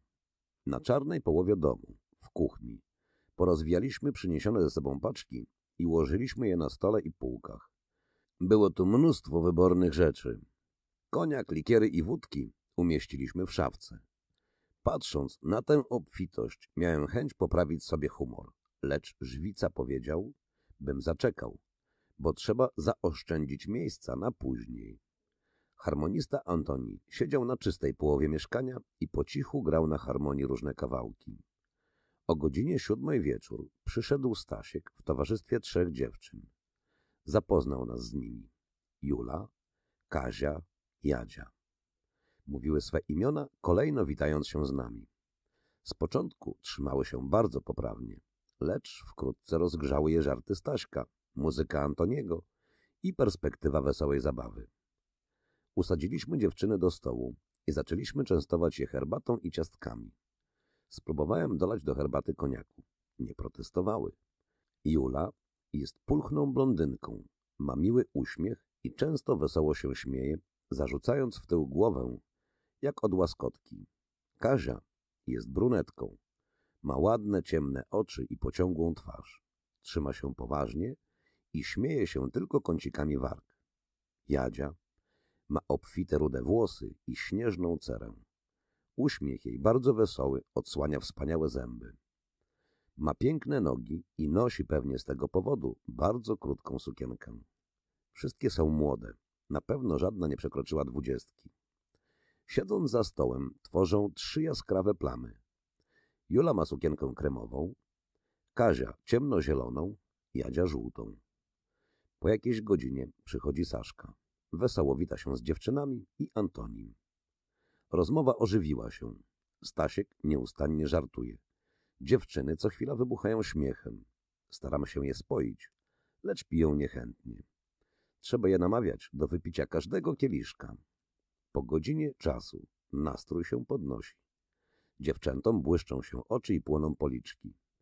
My również jesteśmy podpici. Antoni tnie na harmonii.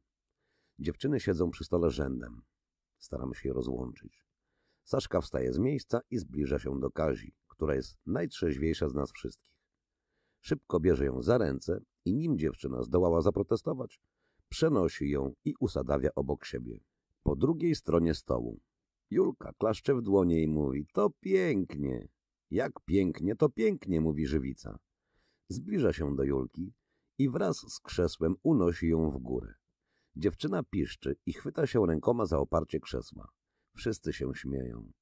Żywica obnosi Julkę dookoła pokoju i wraz z krzesłem umieszcza obok siebie. Potem usadawia ją sobie na kolanach. Dziewczyna chce mu się wyrwać, lecz przemytnik lekko, ale stanowczo zatrzymuje ją. Ja siadam przy Jadzi, której ładne nogi, śnieżna cera i gorące, rude włosy od dawna mnie nęcą. Widzisz, jak się dobrali? mówi Stasiek, parami, a ja sam, jak gwóźdź w płocie. Saszka zwraca się do niego. Idź po Esterkę. Pewnie już wróciła z Baranowicz. Powiedz, że ja ją wołam. Niech weźmie gitarę duchem. Pali się, krzyczy Staś i bez czapki wypada z mieszkania. My nadal usilnie częstujemy dziewczyny likierem i wiśniakiem. Są już trochę pijane. Żywo gestykulują. Często wybuchają śmiechem z byle powodu. Idąc za przykładem żywicy, posadziłem sobie na kolanach Jadzię. Nie protestuje. Obejmuje mnie ramieniem za szyję. Kołyszemy się w takt walczyka. Po kwadransie wraca Staś. Jest! krzyczy od progu. Przecudna, piękna Esterka we własnej osobie. Do pokoju wchodzi prędkim krokiem, średniego wzrostu, szczupła dziewczyna, Żydówka.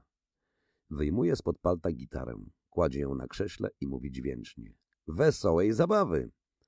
Prosimy, odzywa się Saszka. Siadaj tu. Wskazuje wolne miejsce u stołu. Esterka ma na sobie bardzo krótką czerwoną sukienkę. Twarz ma nieładną, ale jest bardzo zgrabna. Ma czarne, krótko ostrzyżone włosy, duże zmysłowe usta i piękne oczy. Staś zaczyna pośpiesznie poić ją winiakiem. Dziewczyna je i pije, nie krępując się wcale i sama wesoło żartuje. Ale Esterka ma rączki, jak cukiereczki, mówi Staś.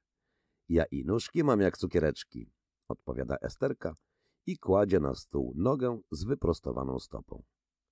To spotyka się z ogólnym wybuchem śmiechu.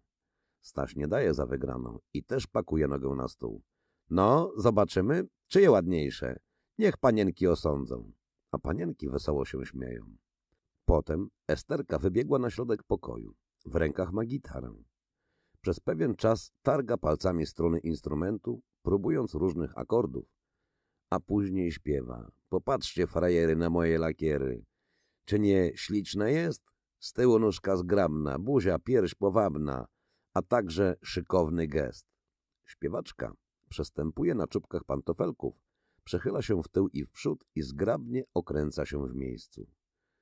Patrzymy na nią wszyscy w milczeniu, a ona z gracją porusza się po pokoju, ilustrując piosenkę mimiką twarzy i wymownymi ruchami ciała. Wreszcie kończy kuplety. Choć łysy kapuje, nas to nie krępuje. Naszym marzeniem jest noc. Gdy skończymy zabawę, jedziemy na wyprawę, a każdy ma wytrychów moc.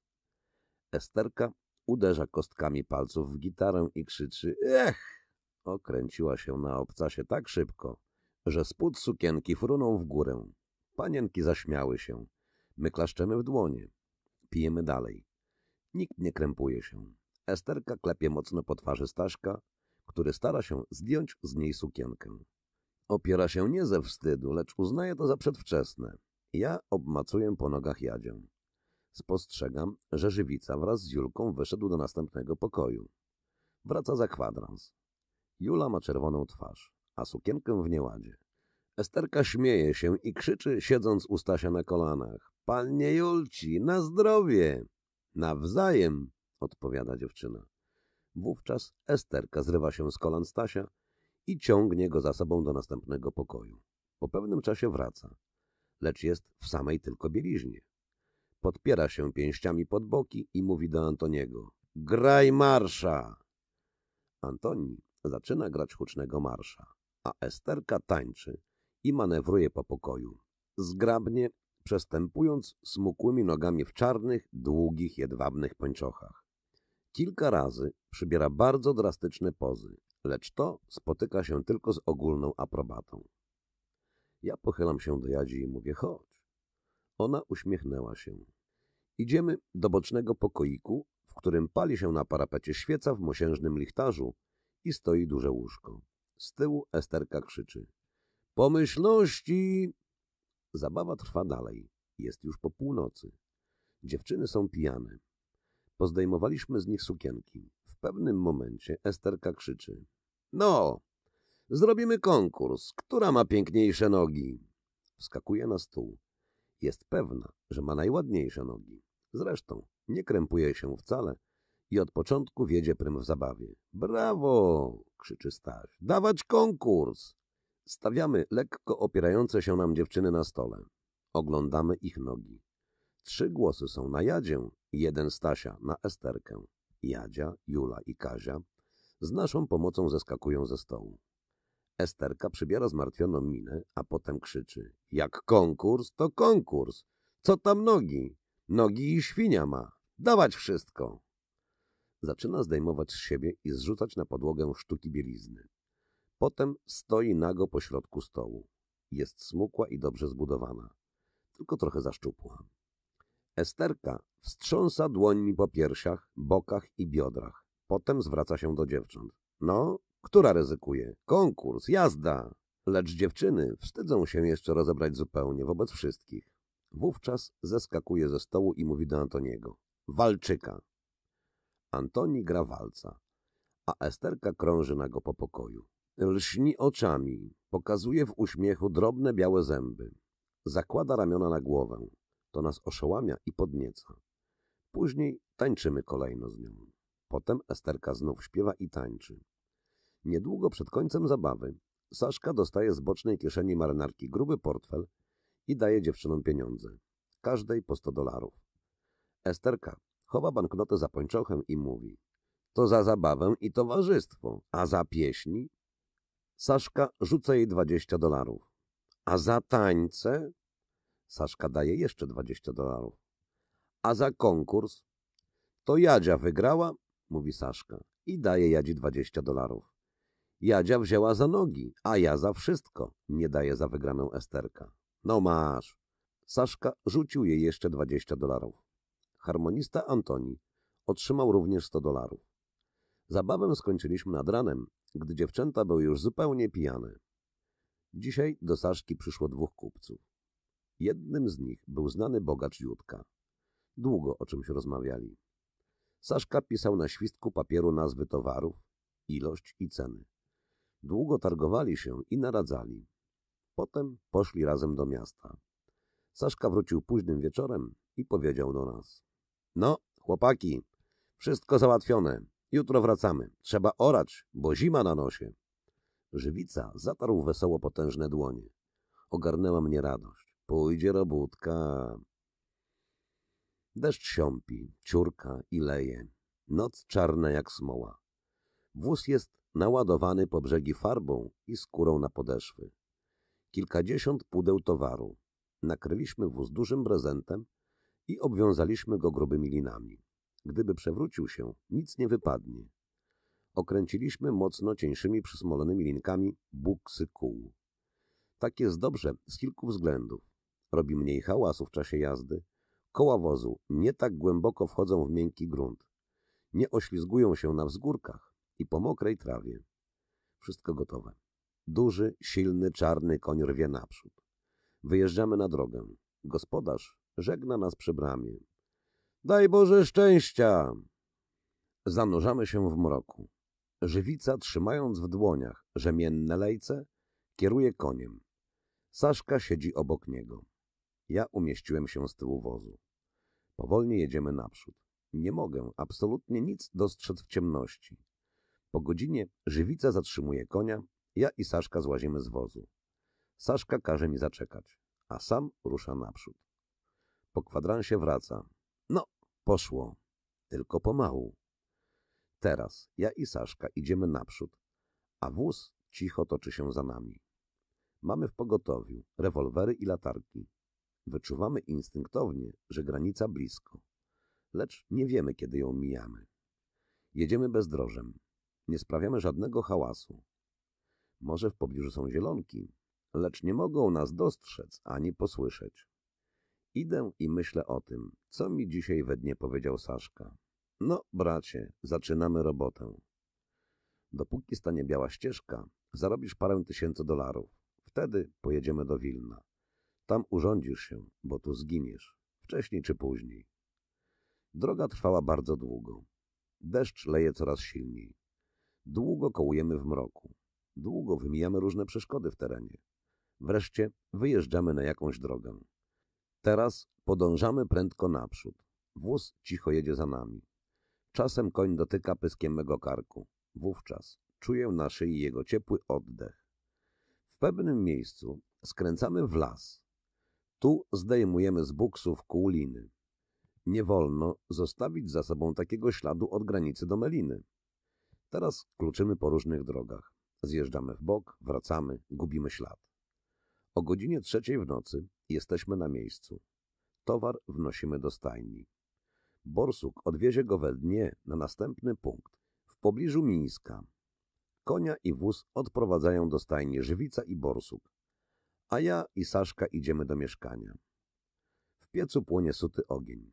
Zdejmujemy z siebie mokre ubrania i rozwieszamy je na sznurku wokoło gorącego pieca.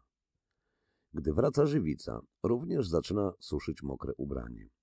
Borsuk podsmaża dla nas słoninę. Potem pijemy spirytus i jemy gorące skwarki. Wszystko nam smakuje. I lichy czerstwy razowiec, i zjełczała słonina. Nad ranem deszcz ustaje. Borsuk zaprzęga konia. Ładuje z pomocą żywicy towar na wóz i jedzie na następny punkt. Towar przykrył z wierzchu sianem. Czy nie zahaczą go po drodze? Pytam Saszki. Jego? Jego sam diabeł nie zatrzyma. On jedzie po takich ścieżkach, że żywego ducha nie spotka. A jeśli spotka, to ma ode mnie klawą maszynę. Będzie rąbał do ostatka. To, bracie, dobry numer. Włazimy spać na piec. Jest tu bardzo gorąco. Kolejno pilnujemy snu kolegów. O godzinie trzeciej we dnie wraca Borsuk. Przywiózł kilka dużych worków szczeciny. Ten towar powieziemy z powrotem. Nie będzie nam zawadzał, bo jest lekki, a zarobek mamy większy. Wieczorem ładujemy Szczecinę na wóz i wyruszamy w drogę. Jedziemy prędko. Koń rwie się do szybkiego biegu, lecz żywica wstrzymuje go. Po trzech godzinach drogi zatrzymujemy się. Znowu okręcamy linami koła i jeszcze powolniej ruszamy dalej. Zaczyna padać deszcz.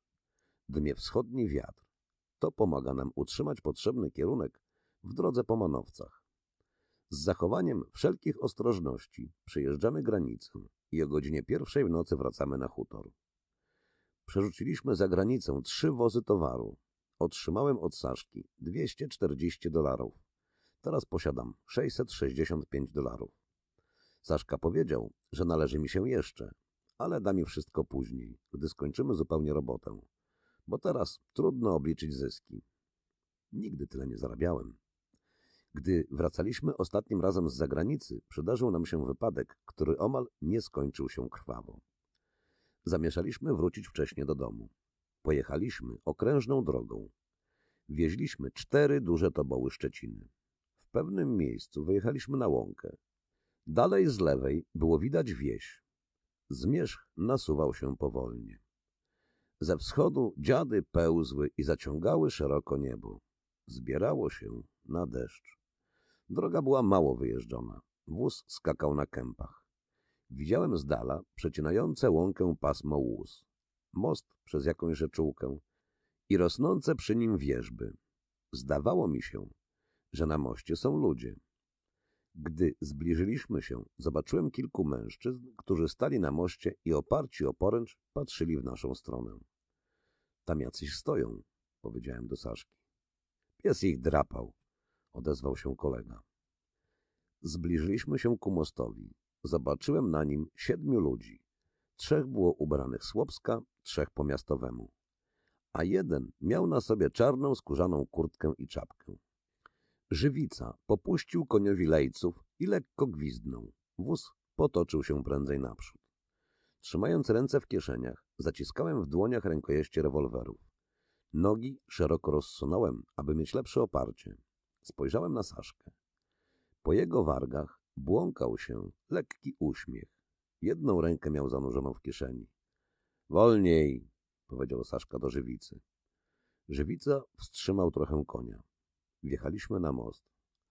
A wy to kto tacy? Skąd? krzyknął złym, aroganckim głosem mężczyzna w skórzanej kurtce, próbując chwycić zalejce.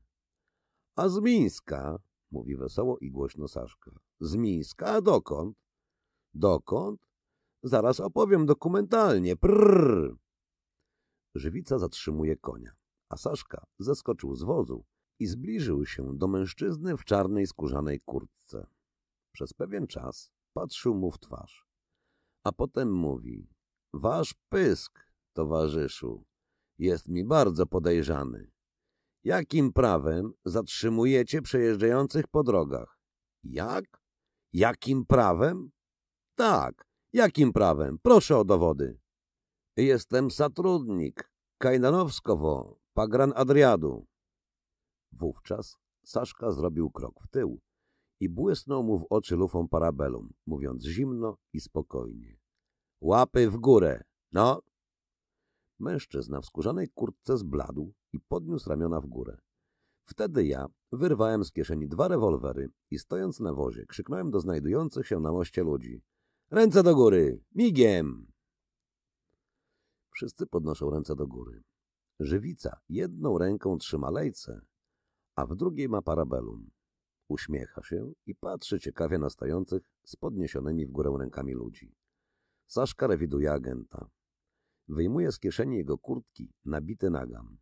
Przyda się, mówi wkładając rewolwer do swojej kieszeni. Potem wyjmuje z bocznej kieszeni jego kurtki gruby portfel i też go zabiera. To zobaczymy później. Po zrewidowaniu agenta zwraca się do znajdujących się na moście ludzi. Kto jeszcze ma broń? No? My nic nie mamy, my ni nic nie mamy, rozlega się kilka głosów. Uważajcie, jak znajdę, w łeb palnę. No, który ma broń? Nie mamy, towarzyszu. Saszka zwraca się do agenta. Chciałeś wiedzieć, dokąd jedziemy? Otóż jedziemy za granicę. A chcesz wiedzieć, kto jesteśmy? Jesteśmy wesołe chłopaki. Tacy, co granice nie kupują i takich jak ty się ksotom łap nie smarują. Teraz wiesz? A wieziemy Szczecinę. Chcesz pomacać? Towarzyszu, ja, jaż nie... Ja ci nie towarzysz. Twój towarzysz w budzie siedzi i zębami pchły łapie. Ja nie myślałem, ja tylko chciałem skórę zdedrzeć, dokończył Saszka i powiedział. Skaż do wody! Agent ociągał się. Saszka uniósł w górę parabelą i ściągnął brwi. No, agent pośpiesznie wlazł na poręcz mostu i skoczył do rzeki. Rozległ się głośny plusk wody. Żywica roześmiał się. Jazda do wody, pchły topić! krzyknął Saszka do pozostałych na moście ludzi. Żywo! Wszyscy pośpiesznie zaczęli włazić na poręcz mostu i skakać w dół. Co chwila rozlegały się głośne pluśnięcia wody. Kąpią się, powiedział Żywica. Saszka wskoczył na wóz. Koń ruszył naprzód. To dla nich dobre, trochę ostygną, rzekł Saszka. Minęliśmy most i wjechaliśmy na łąkę. Z tyłu rozległy się krzyki wyłażących z rzeki ludzi. Zapadł zmierzch. Rozmyślałem nad tym, co niedawno zaszło. Podziwiałem Saszkę. Nikt nie postąpiłby tak jak on. Moglibyśmy pognać konia naprzód i znajdujący się na moście ludzie musieliby ustąpić z drogi, ale później mogliby strzelać do nas z tyłu. Moglibyśmy i od razu strzelać do nich, a nawet pozabijać wszystkich, lecz niepotrzebnie przelalibyśmy krew i narobilibyśmy hałasu. A Saszka potrafił uniknąć tego. Patrzę w jego spokojną, zamyśloną twarz. Na czole ukazuje się wąska pionowa zmarszczka. O czym on myśli? Zbliża się połowa listopada. Przerzuciliśmy za granicę siedem wozów towaru. Saszka dał mi jeszcze 240 dolarów. Mam już 905 dolarów. Wyczuwamy zbliżanie się zimy i pracujemy pośpiesznie. Saszka zamierza przed końcem listopada zwinąć robotę. Kupcy w najbliższych dniach dostarczą nam z drogiego towaru, na którym sporo zarobimy. Ośmieliło ich dotychczasowe powodzenie naszej roboty. Dwa dni temu spadł pierwszy śnieg, lecz zaraz zniknął. Czarna ścieżka trwa nadal. Żeby chociaż dłużej utrzymała się. A jeszcze po paru dniach stała się okropna rzecz, która zniweczyła wszystkie nasze zamiary. Lepiej byłoby, gdybyśmy nie rozpoczynali tej roboty, niżby takie miała zakończenie. Lecz nie będę wybiegał naprzód, a opowiem wszystko kolejno. Wracaliśmy z roboty. Zdaliśmy towar borsukowi i wieźliśmy z powrotem kilka tobołów owczej wełny. Dotarliśmy szczęśliwie do łąki w pobliżu granicy. Było już po północy. Daliśmy wypocząć trochę koniowi, a potem ruszyliśmy naprzód. Wóz cicho sunął po wilgotnej trawie. Saszka zeskoczył z wozu i poszedł naprzód. Chciałem iść za nim, lecz zatrzymał mnie gestem ręki. Zostałem na wozie. Widziałem, jak Saszka szedł łąką o czterdzieści kroków przed nami. Starałem się nie zgubić go z oczu. Zbliża się do ciemnej smugi gęstych zarośli w pobliżu granicy. Mija je. Nagle pada strzał. Potem kilka, jeden po drugim. Dopiero później słyszę wrzask. Stój, stój, stój! Brzmią strzały rewolwerowe. To Saszka strzela. Widzę, że cofa się ku nam. A z zarośli w pobliżu granicy wciąż błyskają ognie wystrzałów karabinowych. Żywica zatrzymał konia. Ja strzelam z parabarą w kierunku zarośli. Obliczam odległość na 120 kroków. Wypróżniam jeden magazynek, ładuję drugi i strzelam dalej. Strzały karabinowe ustają. Nagle słyszę dziwny, drżący głos żywicy. Trzymaj no konia, duchem! Chwytam za lejce i widzę, że żywica biegnie naprzód. Dostrzegłem Saszkę, który leży na łące o trzydzieści kroków od nas. lecz nie strzela i nie rusza się z miejsca. Poprzednio zajęty strzelaniem straciłem go z oczu. Wtem księżyc chowa się za chmurami. Robi się ciemniej. Nie widzę ani żywicy, ani saszki, ani zarośli. Znowu słyszę głosy. Stój, stój, stój! Cały dygocze. Co tam się stało? Koń się rwie naprzód, lecz trzymam go mocno. Po chwili słyszę pośpieszne kroki żywicy. Żywica, niosąc Saszkę na rękach, biegnie do wozu. Położył go na tobołach wełny. Wskakuje na wóz i mówi do mnie jakimś dziwnym, jękliwym głosem. Patrz go, żeby nie trzęsło. To cholera. Chwyta za lejce i zawraca konia. Słyszę w pobliżu kroki biegnących ku nam ludzi. Wyrywam z kieszeni parabelum i staję na wozie. Księżyc wychodzi z za chmur i jak reflektor oświetla łąkę. Widzę o trzydzieści kroków od nas czterech żołnierzy. Biję do nich z rewolweru.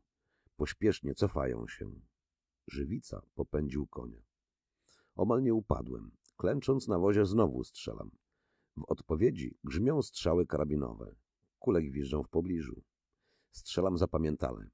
Księżyc znów chowa się za chmurami. Nie dostrzegam ścigających nas żołnierzy.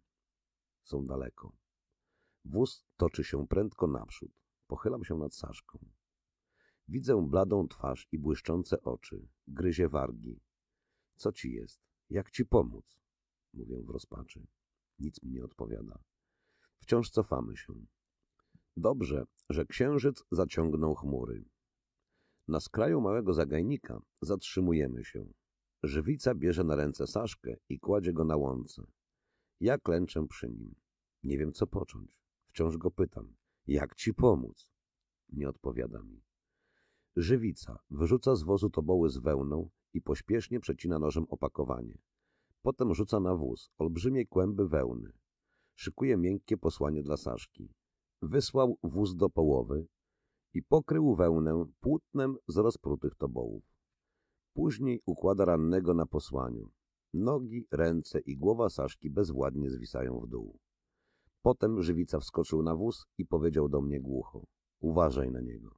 Wóz rusza z miejsca. Jedziemy powoli w bok, nie zbliżając się do granicy, która pozostała o trzy kilometry od nas. Suniemy bez szmeru po łąkach i polach. Ja trzymam w rękach dwa rewolwery.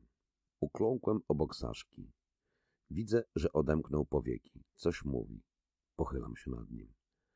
Zdejm woreczek z szyi pod koszulą. Pośpiesznie rozpinam na nim kurtkę, bluzę i koszulę. Zdejmuję umieszczony na jego piersi zamszowy woreczek. Jest dość gruby. Oddasz Feli.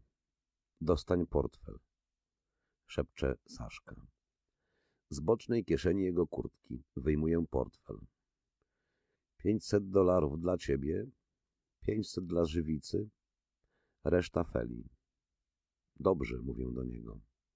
Z kupcami i z borsukiem żywica, powiedz mu, on załatwi. Nic ci nie będzie.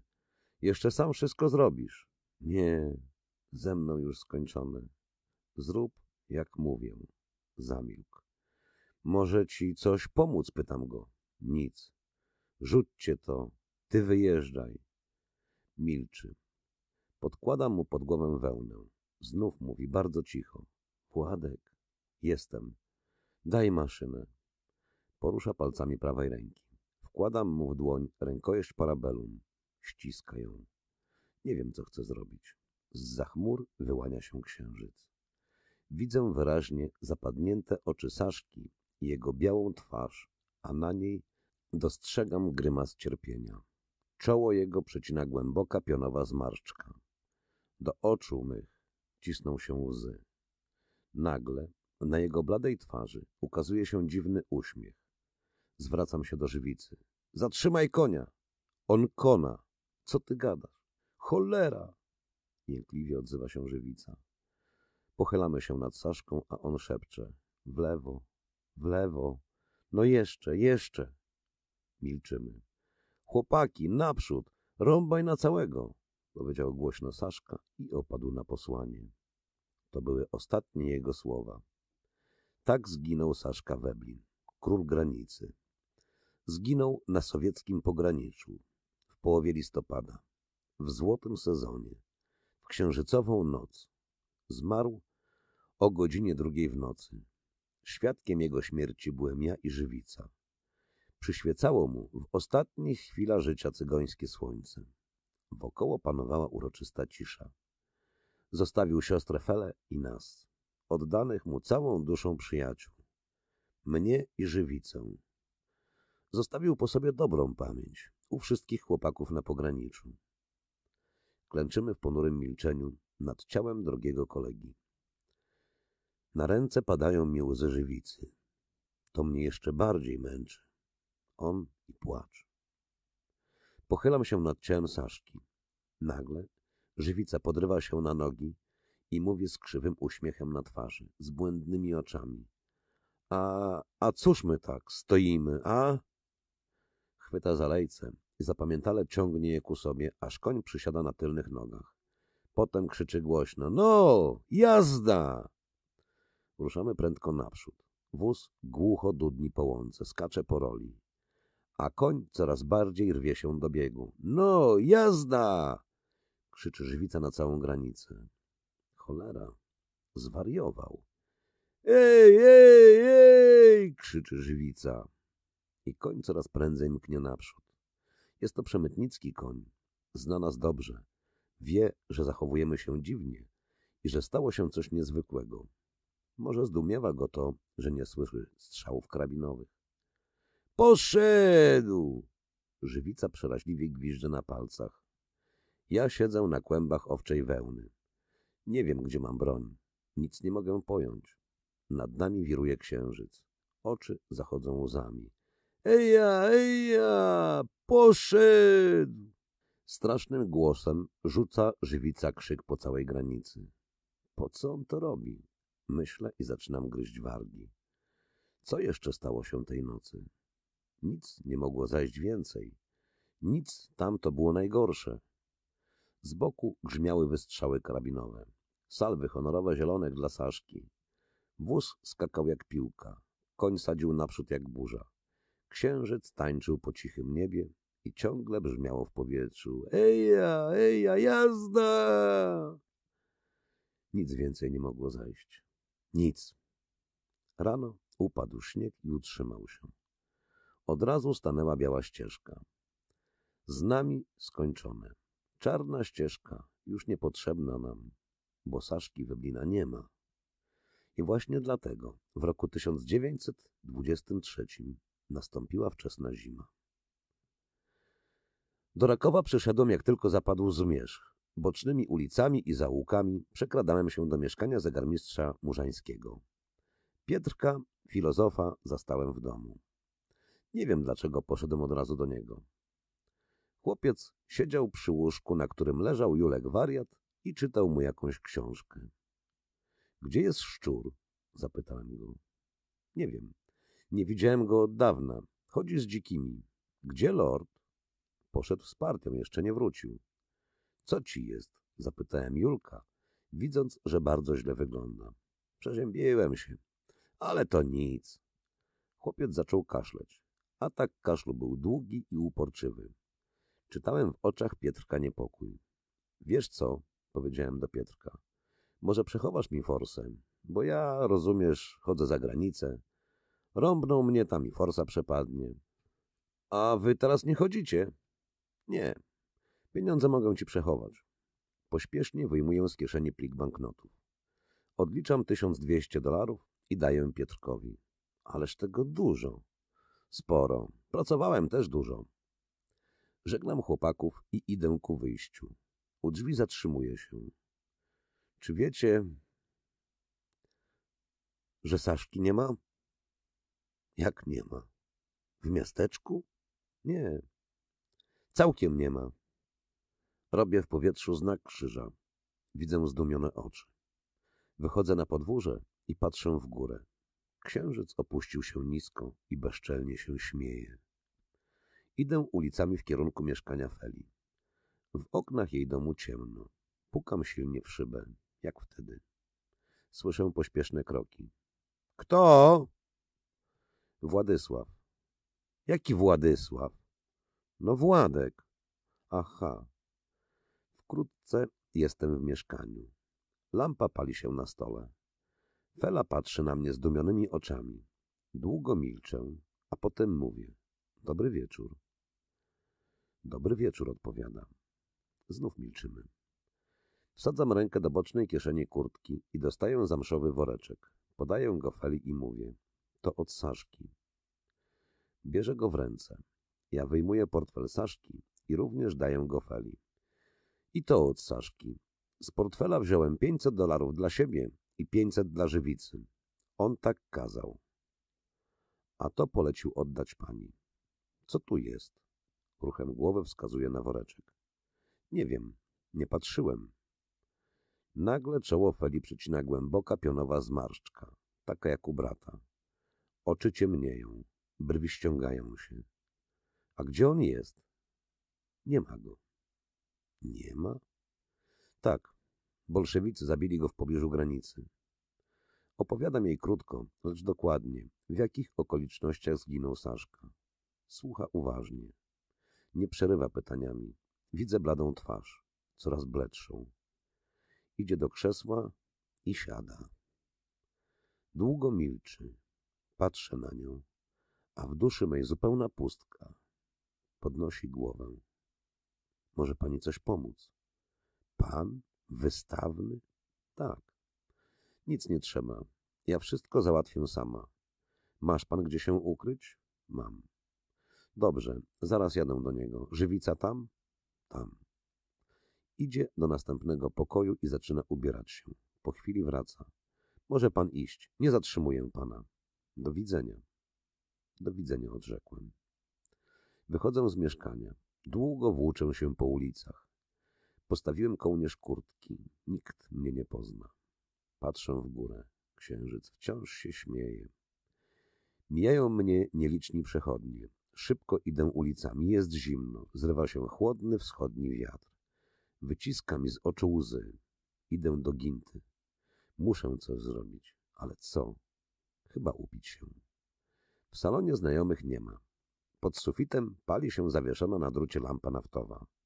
Skąpo oświetla duży pokój. Środkowy stół próżny.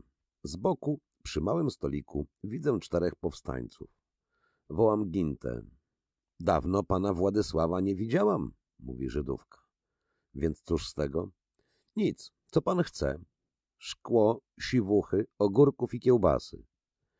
Piję samotnie. Powstańcy nie zwracają na mnie uwagi. Nie wiem, dlaczego bardzo się śpieszę. Przecież nie mam gdzie iść. Załatwiłem wszystko. Wypijam jeszcze pół butelki wódki. Jest mi cieplej, lecz smutno mi coraz bardziej. Płacę za wszystko i wychodzę na ulicę. Znów błąkam się po miasteczku.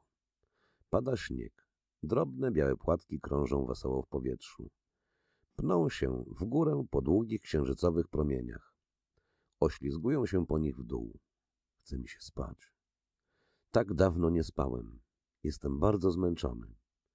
Późnym wieczorem pukam do okna mieszkania Kaliszanek. Zuzia odemknęła drzwi. Klaszcze w dłonie i przesadnie głośno wyraża swój zachwyt. A to pan Władysław, nareszcie, witamy pana, wit... Witamy, witamy, powtarzam mrocznie jej słowa. Proszę dalej, proszę. Uśmiecha się. Zezowate oczy oglądają mnie badawczo. Może coś zjeść, wypić? Daj wódki. Zaraz będzie, zaraz. Wszystko, co pan chce, siadaj pan tu. Tu wygodniej. Znowu piję wódkę. Zuzanna obleśnie się uśmiecha. Ciągle kręci się po izbie. Wstaje od stołu, to znowu siada. Piersi jej skaczą, jak wypełnione wodą gumowe pęcherze. A Tośka często pana wspomina, a pan taki niehumorowy. Ja mówię i mówię, a pan nic. Język mi zamarzł. Trzeba go rozgrzać. Zuzia głośno rechocze i wali się pulchnymi dłońmi po udach. Piję w dalszym ciągu. Potem palę papierosa za papierosem.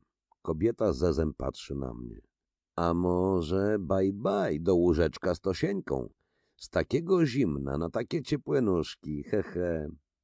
Widzę, że ma dwa nosy i wiele oczu i że wciąż drga, chybocze, jak guma, jak ciasto. Idę do następnego pokoju. Za mną z lampą w ręce człapie pantoflami Zuzia. Tosieńka, przywitaj pana Władysława. Mamusia jaka głupia, odpowiada rozespana dziewczyna. Rozbieram się. Tak bardzo chce mi się spać. Zuzia zdejmuje mi buty. Potem zanurzam się całym ciałem w miękkie, ciepłe łóżko. Zuzia coś mówi, chichocze. Z lampą w ręce opuszcza pokój. Robi się ciemno. Tośka przyciska się do mnie gorącym, gładkim ciałem. Stało się coś bardzo ważnego. Bardzo. Bardzo, bardzo. Lecz co? Lecę w duszną, gorącą przepaść. No, wstawaj! Słyszę przez sen srogi głos. Ktoś szarpie mnie za ramię. Otwieram oczy. Oślepia mnie struga światła kieszonkowej latarki. Po chwili dostrzegam w pokoju kilku policjantów. Mają w rękach rewolwery. Natychmiast wraca mi świadomość. Broń mam w bocznej kieszeni kurtki. A gdzie kurtka? Zresztą nie wolno mi się bronić. Jak imię i nazwisko? Pyta mnie służbiście ten sam głos. Antoni Piotrowski. Zuzia chichocze. A to z pana Władzia Filut. On, panie naczelniku, jeszcze nie wytrzeźwiał. Zabawił się chłopak. He, he, he. Jest dla mnie wstrętna. Zrozumiałem, że ona mnie opyliła. Ubieraj się. Wyłażę z łóżka i zaczynam powolnie się ubierać. Jestem wciąż w świetle latarki, lecz to nie krępuje mnie wcale. Zobojętniałem na wszystko. Zabawił się kawaler? Słyszę chrapliwy głos, jakby z dużej odległości dochodzący do mych uszu. Ktoś się śmieje. Zuzia pochlebnie chichocze. Potem czuję na przegubach rąk zimne ogniwa kajdanek. Stało się coś bardzo ważnego. Ale co? Co? Wychodzimy do sieni. Śledzą mnie czujne lufy rewolwerów. Głaszczą promienie latarek. Ja zawsze w porządku, panie naczelniku. Słyszę z tyłu szept Zuzi. Idziemy ulicami. Księżyc parska śmiechem, płatki śniegu wesoło igrają w powietrzu. Mijamy dwóch mężczyzn z kijami w rękach. Warta nocna. Odprowadzono mnie do komisariatu. Nazajutrz badanie. Protokół. Przyprowadzono na konfrontację Alfreda, Alfonsa i Albina Alinczuków. Znasz go? zapytują Alfreda. Znam, a jakże? Mówi zjadliwie uśmiechając się przemytnik. On ciebie postrzelił? On. Zastąpił nam drogę i zaczął strzelać. Chciał obrabować. Bracia Alfreda skwapliwie potwierdzają jego słowa. Nie przerywam im. Niech gadają co chcą. Wszystko to głupstwo w porównaniu z tamtym. Potem pytano mnie. Powtarzam to, co zeznałem poprzednio. Opowiadam dokładnie o całym zajściu. Przypominam sobie nowe jego szczegóły. Lecz widzę porozumiewawcze spojrzenia i uśmiechy. Nie wierzą mi. Wówczas przestaję odpowiadać na pytania. Na czwarty dzień po aresztowaniu mnie, o godzinie piątej po południu, wyjeżdżamy z Rakowa do Iwańca, do sędziego śledczego. Jedziemy saniami. Ja umieściłem się po środku. Na tylnym siedzeniu sanek obok mnie siedzi dwóch policjantów. Z rynku jedziemy na Słobódkę. Mijamy dom Trofidów. Patrzę w okna ich mieszkania. Zdaje mi się, że widzę za szybą czyjąś twarz. Może to Janinka? Wyjeżdżamy na most. Ileż razy przemykałem się tędy sami z chłopakami, a teraz? Powolnie zapada zmierzch. Jest silny mróz. Kajdanki ziębią mi przeguby rąk, więc chowam dłonie głęboko w rękawach. W powietrzu krążą drobne płatki śniegu i tworzą ruchliwą, lśniącą firanę, za której teren wygląda szczególnie uroczo. Po bokach drogi stoją drzewa. Dźwigają na gałęziach grube pokrowce śniegu. Obok traktu biegną w dal słupy telegraficzne. Słyszę ich monotonne, nisko wibrujące huczenie. Policjanci wyjmują papierosy, zapalają sami i częstują mnie. Wymawiam się od tego. Nie pali pan? Pyta mnie jeden z nich. Palę, ale swoje. Słusznie, mówi drugi. Furman popędza konia, lecz szkapina szłapie powolnie i przyspiesza kroku tylko wtedy, gdy słyszy w powietrzu świst bata. Ze wschodu dmie przejmujący wiatr, zimny wiatr. Mrozi mi lewy policzek i ucho. Dostaję z rękawów dłonie i z trudnością podnoszę kołnierz kurtki. Śnieg pada coraz rzadziej i wreszcie zupełnie przestaje. Na niebie ukazują się gwiazdy. Księżyc pracowicie pnie się w górę. Jest poważny, zamyślony, nie zwraca na nas uwagi. W głowie przewija mi się mnóstwo różnych myśli. Pierzchają, nie wiążą się, mkną prędko, niesfornie. Ogarnia mnie niechęć do wszystkiego. Policjanci gawędzą. Mówią o jakichś dodatkach na rodzinę, o dietach. Często przerywają rozmowę. W pewnym momencie jeden z nich mówi do drugiego. Znasz Saszkę Weblina? Znam. Brat tamtej czarnuli. Jak ona się nazywa? Fela. Właśnie. No i co? I co on? Zastrzelono go na pograniczu. Kto zastrzelił? Nie wiadomo. Żywica zeznał, że wiózł go z Rubieżewicz do Rakowa i w pobliżu Wołomy ktoś strzelał do nich z lasu i trafił Weblina. Zaczynam uważnie słuchać, lecz udaję, że ich rozmowa nie interesuje mnie wcale. Może mieli jakieś porachunki? Diabli ich wiedzą. Chociaż Saszkę Węblina wszyscy lubili, ale mógł mieć wrogów. Zdaje mi się, że Żywica coś kręcił z tym postrzelaniem. On wczoraj w łeb sobie palnął. Kto? Żywica? Tak. Cóż on? Po pijanemu stuknęło mu coś do głowy. Wczoraj był pogrzeb Weblina, a potem siostra jego stypę wyprawiła. No, skorzystał z okazji, upił się i poszedł wieczorem do domu, a na rynku wywalił sobie z parabela w usta. Słysząc to po prostu zdrętwiałem z przerażenia. A może on maczał palce w tamtym postrzeleniu i bał się odpowiedzialności, co? Może być. Mętna sprawa. Sam diabeł w tym się nie rozezna. Ten też za postrzelenie aresztowany. Policjant skinął głową w moją stronę. Z poprzedniej ich rozmowy dowiedziałem się, że drugi policjant dopiero dzisiaj wrócił z urlopu i nie zna miasteczkowych nowin. Teraz trąca mnie rękawem i pyta. E, panie, za co go pan postrzelił? Kogo? No tego. Alińczuka, dodaje drugi policjant. Za to, że jest drań. Policjanci porozumiewawczo mrugają do siebie. Dobry ptaszek. Potem znowu zapalają papierosy. To żywica nie żyje. Zastrzelił się. Wiruje mi wciąż w głowie. Nagle ogarnia mnie nieodparta chęć dowiedzenia się wszystkiego. Nie mogę uwierzyć w to, że Żywica popełnił samobójstwo. Nie mieści mi się to w głowie. Tu coś nie tak. Może jest jeszcze jeden Żywica. W jednej chwili rodzi się we mnie twarde postanowienie. Muszę uciekać i pójść tam. Muszę. Teraz ukradkiem uważnie obserwuję policjantów. Są pewni, że im nie ucieknę. Siedzą niedbale, palą papierosy. Karabiny mają zaciśnięte między nogami. Skoczyć z sanek w bok nie zdążę. Przytrzymają mnie. A jeśli odbić się nogami od dna sanek i rzucić się w tył, w ten sposób mogę łatwo wyrzucić się z sanek, nim zdążą wyciągnąć ręce, tylko aby nie upaść na głowę. Uważnie oglądam pokryjomu teren. Na wybojach drogi sanie skaczą tak silnie w górę, że wyskoczyć z nich jest łatwo. Policjanci mają nogi okryte sianem i otulone płaszczami. Nim zdążą wstać i wyskoczyć z sanek, zdążę podnieść się i zacząć uciekać. Jestem lekko ubrany i mogę bardzo prędko biec, więc o ile nie trafią mnie pierwszymi kulami, ucieknę im łatwo. Daleko do Iwańca?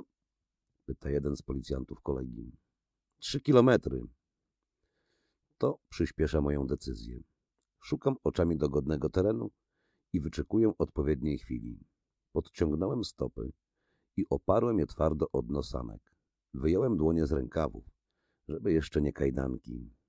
Policjanci znów zapalają papierosy. Sanie wjeżdżają powolnie na szczyt wzgórza. Widzę przy świetle księżyca długi, stromy stok, po którym mknie w dół droga. Z lewa dostrzegam długie pasmo przydrożnych krzaków, a za nim otwarte pola. Rzucam ostatnie spojrzenie na prawo i lewo, na eskortę i teren. Sanie szybko pędzą z góry w dół. Impet odrzuca nas na niskie oparcie sanek. Wówczas robię silny ruch ciałem w tył i odpycham się nogami od dna sanek. Wyleciałem w powietrze i upadłem na drogę. Porwałem się na nogi i popędziłem w górę po drodze, którą przed chwilą mknęły w dół sanki. Odwróciłem, biegnąc w tył głowę. Trzymaj konia! Trzymaj konia! Sanie jeszcze mkną w dół. Prrr! krzyczy furman. Biegnę dalej po drodze w górę. Znów oglądam się. Widzę z dala biegnącego drogą policjanta. Przystanął. Celuję. Szybko rzucam się w bok ku krzakom. Rozlega się strzał. Wpadłem w pole i biegnę wzdłuż krzaków w górę. Znów pada strzał, a potem kilka, jeden za drugim. Strzelają bez celu, nie widząc mnie, bo ja ich nie widzę. Wydostaję się na szczyt góry, a potem biegnę lekko i prędko w dół. Nie zmęczyłem się wcale, tylko rozgrzałem się szybkim ruchem. Kilka razy oglądam się. Na śnieżnej bieli dróg i pól nie ma nikogo. Byłem już o kilometr od szczytu wzgórza, gdy dostrzegłem przy świetle księżyca wjeżdżające na nie sanki. Zobaczyłem w pobliżu las. Wbiegłem do niego. Przemierzyłem go na drugą stronę. Poszedłem prędko polami. Znów wszedłem do lasu. Niech ścigają mnie teraz. Znów las i znów pole. Oglądam się wokoło. Pustka. W księżycowych promieniach lśni śnieżna biel pól. Patrzę na gwiazdy. Szukam kierunku. Wielka niedźwiedzica wskazuje mi drogę na zachód. Nie, kochana, nie. Moja droga prowadzi na wschód. Na zachodzie nie ma dla mnie miejsca.